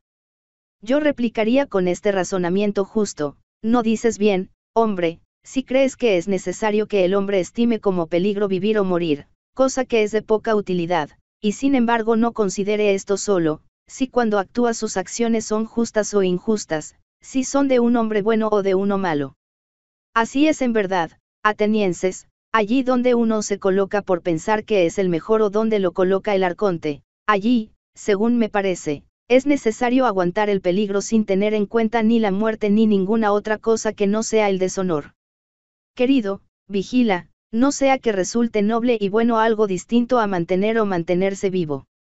No sea que el hombre de verdad deba ser indiferente a eso, vivir el mayor tiempo, y no deba amar solo la vida. Debe dejarlo en manos de los dioses y creer a las mujeres aquello de que nadie podría huir de su destino, según eso debe considerar de qué manera puede vivir mejor la vida que tenga que vivir. Contempla los desplazamientos de los astros como si giraras con ellos y reflexiona sobre las transformaciones mutuas y continuas de los elementos. Estas representaciones nos purifican de la porquería de la vida terrestre. Desde luego que cuando se hacen discursos sobre los hombres hay que contemplar las cosas de la tierra como desde arriba, rebaños, ejércitos, tierras labradas, bodas, divorcios, nacimientos, muertes, jaleo de los tribunales, desiertos, variados pueblos bárbaros, fiestas, lamentos fúnebres, mercados, mezcolanza y orden universal a partir de sus contrarios. Observa otra vez lo que fue antes, los cambios tan abundantes de lo que es. Se puede también prever el futuro. Pues será en todo parecido y no es posible que se salga del ritmo de lo que ahora mismo sucede. De ahí que sea lo mismo hacer la historia de la vida humana de 40 años que la de 10.000. ¿Qué más podrás ver? También, las que crecieron de la tierra vuelven a la tierra, diagonal las especies que brotan desde el firmamento diagonal vuelven de nuevo a la bóveda celeste. También, con grano, con bebidas, con encantamientos diagonal desvían el curso para no morir. Hay que soportar el viento de los dioses diagonal y sus trabajos sin queja. Más hábil en el combate, pero no más comunitario, ni más decente, ni mejor disciplinado en los sucesos ni más condescendiente con las confusiones del prójimo. Cuando se puede concluir la tarea según la razón común a dioses y hombres, entonces nada es terrible, porque cuando es posible conseguir beneficio a través de una actuación bien encaminada y que avanza conforme a nuestra constitución, entonces no hay que sospechar de ningún perjuicio. En cualquier lugar y permanentemente en tu mano está complacerte piadosamente con la circunstancia del momento, comportarte con los hombres del momento con justicia y tratar con artificio la representación del momento para que no te penetre sin control. No pasees tu mirada por los principios rectores ajenos, al contrario, dirige la recta allí donde te guía la naturaleza, la del todo a través de lo que te sucede y la tuya a través de tus deberes. Es deber de cada uno lo que está en línea con su constitución.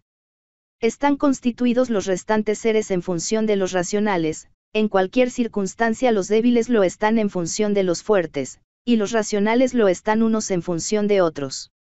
En la constitución del hombre el deber preponderante es el bien común, el segundo es no ceder ante las pasiones corporales, porque es propio del movimiento racional e inteligente marcar sus confines y no dejarse vencer por el movimiento sensorial o impulsivo, estos dos movimientos son propios de animales, pero frente a ellos quiere ser preponderante y no resultar inferior el inteligente, que con justicia es por naturaleza quien los utiliza.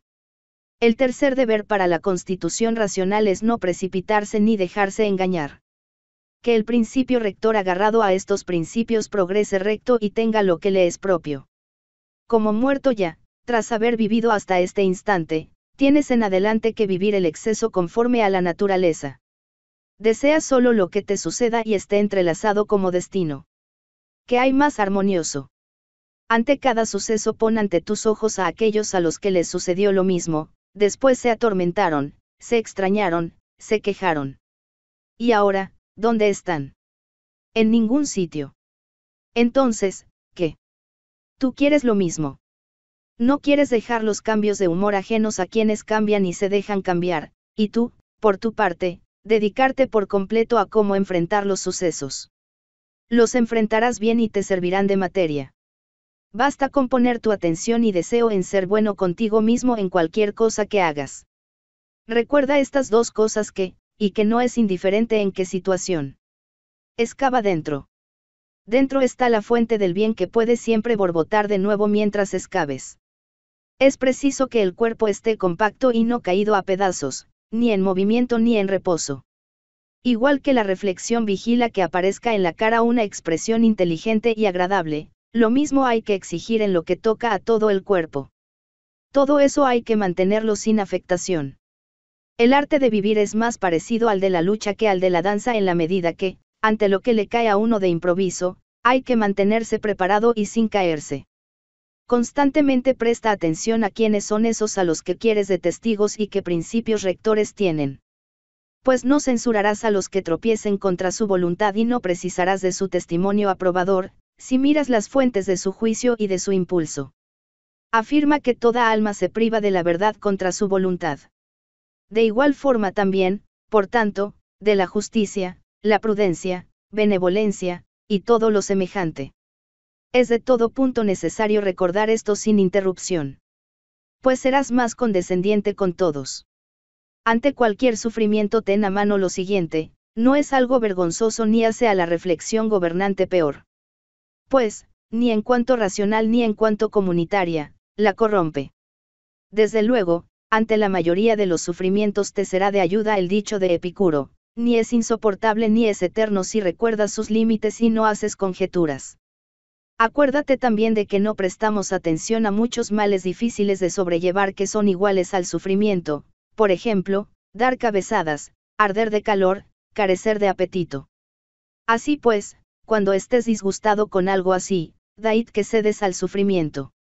Vigila para que no te pase frente a hombres insociables lo mismo que les pasa a los hombres frente a los hombres. ¿Por qué podemos saber que Telauges no fue superior a Sócrates en su disposición? No es suficiente que Sócrates muriera de forma más honorable o dialogara con los sofistas de forma más habilidosa o pasara la noche con mucha fortaleza en el hielo o, cuando recibió la orden de conducir al de Salamina, le pareciera más noble oponerse o caminar a altanero, cosa sobre la que uno podría desconfiar sobre si fue verdad. Por el contrario, hay que considerar qué alma tenía Sócrates y si podía bastarle con ser justo con los hombres, virtuoso con los dioses, no irritarse con el mal, ni esclavizarse por ignorancia de algo, ni aceptar nada de lo asignado por el todo como extraño o soportarlo como intolerable, y no propiciar que la inteligencia fuera partícipe de los sentimientos de la carne. La naturaleza no te amalgamó en un compuesto hasta el punto de que no aspiraras a marcar tus confines y a tener tus propios asuntos bajo tu control. Pues es muy posible llegar a ser un hombre divino y no ser reconocido como tal por nadie. Acuérdate de esto y de lo siguiente, que de poquísimas cosas depende tener una vida feliz. Y por haber desesperado de llegar a ser filósofo dialéctico y naturalista, por eso no renuncies a ser libre, decente, comunitario, dócil ante Dios. Pasa la vida sin congojas en el mayor júbilo, aunque todos te vociferen lo que quieran, aunque las fieras descuarticen los miembros insignificantes de la mezcolanza solidificada de tu cuerpo. Que impide en todas esas situaciones que se mantenga a salvo la reflexión con tranquilidad, con juicio verdadero sobre los acontecimientos, con tratamiento adecuado de lo sometido a consideración. De tal forma que el juicio diga al acontecimiento, eres así en substancia, aunque aparente ser distinto en apariencia, y que el tratamiento diga al suceso, te estaba buscando porque el suceso presente es materia para la virtud racional, social y, en general, para el oficio de un hombre que se equipara a Dios, puesto que todo acontecer, sea obra de dioses o de hombres, se asimila y no es ni nuevo ni difícil de tener entre manos, sino conocido y fácil de trabajar. La perfección del carácter supone que cada día transcurra como el último, sin palpitos, sin cabezadas, sin actuaciones teatrales. Los dioses, que son inmortales, no se irritan por tener que soportar en tanta eternidad enteramente siempre a los hombres a pesar de que son tan ruines y de que son tantos. Por añadidura cuidan de ellos de todas las formas. Tú, que estás a punto de terminar ya, renuncias, cuando eres uno de los ruines. Es ridículo no evitar la propia maldad, cosa que es posible, e intentar, por el contrario, evitar la ajena, cosa que es imposible. Aquello que averigüe la facultad racional y social, si no es ni inteligente ni comunitario, en buena razón es un juicio que está por debajo de ella. Cuando tú has actuado bien y los demás han salido bien parados, porque buscas, además de eso, en tercer lugar, como hacen los mentecatos, parecer que has actuado bien o conseguir recompensa. Nadie se cansa de beneficiarse. El beneficio es un comportamiento natural. No te canses de beneficiarte mientras tú beneficies. La naturaleza del todo impulsó la creación del universo. Ahora ya, o todo lo que ha llegado a serlo es por derivación, o son muy escasas y decisivas las cosas para las que el principio rector del universo hace actuar su propio impulso. Si lo recuerdas te hará más tranquilo en muchos casos. Libro 8 te lleva también a no vanagloriarte el hecho de que ya no te es posible haber vivido toda tu vida, o desde la juventud al menos, como filósofo, sino que se ha hecho evidente, a muchos otros y a ti mismo, que estás lejos de la filosofía. Te has confundido, por tanto, y así no te es fácil ya adquirir la fama del filósofo y se te enfrenta incluso el supuesto previo. Si has visto verdaderamente dónde está el asunto, deja a un lado que se opinará de ti. Que te sea suficiente si, en lo que te resta de vida, vives precisamente como quiere tu naturaleza que lo hagas. Reflexiona, por tanto, sobre qué quiere y que nada más te distraiga, porque ya lo has intentado y después de muchos descarríos nunca hallaste el vivir bien, ni en los razonamientos lógicos, ni en la riqueza, ni en la fama, ni en el disfrute, nada en absoluto. ¿Dónde está, pues? En hacer lo que persigue la naturaleza del hombre. ¿Cómo lo harás? Si tienes convicciones desde las que iniciar tus impulsos y tus acciones. ¿Qué convicciones? Las que versan sobre lo bueno y lo malo, no existe bien para el hombre que no lo haga justo, prudente, viril, liberal, ni existe mal que no provoque lo contrario de lo dicho. Cada acción pregúntate, ¿cómo es en lo que me atañe? No me arrepentiré por ella. Un poco más y estoy muerto, y todo fuera. ¿Qué más persigo? Si la tarea presente es propia de un animal reflexivo, comunitario y con reglas propias de Dios. Alejandro, Cayo César, Pompeyo que son en relación con Diógenes, Heráclito y Sócrates. Estos vieron los asuntos, sus causas y sus materias, y sus principios rectores fueron independientes. Aquellos, en qué cosas fueron privilegiados, y en cuántos esclavos. Aunque revientes, harán lo mismo, nada en menor grado. En primer lugar, no te terps, todas las cosas son según la naturaleza del todo y en poco tiempo serás nadie en ningún sitio, como tampoco son ya Adriano, ni Augusto. A continuación, después de escudriñar en este asunto y recordar a un tiempo que debes ser un hombre bueno y que te pide a cambio la naturaleza del hombre, realízalo sin darte media vuelta y de la forma que te parezca más justa, con tal de que sea con amabilidad, con decencia y sin fingimiento. La naturaleza del todo ejerce la función de trasladar lo que está aquí allí, cambiarlo, sacarlo de aquí y llevarlo allí. Todos son variaciones, pero no tales que haya que temer que algo sea nuevo. Todo es rutinario. Le basta a toda naturaleza con avanzar por buen camino.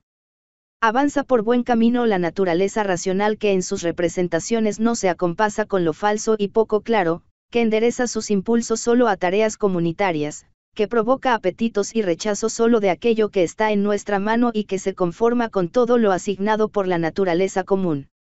En efecto, es una parte de ella, como la naturaleza de la hoja lo es de la de la planta, con la diferencia de que en ese caso la naturaleza de la hoja es parte de una naturaleza insensible, irracional y que puede verse obstaculizada, mientras que la del hombre es parte de una naturaleza que no puede ser obstaculizada, que es inteligente y justa, si es que establece divisiones de las duraciones, de la substancia, de la causa, de la actividad, de lo que ocurre a cada persona, proporcionales y según la valía. Pero también son equilibrados los repartos. Ahora bien, considera que no vas a encontrar correspondencia de una cosa equilibrada con esta otra en todo, sino globalmente entre la totalidad de esto frente al conjunto de aquello.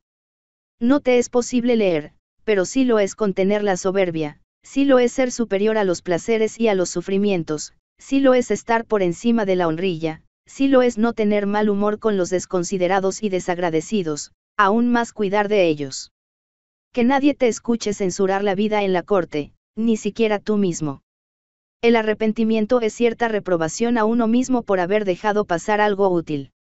Lo útil debe ser algo bueno por lo que tiene que preocuparse una bella y buena persona. Ninguna bella y buena persona se arrepentiría por haber dejado pasar un placer, el placer, por tanto, no es algo útil ni bueno. Esa cosa, que es por sí misma en su constitución particular. ¿Qué es lo substancial en ella? ¿Qué es lo material? ¿Qué es lo causal? ¿Qué hace en el universo? ¿Cuánto tiempo persiste? Cuando te despiertas desganado del sueño recuerda que es propio de tu constitución y de la naturaleza humana prodigar acciones comunitarias, mientras que dormir es algo compartido también por animales irracionales. Lo que es propio de la naturaleza de cada uno eso le es más familiar, más connatural y también más agradable. Sin interrupción y ante cada representación, en lo posible, haz filosofía natural, estudia tus sentimientos, practica la dialéctica. Cuando te topes con alguien, proclama para tus adentros, qué convicciones tiene ese sobre el bien y el mal. Porque si sobre el placer, el sufrimiento y lo que los provoca, y sobre la fama, mala fama, muerte, vida tiene unas convicciones de tal tipo, no me parecerá extraño o raro si actúa de tal forma y tendré que acordarme de que se ve obligado a actuar así. Recuerda que es igual de vergonzoso extrañarse de que la higuera produzca higos como de que el universo produzca eso de lo que es portador. También es vergonzoso que el médico o el capitán se extrañen de que tal paciente esté con fiebre o de que haya viento de proa. Recuerda que es un comportamiento libre por igual tanto cambiar de opinión como obedecer al que te corrige. Tuya es la actuación y se cumple según tu impulso y tu juicio, pero también, desde luego, según una reflexión que es la tuya. Si depende de ti, ¿por qué lo haces? Pero si depende de otro, ¿a quién censuras? ¿A los átomos o a los dioses? Tanto lo uno como lo otro es de locos. No hay que censurar a nadie. En efecto, si puedes, corrígelo. Si no lo puedes, corrige, al menos, el hecho en sí. Si eso tampoco, ¿con qué fin conviene censurar? Porque nada debe hacerse al azar. Lo que muere no cae fuera del universo. Si permanece aquí, también se transforma aquí y se descompone en los elementos del universo. Y estos se transforman y no murmuran. Cada cosa ha nacido para algo, el caballo, la viña. ¿De qué te sorprendes? También el sol podrá decir, he nacido para algo, como los demás dioses. Tú, entonces, ¿para qué? Para complacerte. Mira si esa reflexión aguanta. La naturaleza no tiene menos marcada para cada cosa su extinción que su principio o su transcurso, igual que el que tira la pelota. ¿Qué bien hay para la pelota cuando sube o mal cuando baja o cuando cae? Qué bien para la pompa cuando se forma o qué mal cuando se deshace. Lo mismo también con relación a la lámpara. Vuélvelo del revés y mira cómo es, cómo se hace al envejecer, enfermar, sufrir. Tiene la vida corta tanto el que elogia como el elogiado, tanto el que recuerda como el recordado. Es más, ni siquiera aquí, en un rincón de esta región, todos concuerdan, ni uno mismo consigo. Y toda la tierra es un punto. Presta atención a lo que te ocupa, sea actuación, opinión, o significado. Te pasa eso con justicia ya que prefieres hacerte bueno mañana a hacerlo hoy. Hago algo. Lo hago en referencia al bienestar de los hombres. Me ocurre algo. Lo acepto en referencia a los dioses y a la fuente de todas las cosas por la que todo lo que sucede se entrelaza. Tal como se te representa el baño, aceite, sudor, porquería, agua pringosa, todo repugnante, así es cualquier fragmento de la vida y todo lo que nos rodea. Lucila enterró a Vero, después Lucila fue enterrada. Segunda a Máximo, después segunda. Epitincano a Diotimo, después Epitincano. A Faustina Antonino, después Antonino. Así todo. Celer a Adriano, después Celer.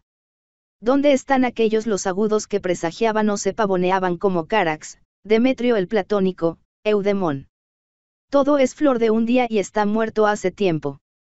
Algunos no son recordados ni durante un poco, otros se transformaron en leyendas, otros ya también se marchitaron en su leyenda. Así pues, Acuérdate de ellos y de que será necesario que se disgregue tu compuesto, o que se apague tu hálito, o que se traslade y recomponga en otro lugar. Satisfacción para el hombre es hacer lo propio del hombre. Propio del hombre es la benevolencia para lo connatural, el desprecio a las incitaciones sensoriales, la diferenciación entre las representaciones convincentes, la contemplación de la naturaleza del todo y de lo que surge según ella. Tres son las relaciones una con el recipiente que nos contiene, otra con la causa divina a partir de la cual suceden a todos todas las cosas y otra con quienes convivimos. El sufrimiento, o bien es un mal para el cuerpo, por tanto, que éste lo proclame, o lo es para el alma, a la que es posible preservar su propia serenidad y calma, y no suponer que es un mal. Cualquier juicio, impulso, apetito y rechazo están dentro y ahí no penetra ningún mal. Elimina continuamente las representaciones diciéndote a ti mismo, ahora está en mi mano que en esta alma no haya ninguna maldad, ni anhelo, ni en general ninguna turbación. Al contrario, gracias a observar cómo son todas las cosas, trato cada una según su valía. Recuerda esta posibilidad. Conversa naturalmente tanto en el Senado como ante cualquiera, con orden, sin lucirte. Usa un discurso sano. La corte de Augusto, su mujer, su hija, sus descendientes, sus progenitores, su hermana. Agripa, sus parientes, familiares, amigos. Ario, mecenas, médicos, sacerdotes. Muerte para toda esa corte. Después repasa las otras cortes y su muerte, después la muerte de ciudades completas, como Pompeya, y no la de un hombre tras otro. Ten en cuenta también aquello que se inscribe en los monumentos funerarios, último de su linaje, cuántos trabajos sus antecesores para dejar a un sucesor, y luego es forzoso que alguno sea el último. Aquí otra vez la muerte de todo un linaje. La vida debe organizarse acción por acción y si cada acción consigue lo suyo en lo posible, conformarse. Que consiga lo suyo nadie te puede impedir. Pero se entrometerá algo externo. Nada en lo que se actúe con justicia, con prudencia, con razón pero quizá alguna otra acción posible resultará impedida, sin embargo, consentirte satisfecho frente al propio impedimento y cambiar con buen ánimo a lo que se te ofrece, al punto otra acción toma su lugar que sea acorde con la organización que es el tema de este razonamiento. Recoge sin delirio de grandezas, despréndete con desapego. Si alguna vez viste una mano amputada, un pie, una cabeza cortada tirada lejos del resto del cuerpo, pues en algo parecido se convierte uno mismo, en lo que de él depende, quien por no aceptar los sucesos se escinde a sí mismo en dos, o quien actúa en contra del común. Te quedaste apartado en algún momento de la unidad natural, porque por naturaleza eras parte y ahora te mutilaste tú mismo. Pero la cosa es hasta tal punto sutil que puedes de nuevo reunificarte tú mismo. Dios no le concedió a ninguna otra parte que pudiera reunirse de nuevo tras haberse separado y ser amputada. Observa la bondad con la que honró al hombre, para empezar, a fin de que no se fragmentara separándose del todo, le otorgó que dependiera de él, que una vez fragmentado, se juntara de nuevo, se concertara y retomara su función como parte. Igual que las demás facultades se las asigna a cada ser racional la naturaleza de los racionales, así también la siguiente la hemos tomado de ella, de la misma manera que la naturaleza todo lo que se entromete y va en su contra lo cambia de dirección, lo recoloca dentro de lo destinado y lo hace parte de ella. Así también el animal racional puede transformar todo impedimento en su propia materia y usarlo para aquello que se hubiera propuesto. Que no te confunda el hecho de representarte toda tu vida. No reflexiones conjuntamente sobre cuáles y cuántos pesares hay que esperar que se producirán, por el contrario, ante cada uno de los presentes interrógate sobre qué es lo intolerable e insoportable en esta tarea. En efecto, te sentirás avergonzado de reconocerlo. Después acuérdate de que no te pesa ni el futuro ni el pasado, sino siempre el presente. Y ese se empequeñece si tan solo lo confinas y refutas a la reflexión si no es capaz de enfrentarse al presente sin más. ¿Acaso Plantea o Pérgamo están sentados junto a la urna fúnebre de Vero? ¿Y qué? ¿Acaso Cabrias o Diotimo junto a la de Adriano? Es ridículo. ¿Y qué? Si estuvieran sentados, se iban a enterar los muertos. ¿Y qué? Si se enterasen, se iban a alegrar. ¿Y qué? Si se alegraban, iban a ser ellos inmortales. No les concedió el destino también a ellos llegar a viejas y viejos primero y luego morir. Entonces, ¿qué iban a hacer ellos, una vez muertos los otros? Y de todo eso y es sangre sucia empaquetada. Si puedes mirar con agudeza, mira.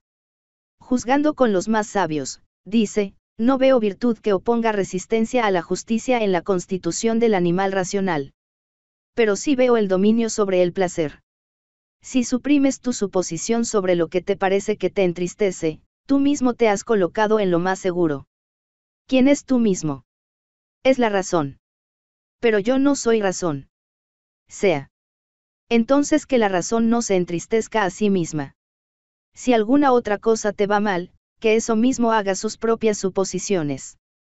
Un obstáculo para la percepción sensorial es un mal para la naturaleza animal. Un obstáculo para el impulso es igualmente un mal para la naturaleza animal. Existe además otro tipo de obstáculo que es malo también para la constitución vegetal. Por tanto, de igual forma, un obstáculo para la inteligencia es malo para la naturaleza inteligente. Aplícate todas esas cosas a ti mismo. Te afectan el sufrimiento, el placer. La percepción sabrá. Se produjo una intromisión en tu impulso. Si tu impulso es sin reserva ya es como un mal de lo racional.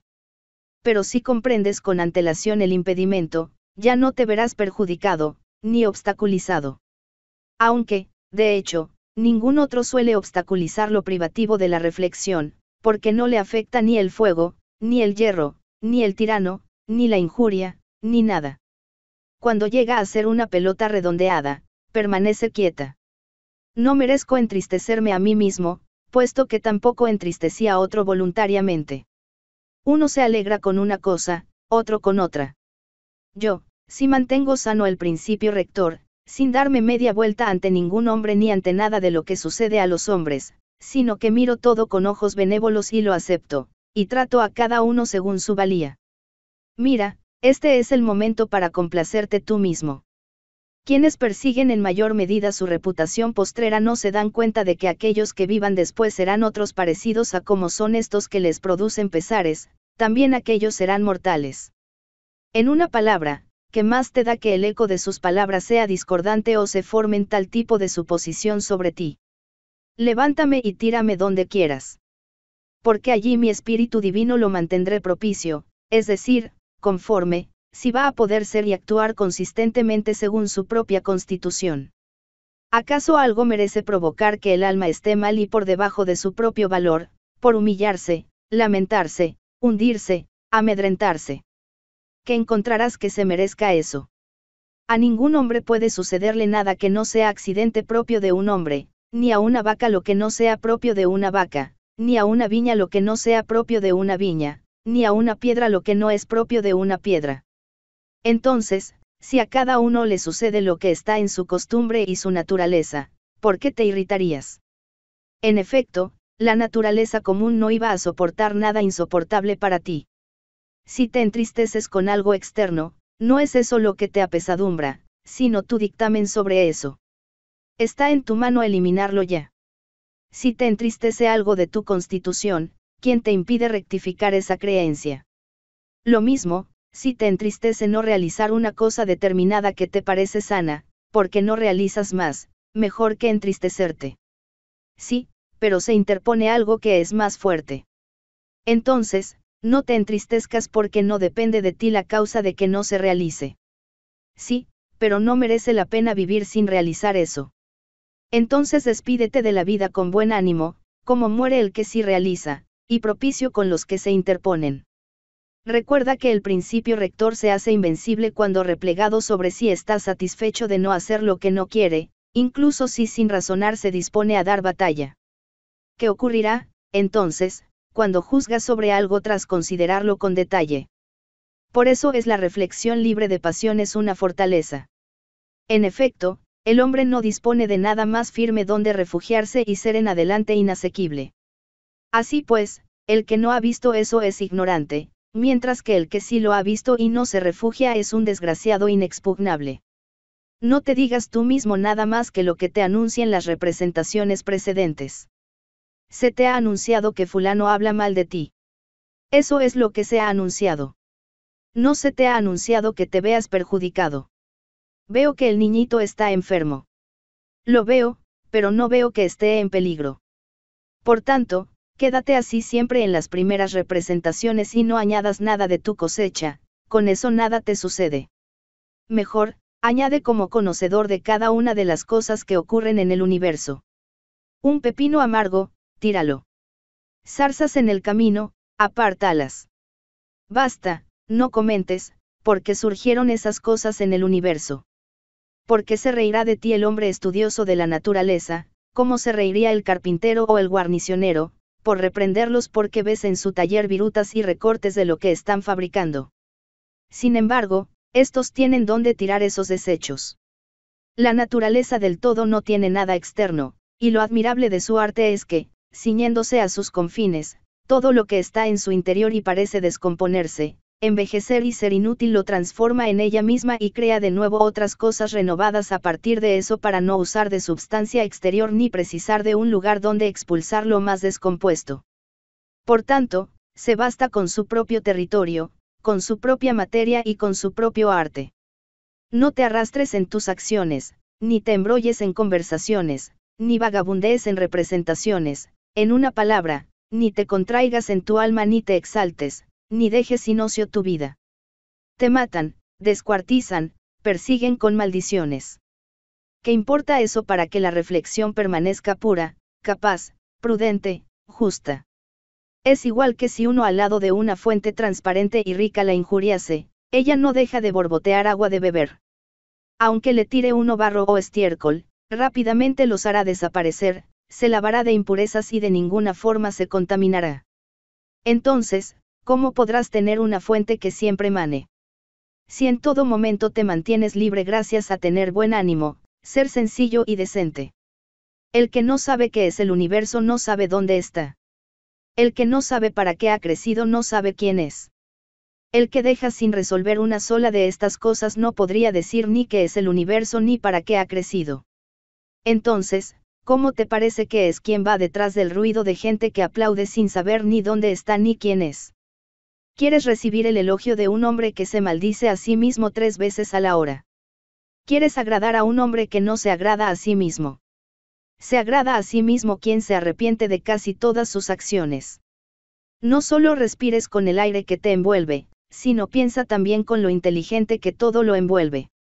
pues la propiedad de la inteligencia está expandida y lo empapa todo en beneficio de quien puede absorberla, no menos que la del aire en beneficio de quien puede respirar. La maldad de forma genérica en nada perjudica al universo y parcialmente en nada perjudica a otro, es perjudicial solo a quien se le otorgó también apartarse de ella en cuanto lo quiera. A mi capacidad de elección le es por igual indiferente la capacidad de elección del prójimo, como también su hálito vital y sus carnes. Incluso si es verdad que, sobre todo, hemos nacido unos por otros, sin embargo, los principios rectores, uno por uno, tienen su propia autoridad, porque si no la maldad del prójimo sería mala para mí, cosa que no aprobó el Dios, para que no dependiera de otro que yo fuera desafortunado. Aparentemente el sol se derrama y por todas partes se vierte, sin embargo, no se vacía, porque su derrame es expansión. Así, por ejemplo, se dice que sus proyecciones son rayos por expansión. ¿Cómo es un rayo lo podrías ver si contemplaras la luz del sol penetrar en una habitación a oscuras a través de una ranura? Se extiende en línea recta y hace como presión sobre lo sólido que sale a su encuentro y lo separa del aire más allá. Ahí se detiene y no resbala ni cae. Así pues, tiene que ser parecido el derrame y la efusión de la reflexión mental, de ninguna forma vaciamiento, sino expansión, frente a lo que le sale al encuentro no ejerce una presión violenta o rompedora y desde luego que no lo hace caer, por el contrario, se detiene y lo hace brillar si lo acoge, pues el objeto que no la transmita se verá privado de su proyección. Quien teme la muerte, o teme perder la percepción sensorial, o teme una percepción sensorial diferente. Pero si no tienes ya percepción tampoco percibirás ningún mal, y si adquieres una percepción diversa serás un ser diverso y no dejarás de vivir. Los hombres han nacido unos por otros. Por tanto, enseña o aguanta. De una forma vuela el dardo, de otra vuela la inteligencia. Sin embargo, la inteligencia, incluso cuando es precavida y cuando se retuerce en su análisis, en nada vuela menos derecho y sobre su objetivo. Penetra en el principio rector de cada uno y ofrece también a cualquier otro penetrar en tu propio principio rector. Libro 9. El que es injusto es impío porque la naturaleza del todo ha creado los animales racionales unos por otros, de forma que se beneficien mutuamente según su valía y no se perjudiquen en manera alguna. El que infringe esa decisión es impío con toda claridad contra la más respetable de las divinidades. También el que miente es impío en relación con la misma divinidad porque la naturaleza del todo es la naturaleza de las cosas que son de hecho y éstas guardan intimidad con lo que existe. Además, también se la denomina la verdad y es la causa primera de todas las verdades. Por tanto, el que miente voluntariamente es impío, por ser injusto con su engaño, el que lo hace involuntariamente por estar en disonancia con la naturaleza del todo y por ofender su orden con su lucha contra la naturaleza del universo ordenado. En efecto lucha el que se deja llevar contra sí mismo en dirección contraria a la verdad. Pues había obtenido previamente recursos de la naturaleza y, al descuidarlos, no es capaz ya de discernir lo falso de lo verdadero. Desde luego, también el que persigue los placeres como bienes y huye de los pesares como males es impío. Necesariamente critica muchas veces a la naturaleza común por haberlos distribuido a ruines y cumplidores en contra de su valía, porque muchas veces los ruines están entre placeres y consiguen lo que los produce, mientras que los cumplidores se topan con el pesar y lo que lo produce. Además, el que teme los sufrimientos temerá también alguna vez algo de lo que será en el universo y eso es ya impiedad. El que persigue los placeres no se apartará de cometer injusticia y eso es con toda evidencia impiedad. Es preciso que en relación con lo que la naturaleza es neutra, pues no crearía sufrimientos y placeres si no fuese neutra con unos y otros, en relación con eso, también los que quieren obedecer a la naturaleza se mantengan neutros siendo ecuánimes. Así pues, ¿quién, en relación con el sufrimiento y el placer, la muerte y la vida, la fama y la mala fama, con los que la naturaleza tiene un trato neutro, él no es neutro, está claro que es impío. Afirmo que la naturaleza común tiene un trato neutro con esas cosas debido a que ocurren neutramente en una secuencia de sucesos unos tras otros a partir de algún impulso primitivo de la providencia por el que pasó de cierta forma originaria a este ordenamiento, al concebir algunas razones de los hechos futuros y delimitar capacidades generadoras de substancias, cambios y sucesiones de ese tipo. Sería propio de un hombre agraciado marcharse de entre los hombres sin catar la falacia, ni ningún fingimiento, ni molicie, ni delirio de grandezas. Un segundo derrotero es expirar saciado de todo eso. O eliges sentarte con la maldad y ni siquiera tu experiencia te convence de rehuir esa peste. Pues peste es la destrucción de la reflexión mucho más que alguna contaminación pestilente y alteración del aire que fluye en derredor. Pues esta es la peste de los animales en cuanto son animales, mientras que aquella es la de los hombres en cuanto son hombres. No desprecies la muerte, por el contrario, confórmate con ella como si fuera un ser que quiere la naturaleza. Hacerse joven, envejecer, crecer, estar en plenitud, producir dientes, barba, canas, engendrar, estar preñada, parir y todos los procesos naturales que traen las fases de la vida, es lo mismo que la propia descomposición. Esta es, por tanto, la disposición de un hombre que ha reflexionado bien, no debe tener frente a la muerte una actitud burda, ni impetuosa, ni arrogante, sino esperarla como una de las funciones naturales. Así como esperas en el instante en que sale el retoño del vientre de tu mujer, de esa forma acepta la hora en que tu alma escapará de este estuche. Si quieres también una regla vulgar que toca tu corazón, te hará estar muy apacible con la muerte pararte a pensar en los objetos de los que vas a separarte, y con qué gente ya no se contaminará tu alma. Sus golpes deben afectarte lo menos posible, por el contrario, ocúpate de ellos y aguántalos condescendiente, recordando, con todo, que te separarás de hombres que no son de tu misma opinión. Eso es lo único si acaso que te hubiera arrastrado y te hubiera mantenido en el vivir, si te estuviera permitido convivir con los que hubieran desarrollado las mismas creencias. Por el contrario, ves que tan grande es el golpe recibido por la disonancia de la convivencia que dices, muerte, ojalá vengas rápidamente, no sea que hasta yo mismo me olvide de mí. El que yerra, yerra contra sí mismo. El que es injusto es malo consigo mismo porque se hace malo a sí mismo. Muchas veces es injusto quien no hace, no solo quien hace. Basta con la suposición presente si comprende, con la actuación presente si es comunitaria, con la disposición presente si es complaciente frente a cualquier suceso por una causa exterior. Elimina la representación. Detén el impulso. Apaga el apetito. Ten el principio rector bajo su propio mando. Entre los animales irracionales se divide un alma única, entre los racionales se reparte un alma única pensante. De la misma forma que una sola tierra es para todos los terrestres, vemos con una sola luz y respiramos un solo aire todos cuantos pueden ver y son animados. Todo lo que comparte algo común tiende a lo que es de su mismo género afanosamente. Todo lo terrestre se inclina hacia la tierra, todo lo líquido confluye, lo aéreo lo mismo, hasta el punto de exigir a los que intentan separarlos incluso violencia.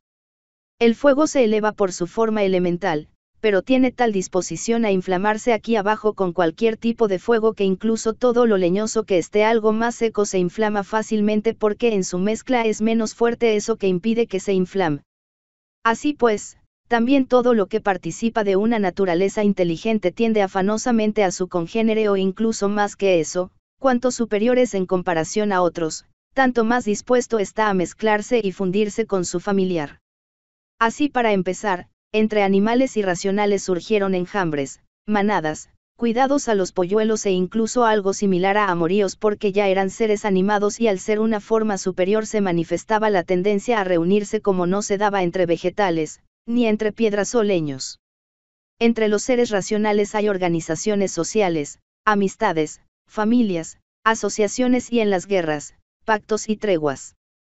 Entre los que son aún superiores, incluso aunque estén separados, subsiste de alguna manera una unificación, como entre las estrellas. Así la elevación a lo superior es capaz de producir una simpatía incluso si están separados. Considera, por tanto, lo que ahora sucede. Solo los inteligentes se han olvidado de la tendencia y convergencia de unos hacia otros y pasa desapercibida así la confluencia. Sin embargo, aunque huyan son alcanzados porque la naturaleza es poderosa.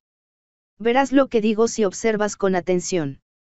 Así, por ejemplo, uno podría encontrar más rápidamente algo terrestre sin contacto con lo terrestre que a un hombre despegado del hombre. El hombre, la divinidad, el universo produce su fruto, cada uno en la estación indicada. Si la costumbre le da al término, fruto, como sentido propio el banal que se aplica a la vid y plantas similares, no tiene ninguna importancia. La razón produce un fruto que es común y particular y nacen de él otros semejantes tal y como es la propia razón. Si puedes, refórmalo. Si no, recuerda que te ha sido dada la amabilidad para eso.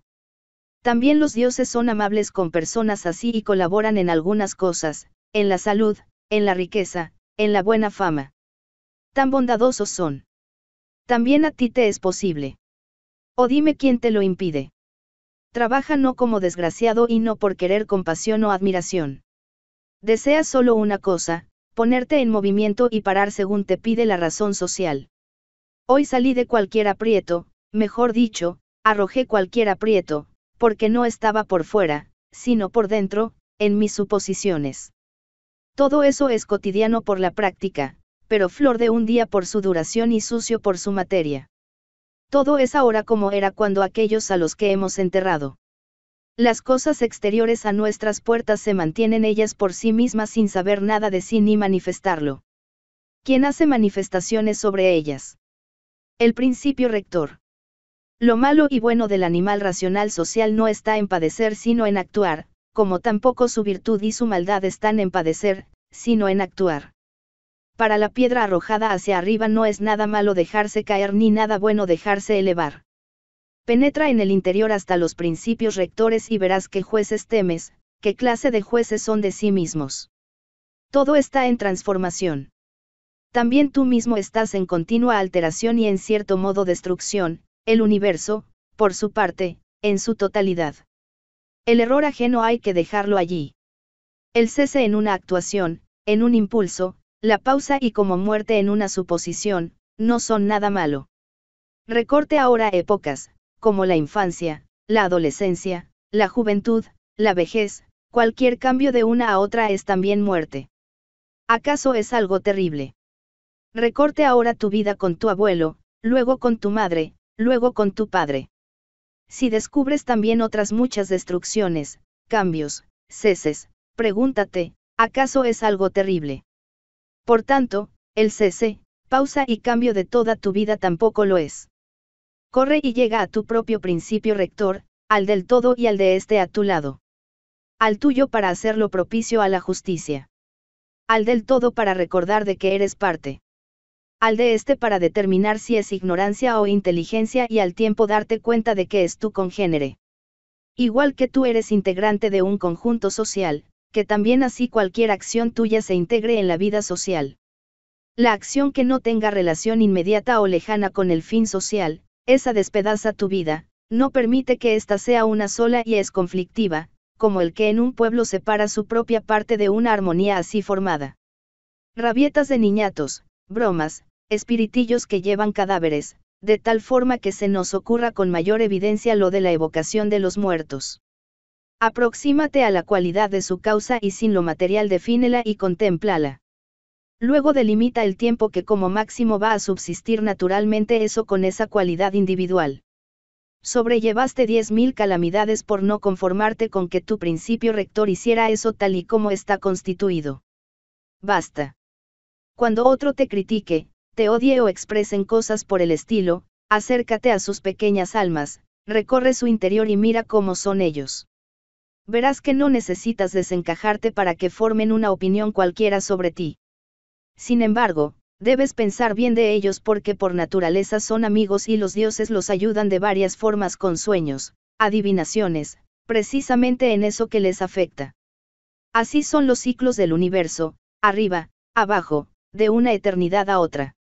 La reflexión del universo o impulsa cosa a cosa, y si es así, acepta tú su impulso, o impulsó una vez y las restantes son sobrevenidas. ¿Y por qué te pones tenso? De alguna manera, átomos o destino. El todo, si es Dios, mantiene bien la totalidad de las cosas, si es el azar, no seas tú también azar. La tierra nos cubrirá ya a todos nosotros, después ella cambiará, aquellas cosas cambiarán sin fin y otra vez aquellas sin fin. Si recapacitas en las fluctuaciones de los cambios y transformaciones, y en su rapidez, despreciarás cualquier cosa mortal. Es un torrente la causa de todo. Todo lo lleva. Qué poco valor tienen los hombrecillos esos metidos en política que actúan, según se cree, como filósofos. Son unos mocosos. Entonces, ¿qué, hombre? Haz lo que la naturaleza te está pidiendo ahora. Emprende si te es dada esa posibilidad y no mires en derredor si alguien lo apreciará. No esperes conseguir el estado platónico, confórmate si se avanza lo más mínimo y reflexiona sobre el resultado de eso mismo, qué cosa tan pequeña es. Alguien podrá cambiar su opinión. Sin el cambio de opinión que otra cosa sino servidumbre de hombres quejosos que fingen obedecer. Haz comparecer ahora y háblame de Alejandro, Filipo y Demetrio Palero. Observaré si vieron que quería la naturaleza y si se instruyeron a sí mismos. Si se comportaron como actores trágicos nadie me ha condenado a imitarlos. La función de la filosofía es sencilla y decente. No me distraigas en solemnidades huecas. Contempla desde arriba los diez mil tropeles, los diez mil ritos, la navegación de todo tipo, en tormentas y en bonances, las diferencias entre los que nacen, coexisten, dejan de ser. Reflexiona sobre la vida que vivieron otros antiguamente, la que se vivirá después de ti y la que se vive ahora entre pueblos extraños. También en cuantos ni siquiera conocen tu nombre, en cuantos lo olvidarán rápidamente, en cuantos que quizá ahora lo alaban rápidamente te censurarán. En cómo ni la memoria es digna de consideración ni la fama ni ninguna otra cosa en absoluto. Imperturbabilidad ante lo que sucede por una causa extrema, justicia en lo que se ejecuta por una causa que depende de ti. Esto es, impulso y actuación que limitan con la propia acción comunitaria en cuanto propia de tu naturaleza. Muchas cosas superfluas que te molestan puedes suprimirlas, ya que reposan por completo en tu suposición, y te procurarás gran amplitud, abarcar todo el universo en tu pensamiento, englobar el tiempo eterno, considerar el rápido cambio de las cosas en sus partes, que breve es el tiempo que media entre el nacimiento y la disolución y que inmenso el anterior al nacimiento que es tan infinito como el de después de la disolución. Todo lo que ves se destruirá rápidamente y los que observen su destrucción también ellos se destruirán. Y el viejo más viejo en el momento de morir se quedará en lo mismo que el que muere a destiempo. ¿Cómo son sus principios rectores? Porque se afanan, que desean y honran. Considera que estás viendo sus pequeñas almas al desnudo cuando creen que perjudican por censurar o que se benefician por halagar, cuánta ilusión. La pérdida no es otra cosa que el cambio, con el que se complace la naturaleza del todo según la cual todo nace, desde la eternidad vienen naciendo los seres de forma parecida y hasta el infinito habrá otros parecidos. Entonces, ¿qué? Vas a decir que todo viene naciendo siempre mal y que no se encontró nunca ninguna fuerza que enderezara eso entre tantos dioses, sino que el universo está condenado a coexistir con males incesantes. Lo que se pudre de la materia subyacente de cada uno es agua, polvo, huesillos, hedor. El mármol son cálculos que sufre la tierra, el oro, la plata, son sedimentos, el vestido son pelos, la púrpura es sangre y todo lo demás es parecido. El pequeño hálito vital es algo por el estilo que procede de eso y que se transforma en eso. Basta ya de esta vida miserable, de refunfuñar y de hacer el mono. ¿Qué te turba? ¿Qué hay de nuevo en eso? ¿Qué te saca de quicio? La causa. Mírala. La materia, ¿acaso? Mírala. Nada hay fuera de ellas. Hazte más sencillo y mejor para con los dioses. Es lo mismo estar averiguando los cien años que tres. Si erró, ahí está el mal, pero quizá no erró o a partir de una sola fuente inteligente todo viene a coincidir después como si fuera un solo cuerpo y no debe criticar la parte sucesos favorables al todo, o son átomos y no existe nada excepto revoltijo y disgregación. ¿Por qué te perturbas, entonces? Dile al principio rector, estás muerto, estás destruido, estás animalizado, eres un actor, eres un borrego, pases. O los dioses no tienen ningún poder o lo tienen. Si no tienen poder, ¿por qué rezas? Si lo tienen, ¿por qué no rezas más para que te concedan no temer nada de eso, no anhelar nada de eso, no entristecerse por nada de eso, mejor que rezar para que esté contigo o deje de estar algo de eso? Pues, en cualquier caso, si pueden colaborar con los hombres también pueden colaborar en eso. Pero quizás dirás, los dioses hicieron que eso estuviera en mi mano. En segundo lugar, no es preferible usar lo que está en tu mano con libertad mejor que sentirte concernido por lo que no lo está con servidumbre y humillación. ¿Quién te dijo que los dioses no cooperan también en lo que está en nuestra mano? Empieza de una vez a rezar por esto y verás. Ese reza, ojalá me acueste con aquella. Tú, ojalá no anhele acostarme con aquella. Otro, ojalá me vea libre de aquel. Tú, ojalá no desee verme libre de aquel. Otro, Ojalá no pierda a mi hijito. Tú, ojalá no tenga miedo de perderlo. Dale la vuelta así por completo a tus oraciones y estudia qué ocurre. Epicuro dice, en mi enfermedad no versaban mis encuentros sobre los padecimientos de mi pequeño cuerpo y no charlaba con las visitas de esos temas. Por el contrario, seguía en el estudio de los fundamentos de la naturaleza y me dedicaba precisamente a esto, a cómo la reflexión, aunque compartiendo tales afecciones de la carne se mantenía imperturbable vigilando su propio bien. No les concedía a los médicos cacarear insolentemente que hicieran algo, sino que llevaba una buena y bella vida.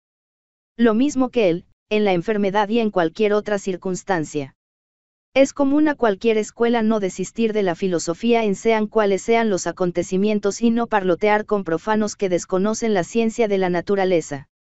Dedícate solo a lo que estás haciendo y al instrumento con que lo haces. ¿Cuánto te ofendes con la desvergüenza de alguien? Al punto pregúntate, ¿puede no haber desvergonzados en el universo? No puede. No pidas, por tanto, lo imposible. Ese es también uno de esos desvergonzados que por fuerza hay en el universo. Ten a mano el mismo razonamiento para el que es capaz de cualquier cosa, para el que no es de fiar, para cualquiera que yerre en algo al mismo tiempo de acordarte de que es imposible que no exista ese género de tales personas, serás más amable con ellos como individuos.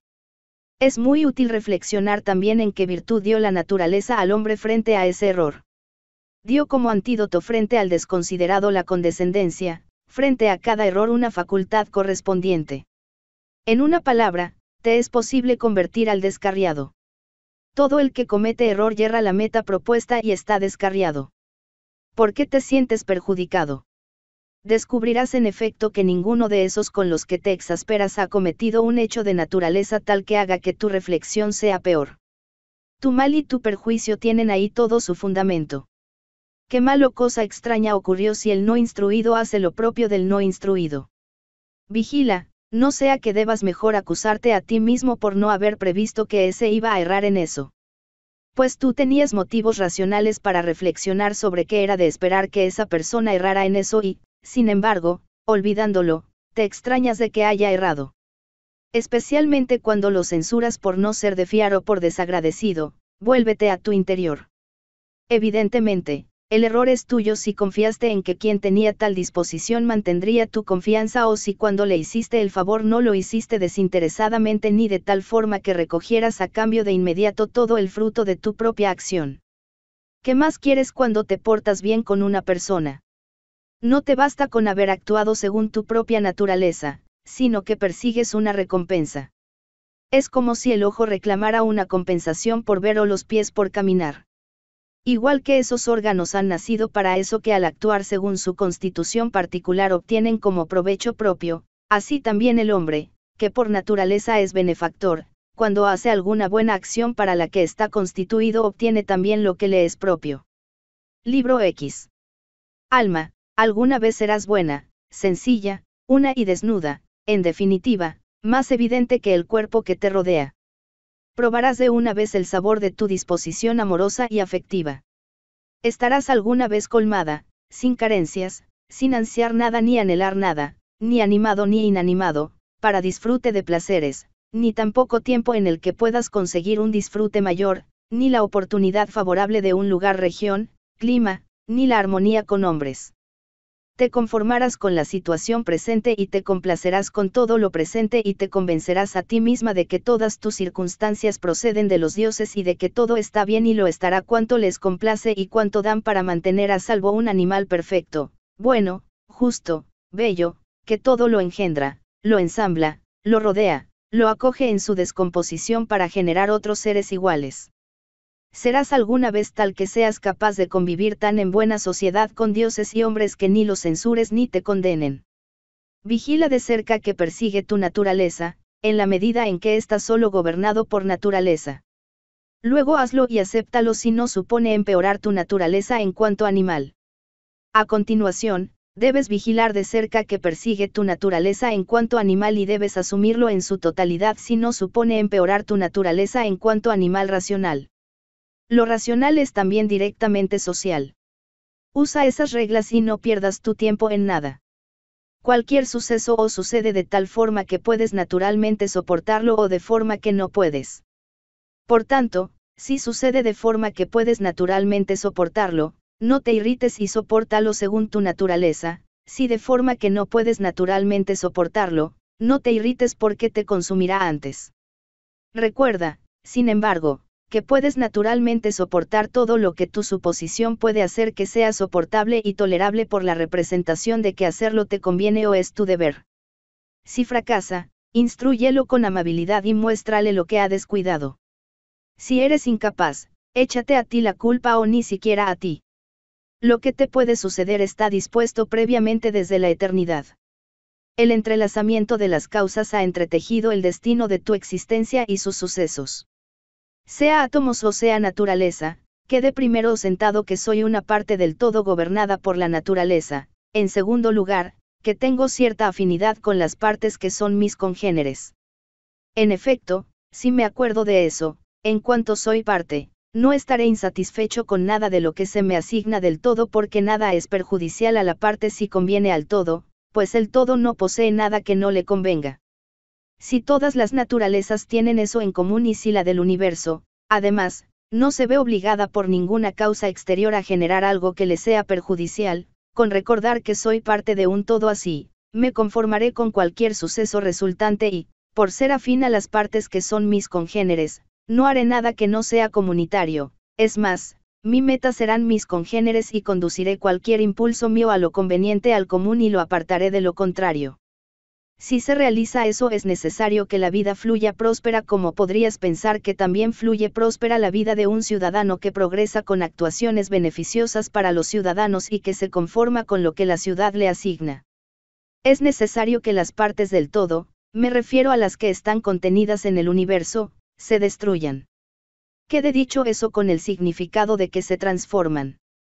Pero, afirmo, si eso es un mal necesario para las partes, al todo no le podría ir bien supuesto que sus partes caminen hacia su transformación y estén constituidas para destruirse. O la propia naturaleza intentó hacer el mal a sus propias partes, crearlas expuestas al mal y con tendencia necesaria a caer en el mal, o no se dio cuenta que tenían esas características. Ninguna de las dos posibilidades es creíble. Si alguien, incluso dejando al margen la naturaleza, argumentara por la forma en que las partes son por su naturaleza, también resultaría ridículo mantener a un tiempo que las partes del todo se alteran según su naturaleza y extrañarse e irritarse como si sucediera algo contrario a su naturaleza, especialmente, por la descomposición, que genera elementos desde los que se conforma cada cosa. Pues o se produce una disgregación de los elementos a partir de los que se conformó, o un cambio de lo sólido en terrestre y de lo que era hálito en aéreo, de forma que también esos elementos se reintegren en la razón del todo, el cual o desaparece hecho fuego de forma periódica, o se renueva en cambios eternos. Lo sólido y lo propio del hálito no te representes que son los procedentes del nacimiento. Porque todo eso fue ayer o hace dos días que tomó su aporte nutricional a partir de los alimentos y del aire atraído. Eso que tomó lo transforma, no lo que parió la madre. Pero supón que eso te entrelaza por completo a una cualidad individual, que no es nada, creo, frente a lo que ahora se ha afirmado. Una vez que te has aplicado los apelativos de, bueno, decente, verdadero, de mente prudente, de mente fraterna, de mente superior, adhiérete a ellos, no cambies nunca de apelativos ni los corrompas. Regresa a ellos con rapidez. Acuérdate que el apelativo, de mente prudente, para ti significaba pararte a pensar con discernimiento en cada cosa sin ser negligente, de mente fraterna, la aceptación voluntaria de lo asignado por la naturaleza común, de mente superior, la elevación de la parte pensante por encima del movimiento suave o brusco de la carne, de la honrilla, de la muerte y de todo eso. Así pues, si mantienes la vigilancia para estar tú con esos apelativos sin ansiar recibir esas apelaciones de otros, serás otro distinto y entrarás en otra vida. Seguir siendo como ha sido hasta ahora y dejarse despedazar y envilecerse en una vida así es en exceso propio de alguien sin percepción, apegado a la vida, semejante a los gladiadores devorados a medias por las fieras, quienes llenos de heridas y sanguinolentos exigen ser guardados hasta el día siguiente para que se les pueda arrojar tal y como están a las mismas garras y mordiscos. Embárcate en esos pocos apelativos. Si puedes permanecer sobre ellos, permanece como trasladado a las islas de los bienaventurados. Pero si te das cuenta de que te caes y no tienes pleno dominio, apártate confiado a algún rincón donde adquieras dominio, o también, deja del todo la vida sin encolerizarte, sino con sencillez, con libertad y con decencia, tras haber realizado en la vida, aunque solo sea eso, dejarla así.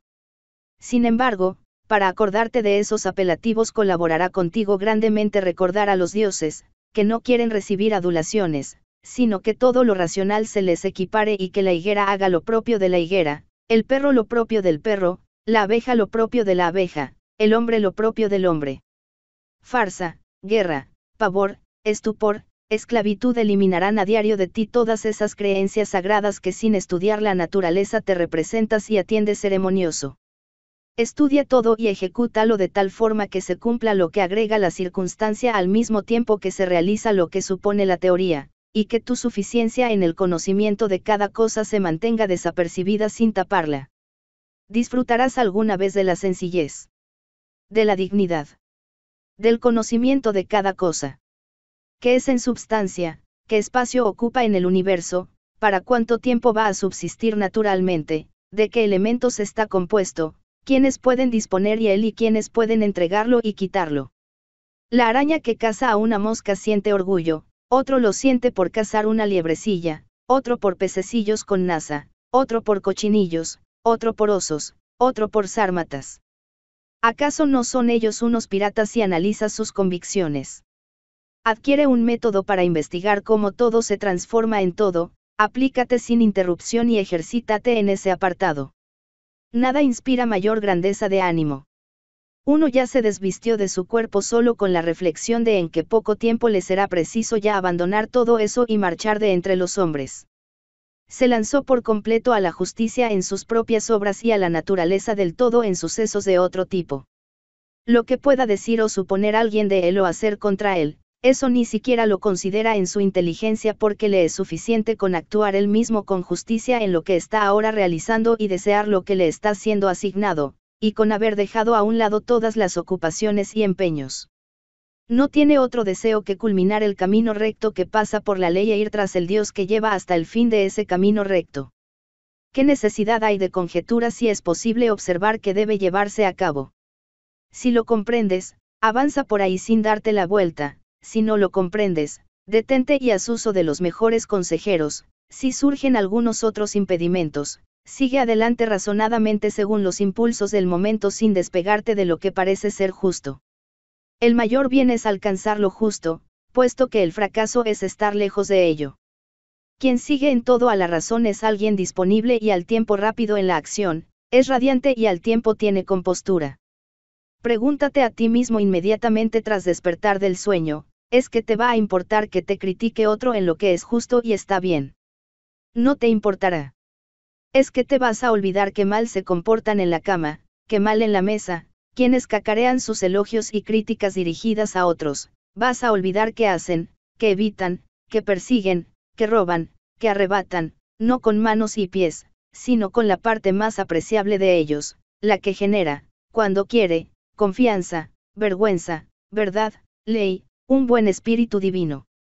A la naturaleza que da y quita todo, el instruido y decente le dice, dame lo que quieras, recupera lo que quieras. Lo dice no por ser arrogante, sino solo con obediencia a su autoridad y con buena disposición hacia ella. Es poco lo que queda. Vive como si estuvieras de viaje. No hay diferencia ninguna entre aquí y allí si uno está en todas partes como en una ciudad que es el universo. Que vean, que investiguen los hombres a un hombre que vive de verdad según la naturaleza. Si no lo soportan, que te maten. Pues es mejor que vivir así. No discutas ya más sobre cómo es el hombre bueno, sino sé tú así. Representación constante sobre toda la eternidad y sobre toda la substancia, y sobre que todas las cosas en sus partes son en relación con la substancia como una semilla de higo y en relación con el tiempo como un giro de barrena. Con relación a cada objeto reflexiona con atención en que ya se está descomponiendo y en que está en proceso de cambio, que es como putrefacción o disgregación, o en qué manera cada cosa ha nacido naturalmente para morir.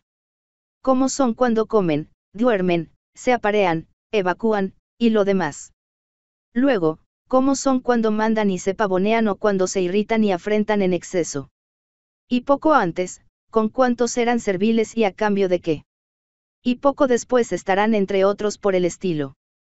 Conviene a cada uno lo que la naturaleza del todo le da a cada uno, y conviene en ese momento en el que ella lo da. La tierra está enamorada de la lluvia, y está enamorado el firmamento glorioso. El universo siente amor por crear aquello que va a nacer. Así pues, le digo al universo que yo amo con él.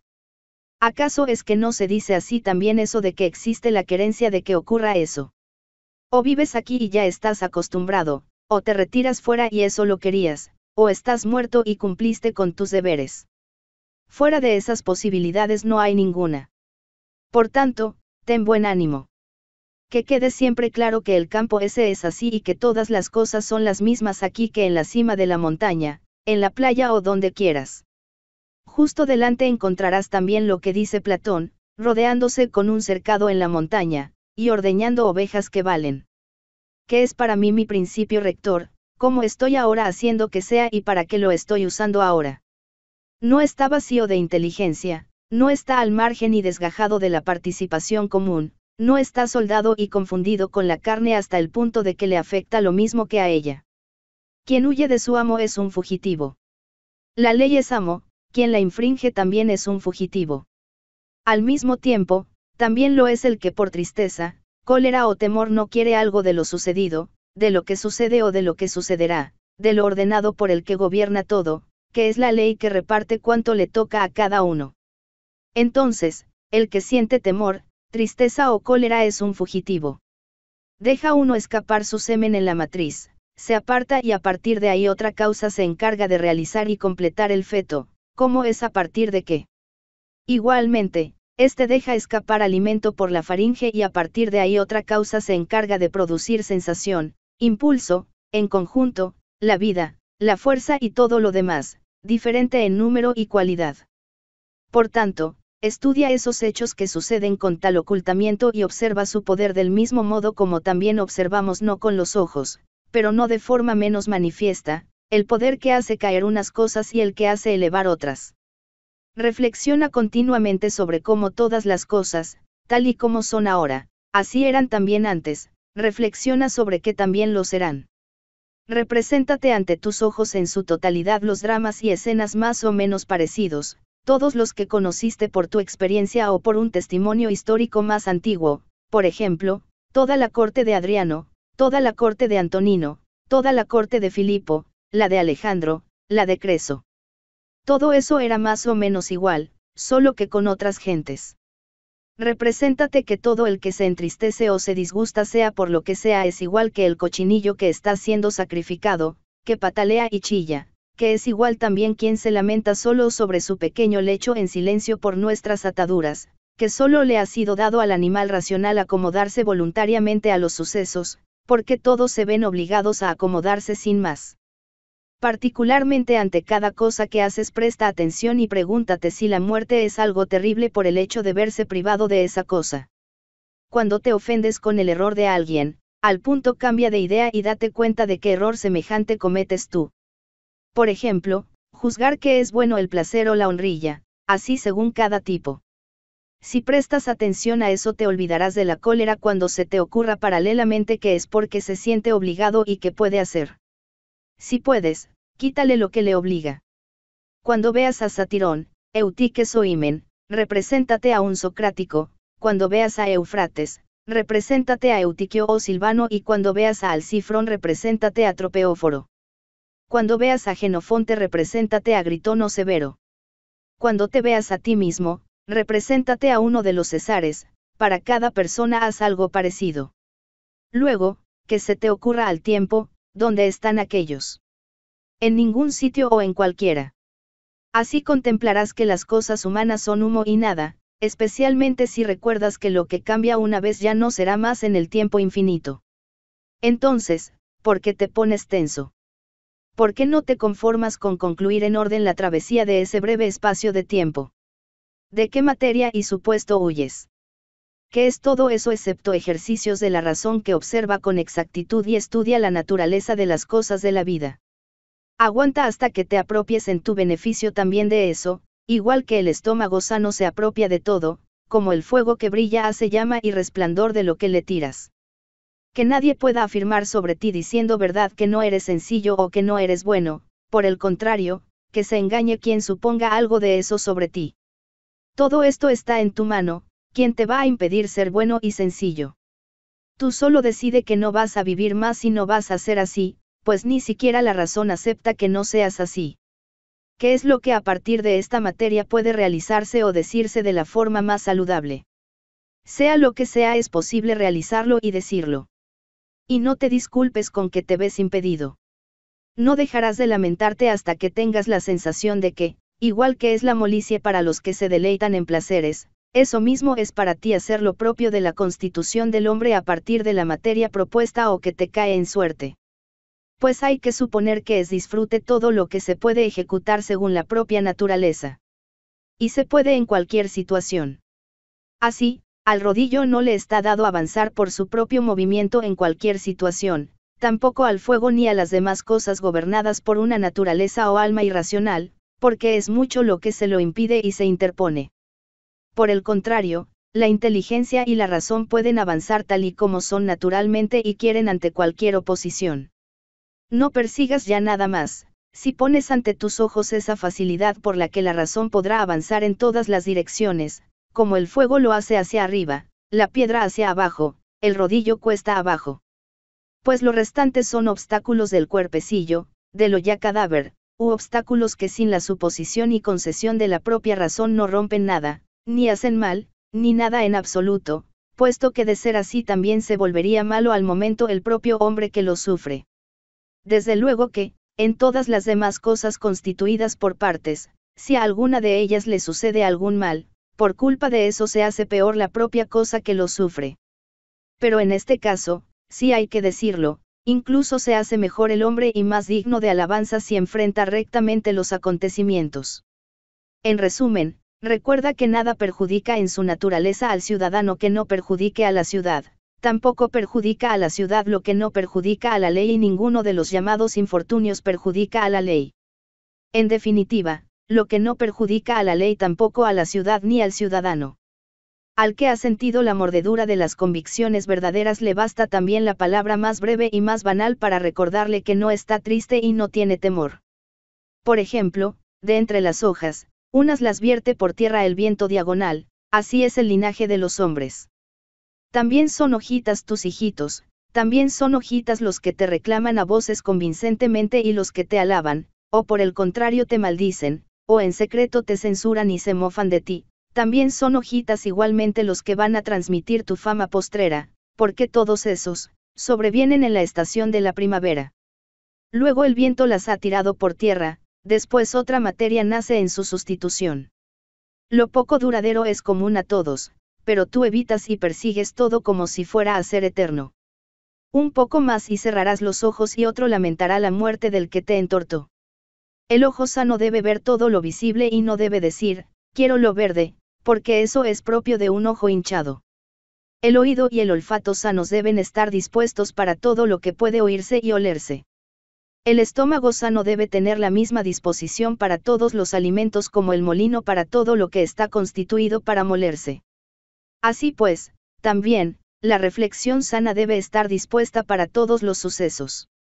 La que diga, que se salven mis hijitos y que todos alaben lo que hago, es como el ojo que busca lo verde o los dientes que buscan lo mollar. Nadie es tan afortunado que al morir no aparezcan algunos que se alegren del suceso. Si era cumplidor y sabio, en el último momento habrá alguien que diga para sí, respiraremos de nuevo sin este maestro reprensor. No tenía un trato difícil con ninguno de nosotros, pero me daba cuenta de que en secreto nos reprobaba. Eso con el cumplidor. En nuestro caso habrá otros muchos motivos por los que sean numerosos los que deseen nuestra marcha. Por tanto, en el momento de morir reflexionarás sobre lo siguiente y te irás más conforme si piensas, me marcho de esta vida en la que los propios allegados, por los que tanto peleé, recé, me preocupé, precisamente ellos, quieren que me aparte con la esperanza de que puedan encontrar alguna comodidad en ello. Entonces, ¿por qué se agarraría uno a una estancia aquí más duradera? Sin embargo, por eso no te marches tratándolos con menos amabilidad, sino, manteniendo tu propia costumbre, siendo cariñoso, benévolo, propicio, y no como desgajado. De la forma en que la pequeña alma del que muere bien se desenrolla del cuerpo amablemente, Así debe producirse la partida lejos de estos. Pues también la naturaleza te ató y unió con ellos. Pero ahora te desune. Me desuno como si me apartara de allegados, desde luego sin resistirme, sin violencia. Eso también es un comportamiento según la naturaleza. Acostúmbrate ante cualquier realización de alguien a indagar tú solo, referido a qué hace ese eso. Empieza por ti mismo, indaga en ti en primer lugar. Acuérdate de que el que mueve los hilos es eso que está escondido dentro. Eso es la vida, eso, hay que decirlo, es el hombre. No te formes la representación embarullada de que lo que te envuelve y tus pequeños órganos conformados en derredor son como un recipiente, porque son iguales al hacha, con la diferencia de que han crecido pegados, dado que ninguna de esas partecillas lejos de la causa que las hace mover y les da fuerza tiene mayor utilidad que la lanzadera para el tejedor, el estilete para el que escribe y el látigo para el auriga. Libro 11. Estas son características del alma racional. Se ve a sí misma, se articula a sí misma, se hace a sí misma como quiere, ella misma recoge el fruto que produce, mientras que los frutos de las plantas y lo asimilable aplicado a los animales lo recogen otros, alcanza su propio objetivo allí donde esté puesto el fin de la vida. A diferencia de lo que ocurre en la danza, en la actuación teatral y en cosas por el estilo su acción en conjunto no queda inconclusa si algo le pone trabas, sino que, en todas sus partes y hasta donde se vea sorprendida, ejecuta lo que se ha propuesto ella misma de forma plena y sin carencias, hasta el punto de decir yo obtengo mi parte. Es más, abarca en su recorrido todo el universo, el vacío que lo rodea y su diseño, se extiende hasta el infinito de la eternidad, abarca en su comprensión también el renacimiento del todo, abarca con la mente y especula con que nada verán de nuevo los que vengan después, ni nada más extraordinario vieron los que nos precedieron, sino que de alguna forma el de 40 años, si tiene una mínima inteligencia, ha visto por el principio de uniformidad todo lo que ha ocurrido y ocurrirá.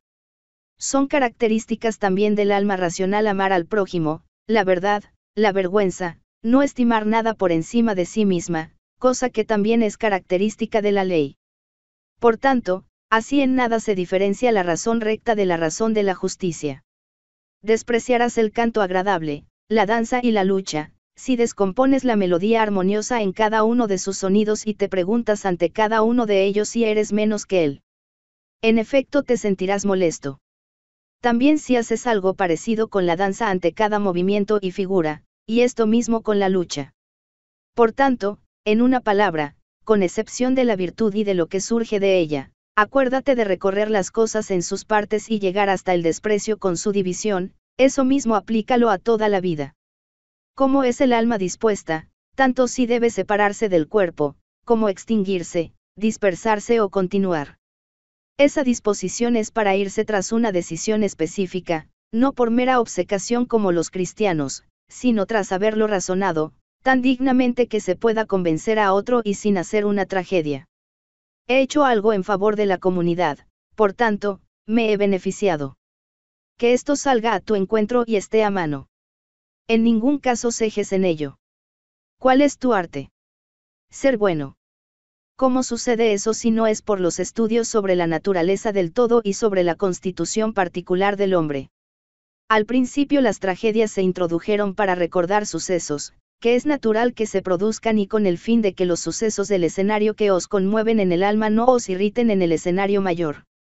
Pues estáis viendo que es preciso que eso se lleve a cabo y que también lo soportan los que han gritado ay citerón. También dicen los que crean dramas algunas otras palabras de utilidad. Así, sobre todo, si fui abandonada yo y mis dos hijos por los dioses incluso eso tiene su razón. También, no hay que enfurecerse con las cosas. Y, cosecha la vida como espiga fructífera. Y otras por el estilo. Después de la tragedia, se introdujo la comedia antigua caracterizada por su hablar franco e instructivo que nos invita no inútilmente a evitar los delirios de grandezas por la propia forma tan directa de expresarse. Con un fin parecido, Diógenes asumía esta herencia. Después de ella la comedia media y de ahí en adelante la nueva para que ha heredado, dado que se diluyó al poco en el gusto por la técnica que surge de la imitación. No se desconoce que también dicen esos algunas cosas útiles, pero la concepción en conjunto de esta forma de creación y acción dramática a qué objetivo se dirigió. Con qué intensidad se antoja que no existe otro supuesto de vida tan conveniente para la práctica de la filosofía como este en el que ahora te encuentras. La rama que se cercena de una rama contigua no es posible que no quede cercenada también del conjunto de la planta. Así también un hombre que se desgaja de un solo hombre queda cercenado del conjunto de la comunidad. A la rama, Evidentemente, la cercena otro, pero el hombre él mismo se aparta a sí mismo del prójimo por odio y aversión, pero desconoce que de forma simultánea se ha cortado a sí mismo también del conjunto de la sociedad, a no ser por ese regalo del que ensambló la comunidad, Zeus. En efecto, nos es posible implantamos de nuevo con el contiguo y de nuevo formar parte del conjunto. Sin embargo, si se produce muchas veces la desunión por esas separaciones o hace que lo que se aparta sea muy difícil de recuperar. En resumen, no es igual la rama que ha brotado desde el principio y ha permanecido compartiendo el mismo aire que la que de nuevo después del corte se injerta, digan lo que quieran los jardineros. Sé de la misma mata, no de la misma opinión. Los que se entrometen contra ti que avanza según la razón recta, igual que no podrán desviarte de la acción sana, que tampoco te repelan de la amabilidad para con ellos. Pero mantente en estas dos cosas por igual, no solo en el juicio y acción bien establecido, también en la condescendencia para con quienes intentan impedirte. Pues es debilidad tanto indignarte con ellos como retirarte de la acción y ceder cuando te golpean. Por igual uno y otro son desertores, el que se acobarda y el que se enajena al que es por naturaleza su congénere y amigo. Ninguna naturaleza es inferior a un arte técnica, porque estas artes imitan las naturalezas.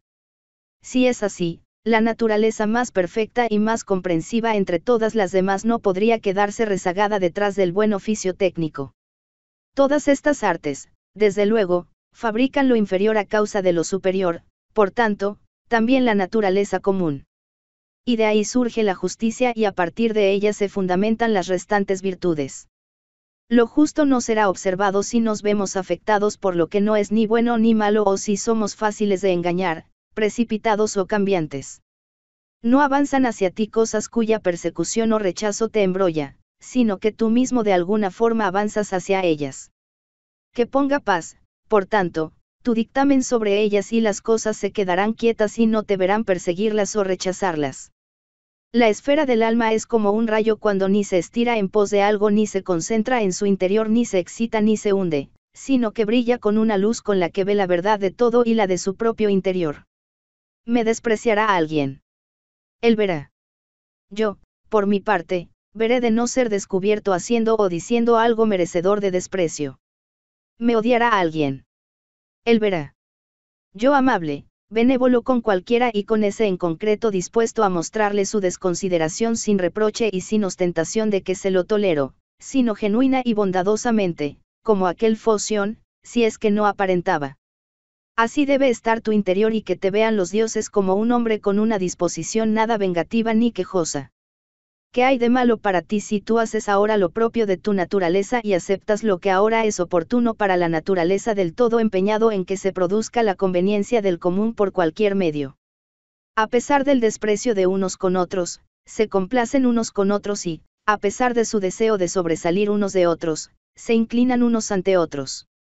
Qué putrefacto y tramposo quien afirma, me he propuesto comportarme contigo sencillamente. ¿Qué haces, hombre? Eso no hay que anunciarlo. Se pondrá de manifiesto. Debe estar escrito en la frente. Resuena inmediatamente la voz de una manera determinada, sobresale inmediatamente en los ojos, igual que en la mirada de los amantes el enamorado lo reconoce todo.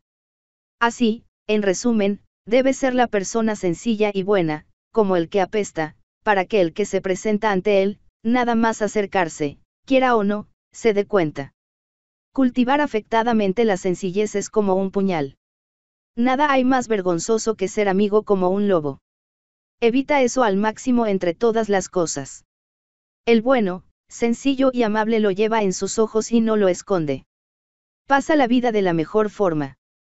Esa posibilidad reside en el alma, si no se perturba ante las cosas que no son motivo de turbación. No se perturbará si estudia cada una de estas cosas con discriminación, en su totalidad y acordándose de que ninguna de ellas provoca en nosotros una suposición sobre ella ni nos alcanza, sino que ellas ni se menean ni somos nosotros los que generamos los juicios sobre ellas y en cierto modo los grabamos en nosotros, cuando es posible no grabarlos y es posible, si lo hacemos sin darnos cuenta, borrarlos de inmediato. Por tanto, si son conforme a la naturaleza salúdalas y te resultarán fáciles. Si van contra la naturaleza investiga qué es según tu naturaleza y empeñate en ello, aunque no esté bien considerado pues existe perdón para todo el que persigue su propio bien. ¿De dónde ha salido cada cosa y a partir de qué circunstancias, en qué se transforma y cómo será en su transformación y cómo no sufrirá daño alguno? En primer lugar, ¿cuál es mi actitud con ellos dado que hemos nacido unos por otros y que yo por otra razón he llegado a una situación de prominencia sobre ellos, como un carnero en el rebaño o un toro en la manada? Acércate desde arriba con el principio de que si no somos átomos es la naturaleza quien gobierna todo. Si es así, los inferiores son a causa de los superiores y estos unos por otros. En segundo lugar, cómo son a la mesa, en la cama y lo demás, pero sobre todo que Kempalschen son base de sus creencias y con qué delirios de grandeza hacen precisamente eso. En tercer lugar, que si actúan rectamente no debes irritarte, y si no es evidente, que es contra su voluntad y por ignorancia, porque cualquier alma se ve apartada de la verdad contra su voluntad, como también de comportarse con cada persona según su valía.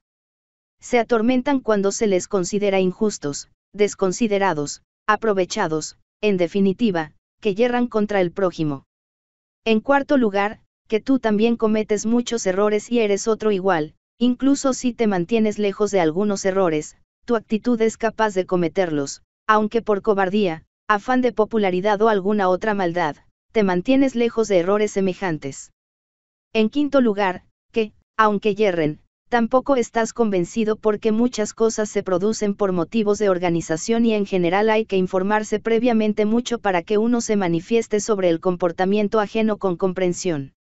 En sexto lugar, cuando te indignas en exceso o te sienta algo mal, que la vida humana es momentánea y después de un poco a todos nos entierran. En séptimo lugar, que no son sus acciones las que nos irritan pues esas dependen de sus principios rectores, sino nuestras suposiciones sobre ellas. Apártalas y ten la voluntad de eliminar ese juicio de que es algo terrible y la cólera se marcha. Entonces, ¿cómo lo apartarás? Si caes en la cuenta de que no es algo vergonzoso, pues solo lo que es vergonzoso es malo o si no, por fuerza, tú también cometes muchos errores y eres un bandido y un cualquiera. En octavo lugar, en qué medida nuestras cóleras y tristezas provocan dificultades mayores que son las cosas por lo que nos encolerizamos y entristecemos. En noveno lugar, que la amabilidad es invencible si es sincera y no es un gesto o una actuación teatral.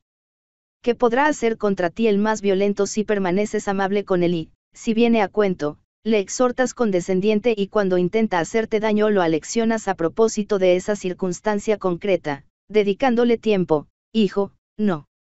Hemos nacido para otra cosa. Yo, desde luego, no me perjudico, pero tú sí, hijo.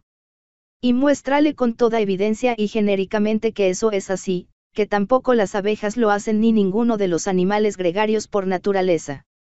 Debes hacerlo sin afectación ni reproche, sino con cariño y sin sentirte mordido en el alma, tampoco como si fueras su maestro de escuela ni con la intención de que otro que esté presente se admire, sino realmente para él solo, aunque estén otros alrededor.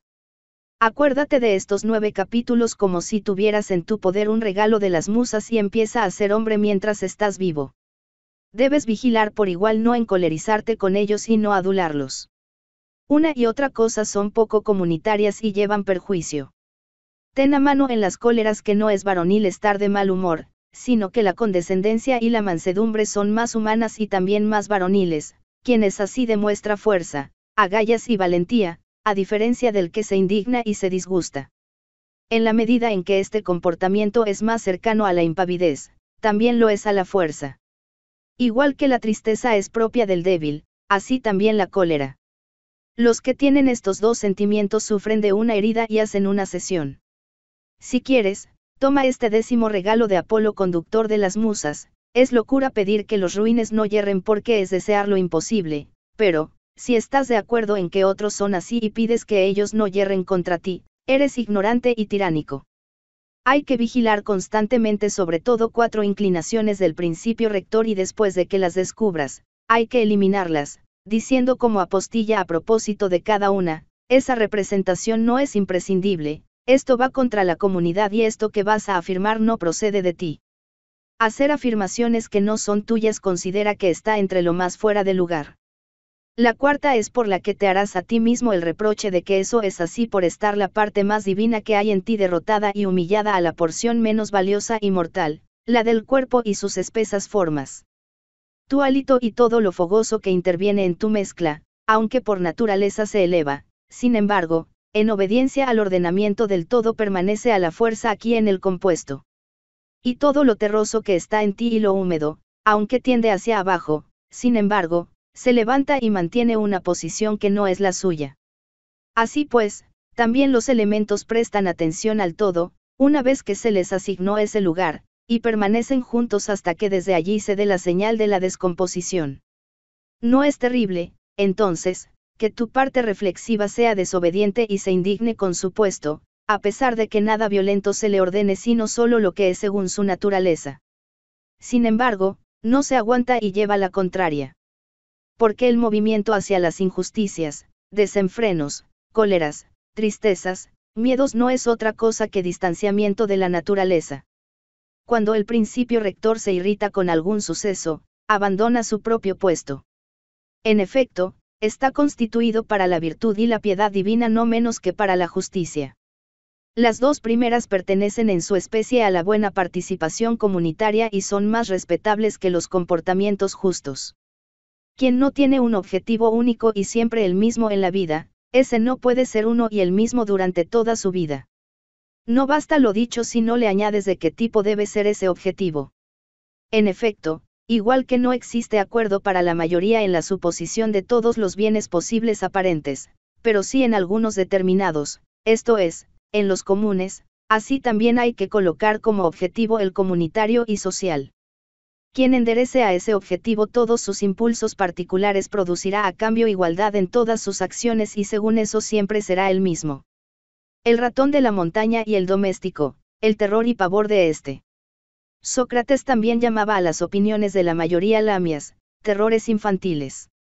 Los lacedemonios colocaban para los extranjeros en los espectáculos las gradas a la sombra mientras que ellos se sentaban en cualquier sitio.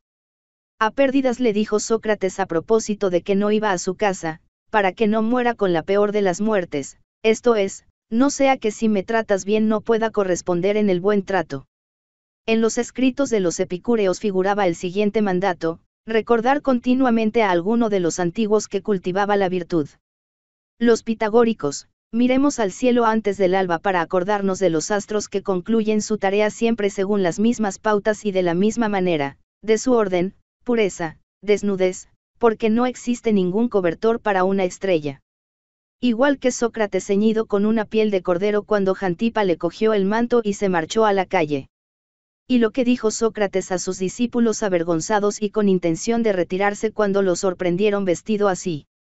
En escritura y lectura no serás un maestro si antes no has sido amaestrado. Eso con mayor intensidad en la vida. Has nacido esclavo, no participas de la razón. Mi querido corazón se rió. Censurarán la virtud diciendo palabras ásperas. Buscar un higo en invierno es propio de un loco, Así es el que busca un niñito cuando ya no le es dado. Quien le hace cariños a su hijito debe decirse por dentro, como afirmaba Epicteto, mañana quizá habrás muerto. Eso es de mal agüero. No es de mal agüero en absoluto, sino indicativo de cierta forma de obrar de la naturaleza. O también es de mal agüero que las espigas sean cosechadas. Un racimo verde, un racimo maduro, un racimo de uvas pasas, todos son cambios, no hacia el no ser, sino hacia lo que ahora no es. No hay ladrón del albedrío. Decía que hay que encontrar un procedimiento para ponerse de acuerdo y mantener la atención en el asunto de los impulsos de forma que sean con reserva, comunitarios y según la valía. Y hay que alejarse del apetito en cualquier caso y no rechazar nada que no esté en nuestra mano. Decía, el debate, por tanto, no es sobre cualquier cosa, sino sobre estar loco o no. Sócrates decía, ¿qué queréis? ¿Tener almas de seres racionales o de irracionales? De racionales. ¿De qué tipo de racionales? ¿De sanos o de ruines? De sanos. Entonces, ¿por qué no os afanáis en ello? Porque ya las tenemos. Entonces, ¿por qué os pegáis y estáis en desacuerdo? Libro 12. Todas aquellas cosas que rezas por alcanzar en todo un ciclo, puedes tenerlas ya si dejas de ser tu propio rival. Esto es, si dejas atrás el pasado y pones en mano de la providencia el futuro, y si solo el presente lo encaminas derecho hacia la virtud y la justicia virtud para desear lo que se te ha asignado porque la naturaleza te deparaba ese destino y para él te trajo. Justicia para que con libertad y sin marañas digas la verdad y actúes según la ley y la valía. Que no te impida ni la maldad ajena, ni sus supuestos, ni su palabra, tampoco las sensaciones de la camecilla que te recubre, pues eso que lo vea la parte que sufre. Por tanto, si en su momento cuando estés ya en el punto de partida abandonas todo lo demás, Honra solo el principio rector y la parte divina que hay en ti y no temes dejar de vivir, sino no empezar nunca a vivir según la naturaleza, serás un hombre digno del universo generador y dejarás de ser un extranjero de tu patria y dejarás de admirarte por los sucesos inesperados de cada día, pendiente de esto y eso otro. La divinidad ve todos los principios rectores desnudos de sus recipientes materiales, de sus cortezas y de sus desechos. Pues con su propia inteligencia, solo con ella, alcanza a las inteligencias, solo a ellas, que han fluido y desaguado desde ella hasta formar esos principios rectores. Si tú también te acostumbras a hacer eso, suprimirás mucho de tu propia distracción circunstancial. Quien no ve los pedacitos de carne que le rodean se entretendrá acaso en contemplar vestido, casa, fama, todo ese envoltorio y escenificación. Tres son las cosas de las que estás conformado, el cuerpecillo, el pequeño hálito vital y la inteligencia. Dos de esas son tuyas solo en cuanto debes ocuparte de ellas, la tercera está solo bajo tu autoridad. Por ello, si apartas de ti mismo, es decir, de tu mente, todo lo que los demás hacen, dicen, todo lo que tú mismo hiciste o dijiste, todo lo que te perturba por ser futuro, todo lo que sin elegirlo se te suma de la parte corporal o del pequeño hálito con natural, y todo lo que hace girar el torbellino que fluye por fuera en derredor, de tal forma que la capacidad inteligente desligada del destino y purificada viva libre por sí misma realizando lo que es justo, deseando lo que acontece y diciendo. La verdad, si apartas, digo, del principio rector lo que se cuelga de él por las pasiones y del tiempo lo futuro o lo que ya ha pasado y te haces a ti mismo como Empédocles, esfera redondeada que se alegra en su soledad circundante, y aprendes a vivir solo lo que estás viviendo, esto es, el presente, podrás lo que te resta hasta morir pasarlo sin perturbación, conforme y propicio con tu propio espíritu divino. Muchas veces me admiré que cada uno se ame a sí mismo más que a todos, pero coloque su propia suposición en una consideración menor que la ajena. Si, por ejemplo, un Dios que apareciera o un maestro sabio ordenará a uno no cavilar ni pensar nada en su interior que no pueda hacer público simultáneamente, incluso gritándolo, ni un solo día uno soportará eso. Hasta ese punto tenemos más vergüenza del prójimo, que pueda pensar sobre nosotros, que de nosotros mismos. ¿Cómo es que los dioses, que pusieron en orden todo bellamente y con amor a los hombres, solo descuidaron esto, que algunos hombres extremadamente buenos que establecen la mayoría de las veces a modo de contratos con la divinidad y en casi todo se hacen íntimos de la divinidad a través de obras virtuosas y servicios religiosos, nada más morirse, no vuelvan a ser de nuevo, sino que se desintegren absolutamente. Y estad bien seguro, si es que es así, de que, si tuviera que ser de otra manera lo hubieran hecho, en efecto, si hubiera sido justo, también hubiera sido posible, y si hubiera sido según la naturaleza, la propia naturaleza lo hubiera producido. Por el hecho de no ser así, si es que no es así, ten toda la confianza en que no tiene que ser así. Pues incluso tú mismo ves que, cuando inquieres eso, estás pleiteando con la divinidad. Y no discutiríamos así con los dioses si no son los mejores y más justos. Y si es así, no se les habría ocultado que algo entre las cosas del orden universal quedaba abandonado contra la justicia y la razón. Acostúmbrate incluso a cuantas renuncias. Pues incluso la mano izquierda, que por falta de costumbre está ociosa en lo demás, domina la rienda con más fuerza que la derecha, porque tiene costumbre de eso. Piensa en qué actitud de cuerpo y alma tienes que ser sorprendido por la muerte, en la brevedad de la vida, en la inmensidad de la eternidad por detrás y por delante, en la debilidad de toda materia. Desnudas de su corteza contempla las causas, los significados de las acciones, qué es el sufrimiento, qué es el placer, qué es la muerte, qué es la fama, quién es el culpable de tu propia falta de tiempo, como nadie es impedido por otro, que todo es suposición. Debe ser en tu trato con las creencias igual que el luchador de Pancracio, no como el gladiador. En efecto, este, si deja a un lado la espada que usa, está muerto, el otro siempre tiene su mano y no tiene que hacer nada más que cerrarla. Mira cómo son las cosas distinguiendo su materia, su causa, su significado. El hombre tiene la posibilidad de no hacer nada más que lo que va a elogiar la divinidad y aceptar todo lo que le asigne la divinidad. No hay que censurar a los dioses porque no yerran en nada, ni contra su voluntad ni a propósito. Tampoco a los hombres, porque en nada yerran si no es contra su voluntad. En conclusión, no hay que censurar a nadie. Qué ridículo y fuera de lugar quien se admira de cualquiera de los sucesos de la vida. O es necesidad y el orden es inamovible, o hay providencia propicia, o es un revoltijo de azar sin guía. Si es necesidad inamovible, ¿por qué opones resistencia? Si hay providencia que acepta que se sea propicio con ella, hazte digno de la ayuda que procede de la divinidad, si es revoltijo, sin nadie que dirija, conténtate de que en semejante marejada tú tienes en ti mismo una inteligencia rectora. Si te arrastra la marejada, que arrastre a la camesilla, al pequeño hálito, al resto, pues no arrastrará tu inteligencia. O es que la luz de la lámpara brilla hasta que se extingue y no pierde su resplandor, pero la verdad que hay en ti, la justicia y la prudencia se van a extinguir antes. Ante quien provoca en ti la representación de que él ha errado, piensa, ¿por qué demonios sé que eso es un error? Incluso si cometió error, Daid, él se condenaba a sí mismo y en ese caso eso es lo mismo que hacer triza su propio rostro.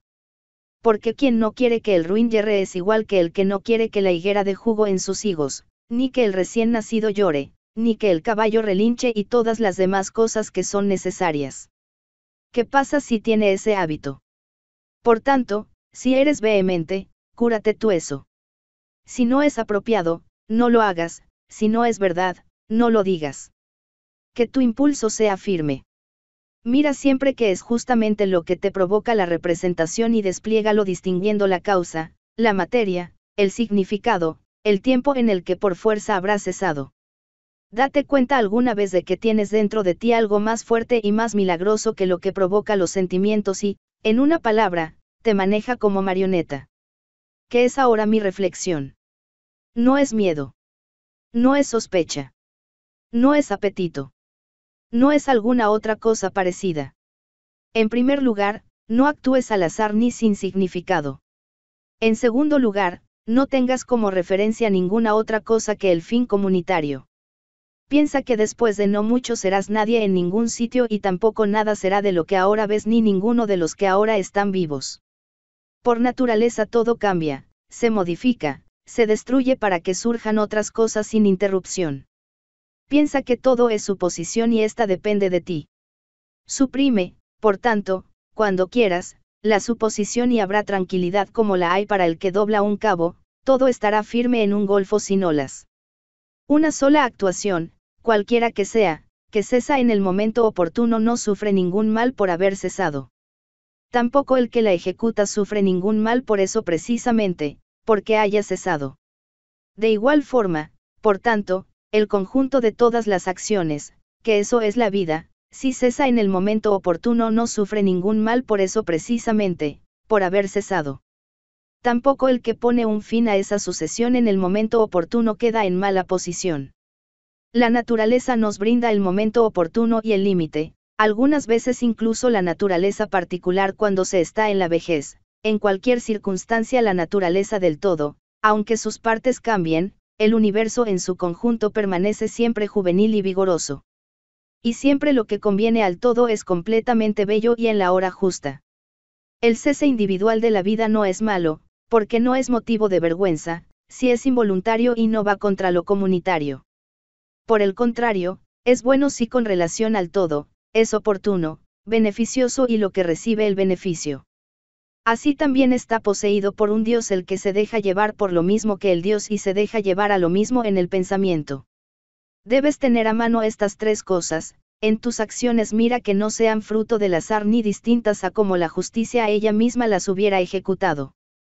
Con relación a los sucesos exteriores piensa que o son por casualidad o son por providencia, ni se debe censurar a la casualidad ni se debe acusar a la providencia.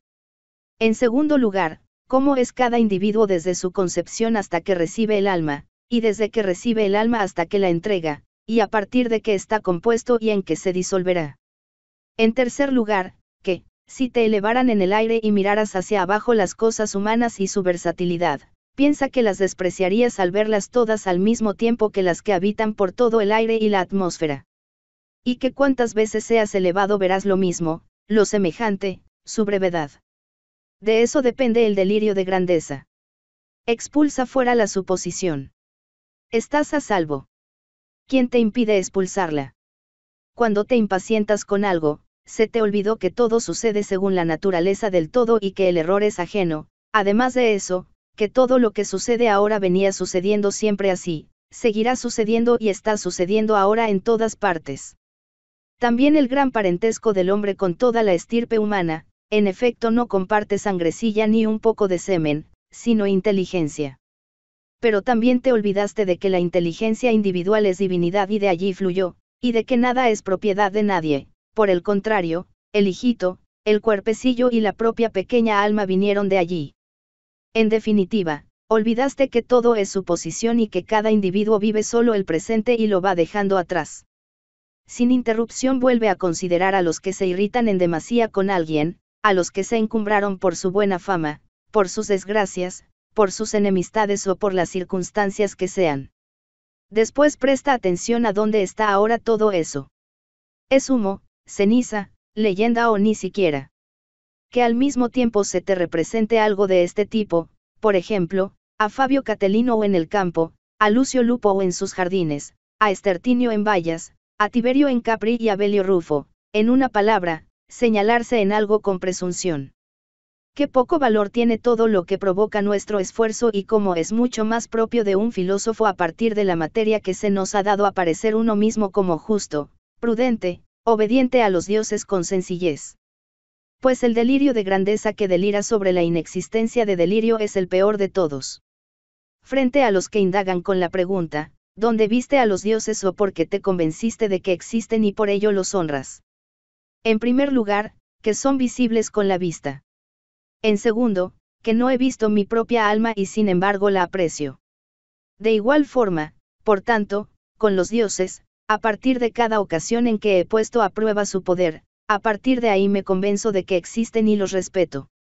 Supone mantener la vida a salvo analizar qué es cada cosa por completo y en sí, cuál de sus partes es el material, cuál la causal, hacerlo justo y decir la verdad con toda el alma que queda sino disfrutar de la vida pasando del contacto de un bien a otro, de forma que no quede el más pequeño intervalo. La luz del sol es una, aunque la dividen las paredes, las montañas y mil cosas más. La substancia común es una, aunque se divide en miles de cuerpos que se distinguen individualmente. El alma es una, aunque se divide en miles de naturalezas y figuras individuales. El alma inteligente es una, aunque parece que está fraccionada. Las partes distintas a las dichas, como los hálitos vitales y los objetos, no tienen percepción ni parentesco entre sí. aunque también a ellos los mantiene agrupados lo que unifica y pesa sobre ellos. La reflexión inteligente, sin embargo, tiende a lo que le es con natural, se mantiene unida y no se divide este sentimiento comunitario. ¿Qué persigues? Pasar la vida. Pero y tener percepciones e impulsos, crecer y dejar de crecer otra vez, articular palabra y distinguir con la reflexión. ¿Qué cosas de esas te parece que merecen tu anhelo? Si cada una de esas te parece fácil de despreciar, avanza hasta el final, llega a la obediencia a la razón y a la divinidad. Pero a esto se enfrenta tu estima de aquellas cosas, tu pesar por verte privado de ellas por morirte. ¿Qué parte ínfima de lo infinito y dilatado del tiempo le es repartida a cada individuo? Desaparece inmediatamente en la eternidad. ¿Qué parte ínfima de toda la substancia? ¿Qué parte ínfima de toda el alma? ¿En qué ínfimo terrón te arrastras de toda la tierra? Recapacita sobre todo eso y no te representes nada grande distinto a hacer según guía tu naturaleza y dejarse hacer según propone la naturaleza común. ¿Cómo se trata a sí mismo el principio rector? En efecto, ahí está todo. Lo demás o puede elegirse o no es elegible, son cadáveres y humo provoca un desprecio a la muerte mayor el hecho de que incluso quienes juzgan que el placer es un bien y el sufrimiento es un mal la desprecian. Para quien solo lo oportuno es bueno y para quien producir un mayor número de acciones según la razón recta es lo mismo que producir menos y a quien no le importa contemplar el universo más o menos tiempo, a ese tampoco le resulta la muerte algo temeroso. Hombre, ejerciste la actividad pública en esa gran ciudad, ¿qué te importa si cinco o cien años? lo que es según la ley es igual para cada individuo. Por tanto, ¿qué hay de terrible si ni te echa un tirano ni un juez injusto, sino la naturaleza que te trajo?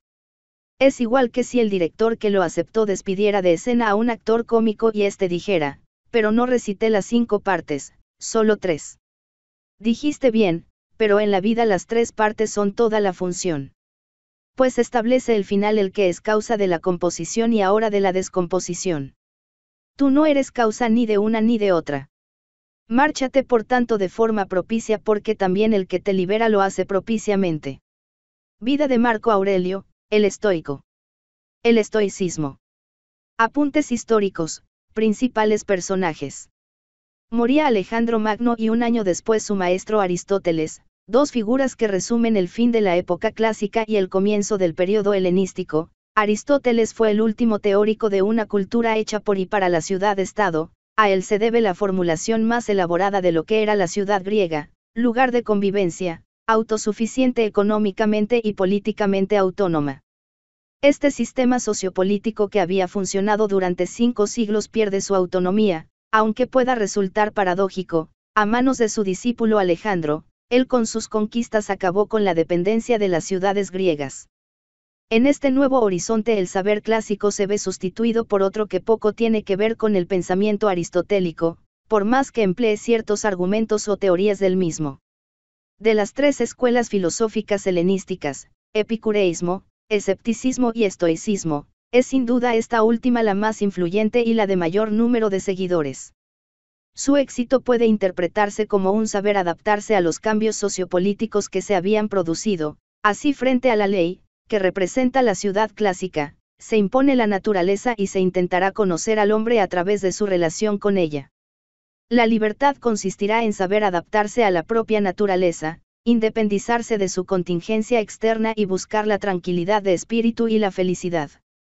En los albores del siglo III AC, Zenón, AC, su fundador, procedente de Sitio, Chipre, filosofó en el pórtico pintado de la Gora, llamado Stowe, de ahí su nombre. Su pensamiento fue desarrollándose y se adaptó con éxito a otras épocas y lugares diversos como la propia Roma, cuya introducción plena se origina en la segunda mitad del siglo II AC y en época imperial adquiere su cenit, representado nada menos que por un emperador, Marco Aurelio. El estoicismo, a través de escritores latinos como Cicerón, Séneca y Marco Aurelio, se propagó incluso en esferas cristianas a pesar del paganismo de esta filosofía, sin embargo, ciertos principios morales estoicos eran fáciles de asumir por el cristianismo, aquellos principios relacionados con el deber, la serenidad ante los acontecimientos externos y cierta moralidad basada en un humanitarismo difuso. Tradicionalmente se han señalado tres etapas en la historia de esta escuela, un primer momento fundacional, estoicismo antiguo, representada por Zenón, AC, Oleantes, AC, y Crisipo, diagonal guion diagonal AC. La influencia cínica se dejó sentir desde el principio ya que su creador, Zenón, fue discípulo de varios filósofos cínicos, principalmente de Cratz y Estilipón. Influyeron también moralistas como Genócrates, Polemón, quien acuñó la máxima de vivir de acuerdo con la naturaleza, y Diodoro de Megara, moralista de influencia socrática. De esta manera el estoicismo comenzó a teñirse de un sentimiento ético desde el principio. Oleantes, también asiático como su maestro Zenón, fue su sucesor, su espíritu religioso y teológico es distintivo de él, ejemplo de ello es su himno a Zeus, no parece que fuera una persona especialmente dotada para el desarrollo filosófico del estoicismo. Es gracias a su discípulo Crisipo, nacido en Silische, Asia Menor, cómo se sistematiza la obra de Zenón, dándole un sentido teórico coherente, una solidez filosófica, en definitiva, representa para los estoicos posteriores el canon general de la ortodoxia. Entre finales del siglo NIAC y comienzo del siglo I AC se produce una renovación de la Estoa, es el periodo del estoicismo medio, cuyo máximo logro fue introducirse en la cultura latina con indudable pujanza. Los principales representantes de esta corriente son Diógenes de Babilonia, guion, sucesor de Crisipo, que tuvo que hacer frente a la crítica del académico escéptico Cameades, diagonal guion diagonal AC, igual que Antipater de Tarsos, contemporáneo del anterior, quien se vio obligado a modificar la teoría ética de su maestro como otros estoicos que fueron, para defenderse de las críticas de Carneades, tendiendo hacia un sistema más práctico y menos idealista. Tres son las figuras que introducen el estoicismo en Roma y hacen que sea una doctrina ampliamente seguida entre la aristocracia romana, Panecio de Rodas, AC, Posidonio, AC, y Cicerón, AC. El primero de ellos procura desarrollar un sistema de reglas de conducta de carácter general que puedan ser seguidas por un número amplio de personas, fue amigo de Escipión el africano y a través de él se introdujo en los círculos cultos de la ciudad. Posidonio por su parte crea una escuela en Rodas, fue un hombre de saberes diversos, historiador, geógrafo, astrónomo, aunque desconocemos bastante de su vida y obra, parece ser que estableció una división tripartita del alma de carácter platónico, al mismo tiempo que su apego a la ciencia tiene conexiones con el aristotelismo. De todas maneras, tanto la primera como la segunda estoas son conocidas por fragmentos o resúmenes de autores posteriores. No se ha conservado ninguna obra completa de aquellos si exceptuamos a Cicerón, a quien podemos considerar más un ecléctico, aunque en sus obras de Officiis y de Finibus defiende la moral estoica, en general no aprecia otras partes del estoicismo como la física. Apuntamos que el estoicismo del siglo II DC, al mismo tiempo que se abre a otras filosofías, va tendiendo progresivamente hacia una doctrina, perdiendo su pensamiento más especulativo. Durante las etapas anteriores el estoicismo estuvo dirigido por personajes del mundo helenístico, griegos y en mayor número del oriente helenizado, por el contrario, la estoa nueva, desarrollada durante los siglos I y II DC, es totalmente romana, Séneca, AC. DC, Epicteto, DC, y Marco Aurelio, guion, son sus máximos representantes. De los tres fue el autor nacido en Córdoba, Séneca, el más prolijo, su proximidad con el poder imperial. Nerón, y su prestigio social y económico lo llevaron a estar en el foco de una conjura contra el emperador que provocó su caída y posterior muerte. La obra de Séneca se caracteriza por poner la moral estoica como base de la educación y del comportamiento correcto del romano, su sello propio, lo que denominamos senequismo, no es otra cosa que intentar que los principios estoicos, más prácticos que teóricos, produzcan beneficio a las personas, logrando a través de unas normas, tal vez menos estrictas que el estoicismo primitivo, adaptarse a los acontecimientos. Las epístolas morales a Lucilo son un buen ejemplo de la finalidad pedagógica de su obra. La obra de Epicteto fue muy estimada en el siglo posterior y concretamente a Marco Aurelio le debió causar una gran impresión por la relación tan íntima que estableció entre praxis y teoría. De Epicteto se cuenta como anécdota que su amo, un liberto de Nerón, le daba malos tratos, en una de estas ocasiones advierte a su dueño que si sigue apretándole el brazo se lo va a romper y al fracturarse el hueso afirmó, ves, ya te lo había dicho.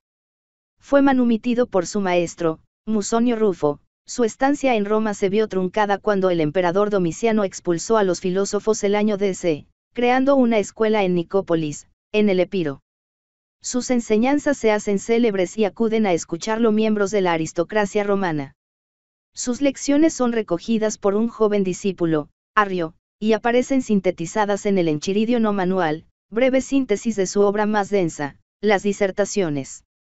La enseñanza de Epicteto se mueve en una doble dirección, por un lado, vuelve a Crisipo y por otro predica una libertad interior muy próxima a los cínicos. Su filosofía, llena de aforismos y paráfrasis, es más una regla de vida donde prima el alejarse de condicionantes externos que no está en nosotros poder neutralizar. Epicteto es esencialmente un educador, la filosofía no consiste para él en un sistema doctrinal sino en disciplinar la inteligencia con el fin de dominar el carácter. Una filosofía terapéutica en definitiva que casa bien con el espíritu sobrio del joven. Su influencia se dejó sentir profundamente en Marco Aurelio, como reflejan las meditaciones. Principales temas estoicos. El pensamiento helenístico en sus principales corrientes filosóficas, estoicismo, epicureísmo y escepticismo, es producto, como hemos indicado más arriba, de la crisis de la ciudad antigua, que conlleva la crisis de las instituciones sociales, incluida la familia y la propia personalidad. La comunidad de ciudadanos se disuelve en formas políticas que le hacen perder la autarquía y con ello la autonomía. Mientras en el periodo clásico heleno la responsabilidad del bienestar público recaía en cada ciudadano y de este bienestar público dependía el privado, en época helenística se acrecienta la desigualdad y se rompe el eslabón social entre la ciudad y sus miembros, sobre todo con las capas populares. Al mismo tiempo que está surgiendo una nueva sociedad asistimos al nacimiento del estoicismo, una filosofía menos estructurada y elaborada que el platonismo y el aristotelismo, pero que de manera más eficaz responde a los cambios operados. Los estoicos viven el conflicto, pero no intentan combatir las nuevas realidades históricas, sino que tienden hacia la introspección, la salvación personal, y en definitiva la eudaimonia. El estoicismo no va a elegir la vía platónica en la que prima lo colectivo, no se inclina hacia la ley ciudadana, que ahora se muestra escasa de operatividad, en entredicho por la constitución de formaciones políticas superiores, sean reinos o imperios, sino que tiende hacia lo individual a través de la naturaleza, eje que sirve para igualar a los hombres, en tanto que la naturaleza nos hace en principio iguales. Todos al nacer tenemos un mismo pantastos, una representación de las cosas y de la propia naturaleza, pero no todos sabemos interpretarlo de igual manera, es necesaria la reflexión filosófica. Es en este punto, a través de la reflexión y la consiguiente educación, donde se unen naturaleza y bien común. Esta relación hace que podamos hablar del estoicismo como una doctrina propedéutica, un pensamiento educativo para que la persona realice lo que le dicta su alma, de ahí su tendencia, de claro tinte socrático, hacia la elaboración de un sistema donde prima la moral, no se trataría de vivir para saber, propio de la filosofía helenística, sino de saber para vivir. La filosofía estoica estructura su edificio conceptual en torno a tres cuerpos, lógica, física y ética, entendidos no de manera separada, sino imbricados unos en otros, dado que los tres estudian una misma cosa, el universo racional. La lógica para los estoicos es el ámbito de la retórica y de la dialéctica, constituyéndose en la ciencia del discurso racional, mientras que la retórica se ocupa del lenguaje y del razonamiento, la dialéctica permite conocer lo verdadero de lo falso, es la cualidad intrínseca que el sabio debe poseer para poder discernir las palabras, los hechos y las relaciones. La importancia de la dialéctica en el estoicismo viene determinada por abarcar tanto las cosas significadas, significados, como las cosas que significan, significantes, o, lo que es lo mismo, por afectar a la teoría del conocimiento. Es una teoría sensualista en cuanto el conocimiento consiste en una aprehensión del objeto que queda inscrito en el alma. Así el conocimiento de un hombre se desarrolla a partir de estas primeras experiencias sensoriales primarias, cuando la relación es totalmente entendida, es diáfana, se produce la catalepsis, esto es, la apropiación del objeto. La especulación lógica permite, pues, alcanzar el conocimiento de los objetos que se refieren a la física y a la ética, dando así pie a una interrelación entre los tres elementos constructivos en los que se fundamenta la Stoe. La fisis estoica se constituye en tomo a dos principios, uno paciente o pasivo sería la materia inanimada, otro activo o agente representado en su escalón más alto por Dios, generador a su vez de los elementos animados y de la materia inanimada, quien a su vez está formado por el ego, la razón. De este modo Dios y el mundo terminan uniéndose en la razón universal, la cual daría lugar al concepto de naturaleza, interpretado no de manera reduccionista, como hacemos nosotros al designar con este término únicamente al mundo físico, sino de forma amplia al formar parte de la naturaleza tanto los entes animados, dioses, hombres y animales, como lo inanimado.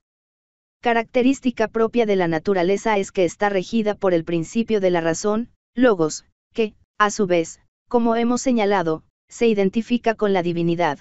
Por ello la física estoica recoge en su estudio la teología al igual que las ciencias naturales, por ello la ciencia estoica es una ciencia especulativa, filosofía de la naturaleza, aunque se practique una observación de los fenómenos naturales. Dios va a estar de manera presente en el carácter del mundo, más exactamente el mundo es la sustancia de Dios. El Dios estoico rige el mundo mediante su providencia, es perfecto, creador de un universo armónico, es un Dios providente pero no trascendente, un Dios que impregna de divinidad el mundo. La divinidad está presente de manera general en los estoicos y muy concretamente en Marco Aurelio.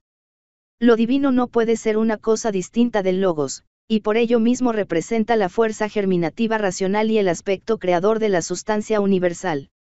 Al hilo de estos argumentos surge por fuerza el problema del mal, cómo es que habiendo armonía y existiendo un Dios providencial exista el mal. La respuesta estoica es doble, por una parte, por la necesidad de los contrarios, si no hubiera mal no habría bien, ambos se necesitan, por otra las cosas malas solo existen en apariencia, si las tomamos aisladamente pueden parecer malas, pero en relación con la totalidad no lo son, una brillante metáfora de Marco Aurelio, sobre las imperfecciones del pan, ilustra perfectamente la visión estoica.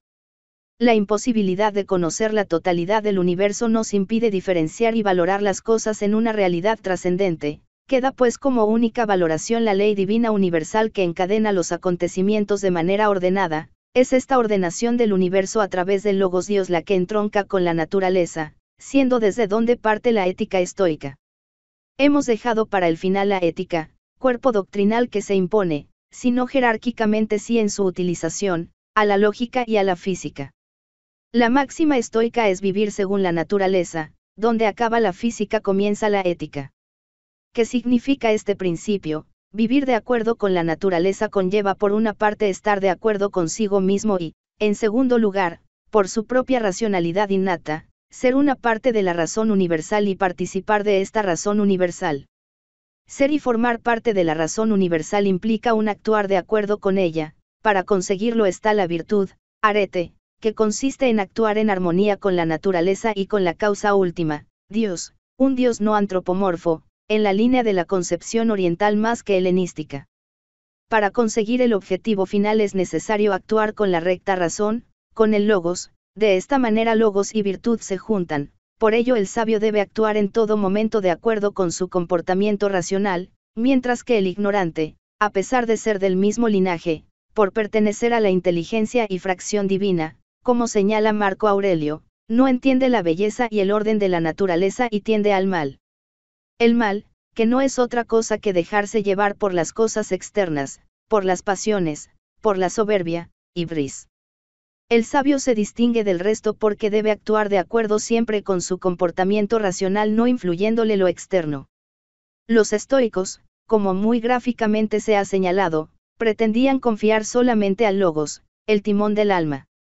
Por eso es necesario que el sujeto sea el principal actor de sí mismo, dado que el bien lo realiza el propio sujeto y no lo hacen las circunstancias externas, para ello es necesario que el hombre se provea de un instrumental eficaz, y este no es otro que la aplicación de una serie de virtudes, prudencia, justicia, valor y templanza. La moral estoica tiene también una dimensión colectiva, el interés por los otros, por la colectividad, proviene de la virtud de la justicia, No es un pacto ni una relación de mutua ayuda lo que provoca la solidaridad entre el estoico y sus congéneres, es una dimensión de carácter positivo, la dedicación espontánea a los otros. Acercamiento intuitivo que resulta de la participación de todos en la razón universal. La convivencia se establece a partir de otras bases distintas al platonismo y aristotelismo, la búsqueda personal del bien nos empuja a encontrar en los demás una colaboración con un idéntico fin, la razón universal. La igualdad de todos en cuanto a su esencia, no hablamos ni de la igualdad social ni tampoco de la distinción entre el sabio y el insensato, proviene de formar parte y ser una parte de la totalidad. La comunidad es vista como una entidad superior y el individuo, para lograr su objetivo individual, se pone al servicio de la comunidad. La armonía perseguida en la sociedad es un mecanismo de simpatía que se refleja en el microcosmos personal o, dicho, en otros términos, Cuanto más se acerca la sociedad a la perfección, más cerca estará el individuo de alcanzar su objetivo. La lógica desempeña un papel importante en establecer una serie de argumentaciones favorables para que se establezcan de manera automática unas reglas de convivencia, a partir del principio de que todos estamos comprendidos bajo la misma definición de hombres, por la facultad común de razonar, argumentar y probar, todos somos educables por la virtud, incluso nuestros vicios muestran una semejanza insólita. Tenemos idéntica capacidad de aprendizaje e inteligencia inicial, al nacer poseemos una representación de las cosas similar. La obra de Marco Aurelio. Aspectos previos. La obra de Marco Aurelio que nosotros hemos llamado Meditaciones fue titulada en el manuscrito de Silander de Augsburgo. Marco Aurelio Emperador, libro sobre sí mismo, la primera edición impresa en Zurich con traducción latina, fue obra de Andreas Gessner. Muchos siglos han pasado desde el momento que se escribieron y su primera edición, que sucedió entre el siglo II y el siglo XVI. Tenemos noticias de que en el siglo III se conoce la obra, al menos da esa impresión, por los escritos de Herodiano y Dion Casio. A mediados del siglo IV Temistio hace referencia a la obra de Marco Aurelio, a la que llama Admoniciones.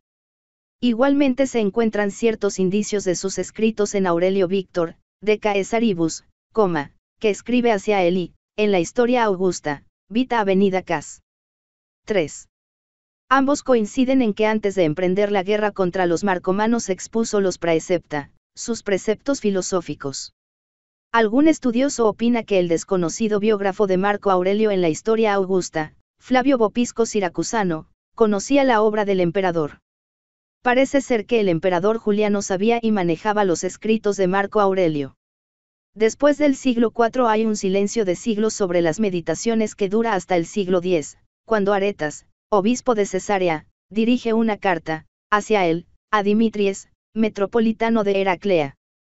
El título de la obra es conocido en castellano sobre todo por Meditaciones, pero la versión española más antigua, de Jacinto Díaz de Miranda, empleó el término soliloquios o reflexiones morales.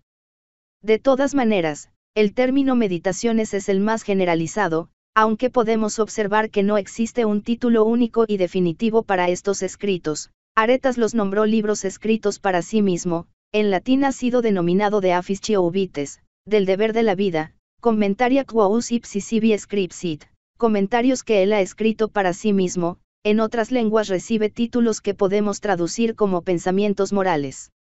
Conversaciones consigo mismo. Lo incierto del título, la dificultad para enmarcarlo claramente en un género literario, posiblemente pueda relacionarse en cierto sentido con el género aforístico, pero también con las hipomnémata, notas personales. La originalidad del propio texto, sin un orden o sentido que haya sido definido de manera segura, y un estilo literario a veces oscuro y difícil de traducir, hace que la finalidad y los destinatarios de la misma sean discutibles. La obra presenta dos partes bien delimitadas, el libro primero, posiblemente el más tardío y compuesto como prólogo o epílogo a la obra, es una relación de personas a las que le agradece haber formado parte de su vida, familiares, Antonino Pío, educadores, amigos, es en definitiva un documento íntimo de quienes han sido importantes en su vida. El resto de los libros, del segundo al decimosegundo, es un soliloquio espiritual y filosófico. Un problema fundamental al que nos enfrentamos, consecuencia de lo anteriormente expuesto, es conocer el objetivo de los escritos, en principio parece únicamente, como señalan diversos autores, una obra escrita para sí mismo. El emperador se encuentra a solas consigo mismo, un diálogo íntimo cuyo principal y fundamental destino es el propio autor. Es factible que el emperador no buscara componer un tratado moral para darlo a conocer a un público más o menos amplio, sin embargo, creemos que la obra se ha escrito con una finalidad que traspasa a la propia persona. No es fácil argumentar con datos fiables sobre cuáles eran las intenciones últimas de Marco Aurelio, sin embargo el estilo cuidado, rebuscado a veces, con metáforas brillantes en otras ocasiones, nos hace pensar en un escrito pendiente tal vez de una elaboración definitiva que no llegó, que pretendía darlo a conocer a un círculo muy restringido de amigos íntimos o, sin descartar lo anterior, para su propio hijo, claro sucesor desde él, designado César, y de manera definitiva en él, recibe el imperio. Estaríamos ante una especie de testamento espiritual y moral dirigido a su hijo cómodo. No nos parece, en cambio, que fuera una obra destinada a servir de ejercicio de escritura, práctica que aconsejaban los maestros estoicos a sus discípulos, y a pesar de lo poco estructurada y desilvanada que pueda estar la obra, únicamente se puede ver una continuación y un carácter unitario entre los libros 2 y 3, o desde la mitad del libro 11 hasta el final del libro 12. Marco Aurelio muestra un cuidado especial en no repetir los mismos razonamientos con las mismas palabras, las frases son construidas con sutiles diferencias entre unas y otras. El estoicismo de Marco Aurelio.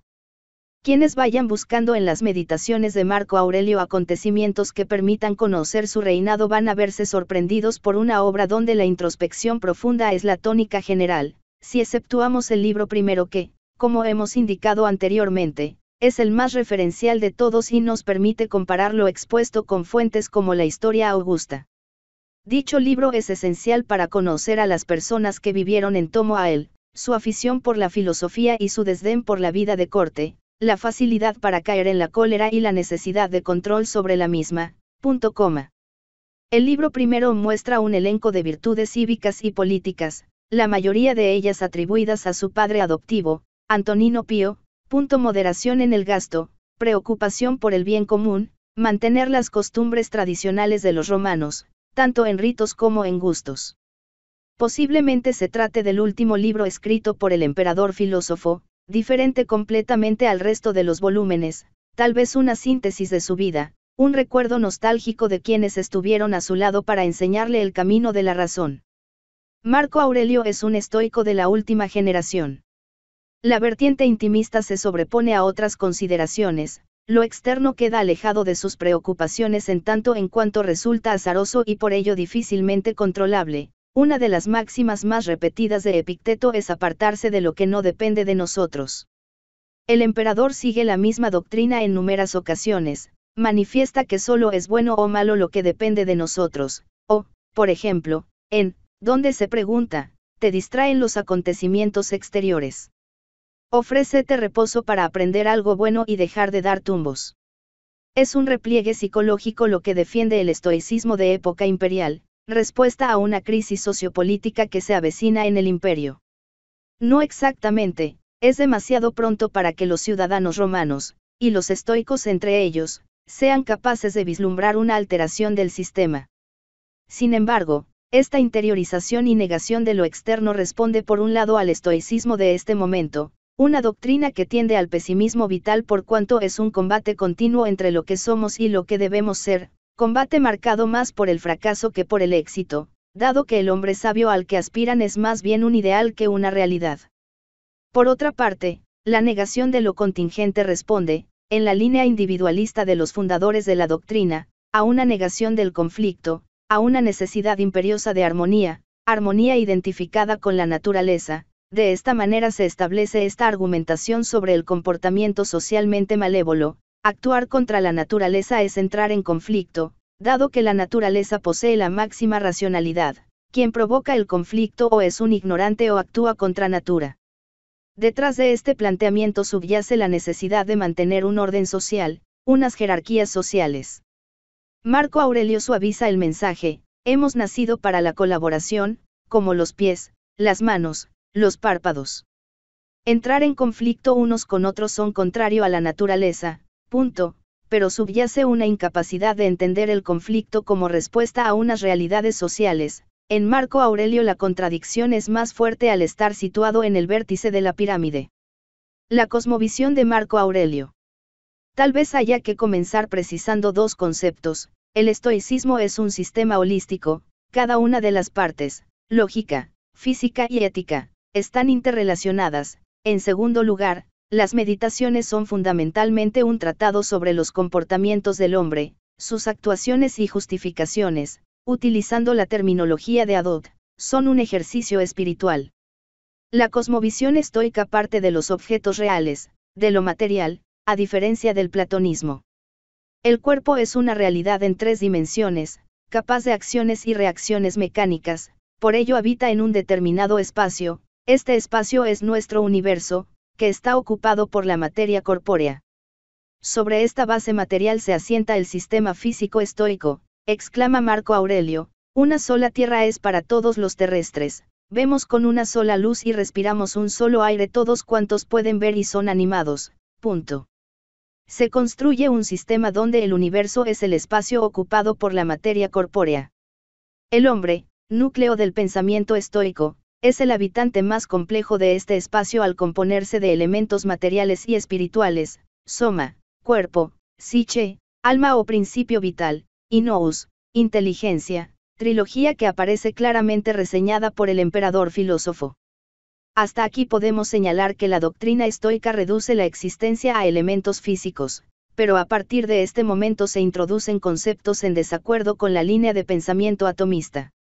Primeramente, defienden la existencia de un principio cósmico inteligente, que lo penetra todo y es idéntico a Dios, divinidad de trasfondo oriental, y omnipresente.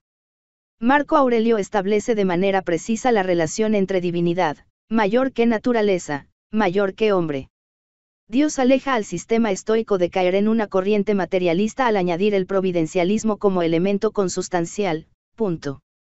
Aceptados de manera natural, los dioses no necesitan demostración de su existencia, es un acto de fe, pero existen, dice el emperador filósofo para atajar toda duda. Sobre este base se configura una explicación donde la sustancia universal está impregnada de razón, de logos, y este orden racional no puede ser ajeno al creador de la propia sustancia universal, que se muestra no trascendente sino inmanente al mismo. Reflejo de un Dios razón, Dios logos, es que el universo está ordenado en todas y cada una de sus partes. Cada uno de nosotros forma parte de este todo que se forma a partir de las partes, que se entremezclan y conforman la substancia universal, punto, punto. Señalábamos anteriormente la existencia del hombre y su espacio de acción, la Tierra, pero ¿qué lugar ocupa el hombre en esta interpretación?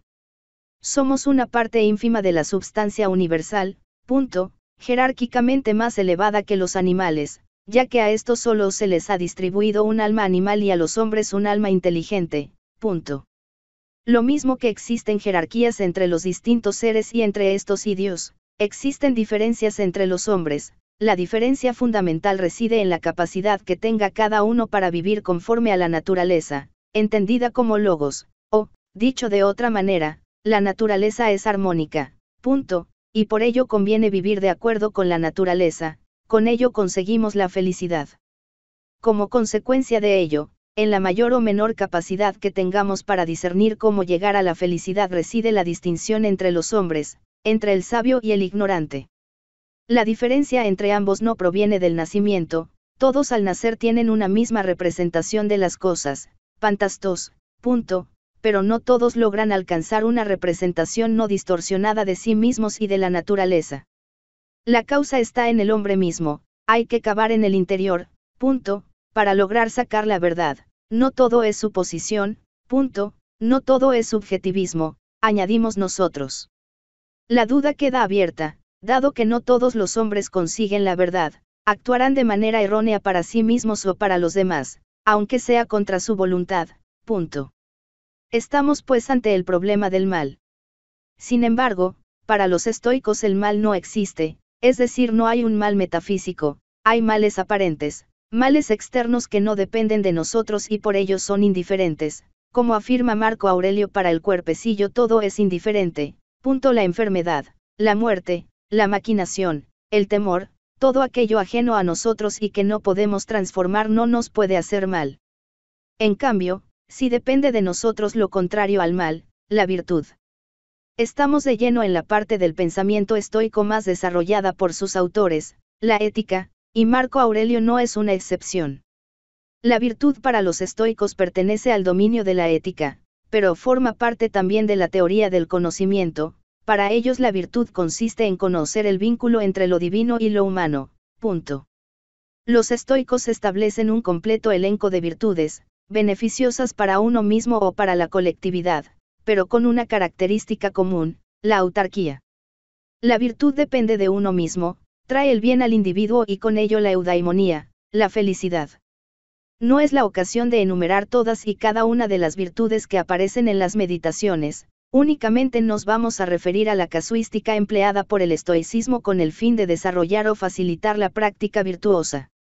Desde largo tiempo, los estoicos habían desarrollado una teoría bastante elaborada de la noción de valor, ellos distinguen tres grados de valor, en primer lugar, tienen valor las cosas que son parte integrante de una vida de acuerdo con la naturaleza, esto es, las cosas que generan virtud.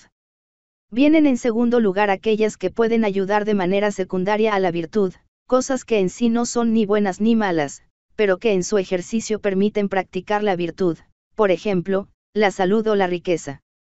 Por último, las cosas que en ciertas circunstancias pueden ser útiles a la virtud, como observamos, una completa radiografía de la acción virtuosa, punto. Por último, vamos a hablar de la conciencia colectiva estoica, los estoicos desplazan el planteamiento colectivo platónico y aristotélico basado en la ley, para ellos es la naturaleza la que nos da un origen común y la que nos inspira respeto mutuo, punto. La naturaleza a través de la razón y de la reflexión filosófica permite el bien común. No duda Marco Aurelio en señalar que la constitución debe estar basada en la libertad y en la justicia, punto, tal vez sea este el único punto del pensamiento estoico donde impera el optimismo, donde aparece la sociedad como una comunión de hombres en pos del bien común. Marco Aurelio fue un emperador insólito, no por su conocimiento del saber clásico, que ejercitaron emperadores anteriores a él, desde Claudio, interesado por la antigüedad etrusca, o Antonino Pío, admirador de personajes ilustrados e incitador del aprendizaje clásico en sus dos hijos adoptivos, Lucio Vero y Marco Aurelio, o el mismo Adriano, del que recordamos ese breve poema, sin duda de mentalidad estoica, que comienza con el entrañable homenaje a su espíritu cansado y fatigado, y que expresa un buen dominio literario, reflejo de su amplio saber. Fue insólito porque su conocimiento y deseo se movieron intensamente entre los filósofos, su aspecto y costumbres fueron claramente estoicas, su política, por necesidad pragmática, se impregnó en la medida de lo posible del estoicismo. Por supuesto no se puede decir que en política exterior gobernara con planteamientos propios de la Estoa, entre otras cosas porque no había posibilidad de reconciliar un mundo en gran medida pensado para una ciudadanía grecoromana cultivada, que a su vez era imperialista e interesada en la expansión territorial, o al menos en el mantenimiento de los territorios bajo su dominio. Contraria por completo a la ferocitas bárbara, los bárbaros únicamente eran apreciados y eran útiles al sistema romano, bien como trabajadores de la tierra o como fuerzas militares. En cambio, de su política con los ciudadanos quedó constancia su magnanimidad, la actitud generosa hacia los familiares o ciudades aliadas del usurpador Avidio Casio. También decretó que los senadores no fueran ejecutados, ni siquiera bajo el beneplácito de sus propios colegas. Reorganizó las fundaciones alimentarias, probablemente con el fin de que fueran más eficaces. Intentó que su legislación fuera impulsada por la justicia, para dar ejemplo, él mismo juzgaba con dedicación diversos asuntos, tanto en Roma como en los campamentos militares. No dudaba en hacer frente a lo que consideraba injusto, así cuando el ejército, en un momento difícil para el Estado, le pidió más emolumentos, él le respondió que no podía pagar lo que iba a salir de sus padres e hijos, añadiendo a continuación, ante la inminencia de un motín del ejército, que el imperio solo provenía de la providencia. Marco Aurelio como escritor. Para valorar el estilo de Marco Aurelio hay que tratar primero algunas cuestiones, como son el contexto literario en el que escribió, los antecedentes que más influyeron en él y los destinatarios a los que se dirigía. pero quizá antes que nada habría que aclarar por qué escribe en griego, ya que desde nuestro punto de vista resulta bastante chocante que un emperador romano use como forma de expresión una lengua que no es la suya. La justificación es sencilla si pensamos que es una época en la que existía en las clases altas romanas un enorme interés por la cultura literaria, filosófica y científica griegas, que hace que el griego sea muy valorado como lengua cultural. Por otra parte, desde un punto de vista práctico, en toda la parte oriental del imperio la lengua de comunicación era el griego. Esto hacía que desde la más tierna infancia se iniciase a los niños romanos de clase alta en el aprendizaje de la lengua de Homero. En el caso de la expresión filosófica el griego se hacía todavía más necesario y existía toda una discusión sobre si era posible usar el latín para hablar de filosofía con partidarios en un sentido u otro. En definitiva, Marco Aurelio sabía griego desde pequeño y era capaz de usarlo con maestría y gran conocimiento. Sobre el contexto literario baste señalar que estamos en el momento de mayor apogeo de la llamada Segunda Sofistica, que pretendía volver al brillo retórico de los grandes autores, especialmente oradores, de los siglos V y IV AC. En época de Marco Aurelio estaban brillando como escritores en prosa griega autores como Helio Aristides, Filóstrato, Herodes Ático, etc.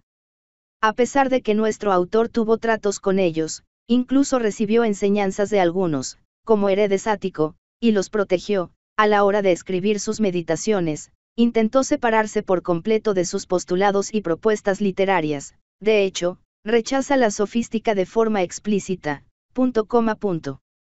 Su propuesta literaria es fundamentalmente antirretórica porque establece una diferencia tajante entre la filosofía, concebida como práctica moral, y la literatura retórica. Por tanto, no es en el contexto literario griego de su época donde se pueden encontrar los antecedentes estilísticos de Marco Aurelio, puesto que su obra se plantea como una ruptura con la expresión literaria del momento, que era muy retórica. Aunque se ha insistido mucho en el carácter intimista y de introspección de las meditaciones, estamos convencidos de que no es una obra concebida exclusivamente para consumo del propio autor. Nadie puede negar que tiene un cuidado muy especial en su forma de expresión, que busca un estilo propio. Si consideramos que el contenido es muy repetitivo e incluso a juicio de algún crítico se puede resumir en dos o tres frases, llama la atención que no existan repeticiones formales en la expresión, que cada vez se exprese la misma idea de forma distinta. Si fueran exclusivamente reflexiones íntimas destinadas a ser leídas solo por su autor no se habría puesto tanto cuidado para expresarlas. Está claro que estaba pensando en algún tipo de público al que pretendía transmitir enseñanzas morales. Como se ha comentado ya se podría pensar incluso en un círculo familiar muy restringido, incluso su hijo cómodo, aunque no es esta, desde luego, la opinión más extendida hoy día. Puesto que Marco Aurelio se exige a sí mismo un estilo personal determinado y desecha la forma de expresión literaria preponderante en su momento, debemos planteamos hacia dónde dirigió su mirada para elaborar su estilo. Está claro que hay que buscar sobre todo en el estoicismo y de forma más general en la filosofía. Basta acudir al inventario de citas contenidas en las meditaciones para comprobarlo. En efecto, el personaje al que más veces alude es Sócrates y el autor al que más veces cita es Epicteto, seguido después por Platón, Epicuro, Heráclito, Crisipo y Demócrito. Fuera del mundo filosófico el autor del que menciona más pasajes es Eurípides. No existe ninguna referencia explícita a ningún autor latino, aunque sabemos por otras fuentes que sí leyó y gustó a los grandes poetas de la literatura latina. Nos encontramos, por tanto, con una renuncia voluntaria a todo el mundo latino para centrarse en el griego, fenómeno que se explica si tenemos en cuenta que Marco Aurelio está haciendo filosofía y considera que el griego es su lengua natural de expresión. Cualquier lector de las meditaciones que conozca los textos de Epicteto encontrará enormes semejanzas en la expresión y en el tono literario de ambos autores. Este es, desde luego, el antecedente más claro del estilo marco-aureliano y en buena medida del contenido. En Epicteto, especialmente en su manual, en Chiridion, encontramos los rasgos más llamativos de nuestro filósofo emperador. La exposición moralizante sentenciosa se transforma con frecuencia en diálogo, que no es sino herencia de la diatriba cínica y estoica. No en vano ambas escuelas pretenden entroncar con Sócrates, que, no por casualidad, es la figura más citada de forma expresa por Marco Aurelio. Este diálogo en ambos autores muchas veces es introspectivo, el propio yo se desdobla y pone las objeciones a la línea principal del pensamiento moral, objeciones que son rápidamente rebatidas. Fue un recurso literario muy difundido en todas las obras que intentaban transmitir enseñanzas de filosofía moral, ya que proporciona vida al texto. El antecedente último habría que buscarlo en los diálogos de Platón. Otro recurso que comparte con Epicteto es el de la metáfora y comparación, en general sacadas del mundo de la naturaleza o de oficios artesanales. Quizás sea este de los procedimientos estilísticos más eficaces en Marco Aurelio y que más llaman la atención del lector moderno, que no puede negar su fuerza, aunque es probable que sean pocas sus metáforas originales. Las que no encontramos en el propio Epicteto probablemente las encontraríamos en otros autores estoicos si dispusiéramos de más textos de ellos. De nuevo es un procedimiento que le da vida y atractivo a la exposición, es, por lo demás, algo característico de textos que intentan aleccionar moralmente. También coincide con Epicteto en el hecho de usar vocabulario técnico propio de la filosofía estoica, que remonta a Crisipo. Pero mientras Epicteto intenta explicarlo, Marco Aurelio lo da por supuesto, con ello provoca el distanciamiento del lector no iniciado. Además, en este terreno, supera claramente a Epicteto porque se complace en el uso de términos raros, muchas veces compuestos de varios elementos, que son propios de cierto rebuscamiento y exhibición. Muchos de ellos, dada la escasez de los textos que nos han llegado de los estoicos, son para nosotros apax, es decir, términos que solo están documentados una vez, en Marco Aurelio. El carácter aforístico de ambos deriva de la pretensión didáctica y exhortativa, parenética, que preside el conjunto. Es una prosa moralizante que pretende cambiar la actitud del lector, no importa que esté destinado a muchos o a pocos.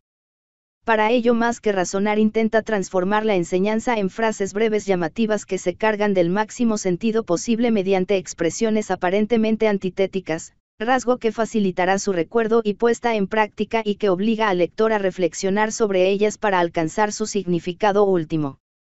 Esta forma de expresión condensada y antitética se puede remontar en la historia de la prosa griega a Heráclito.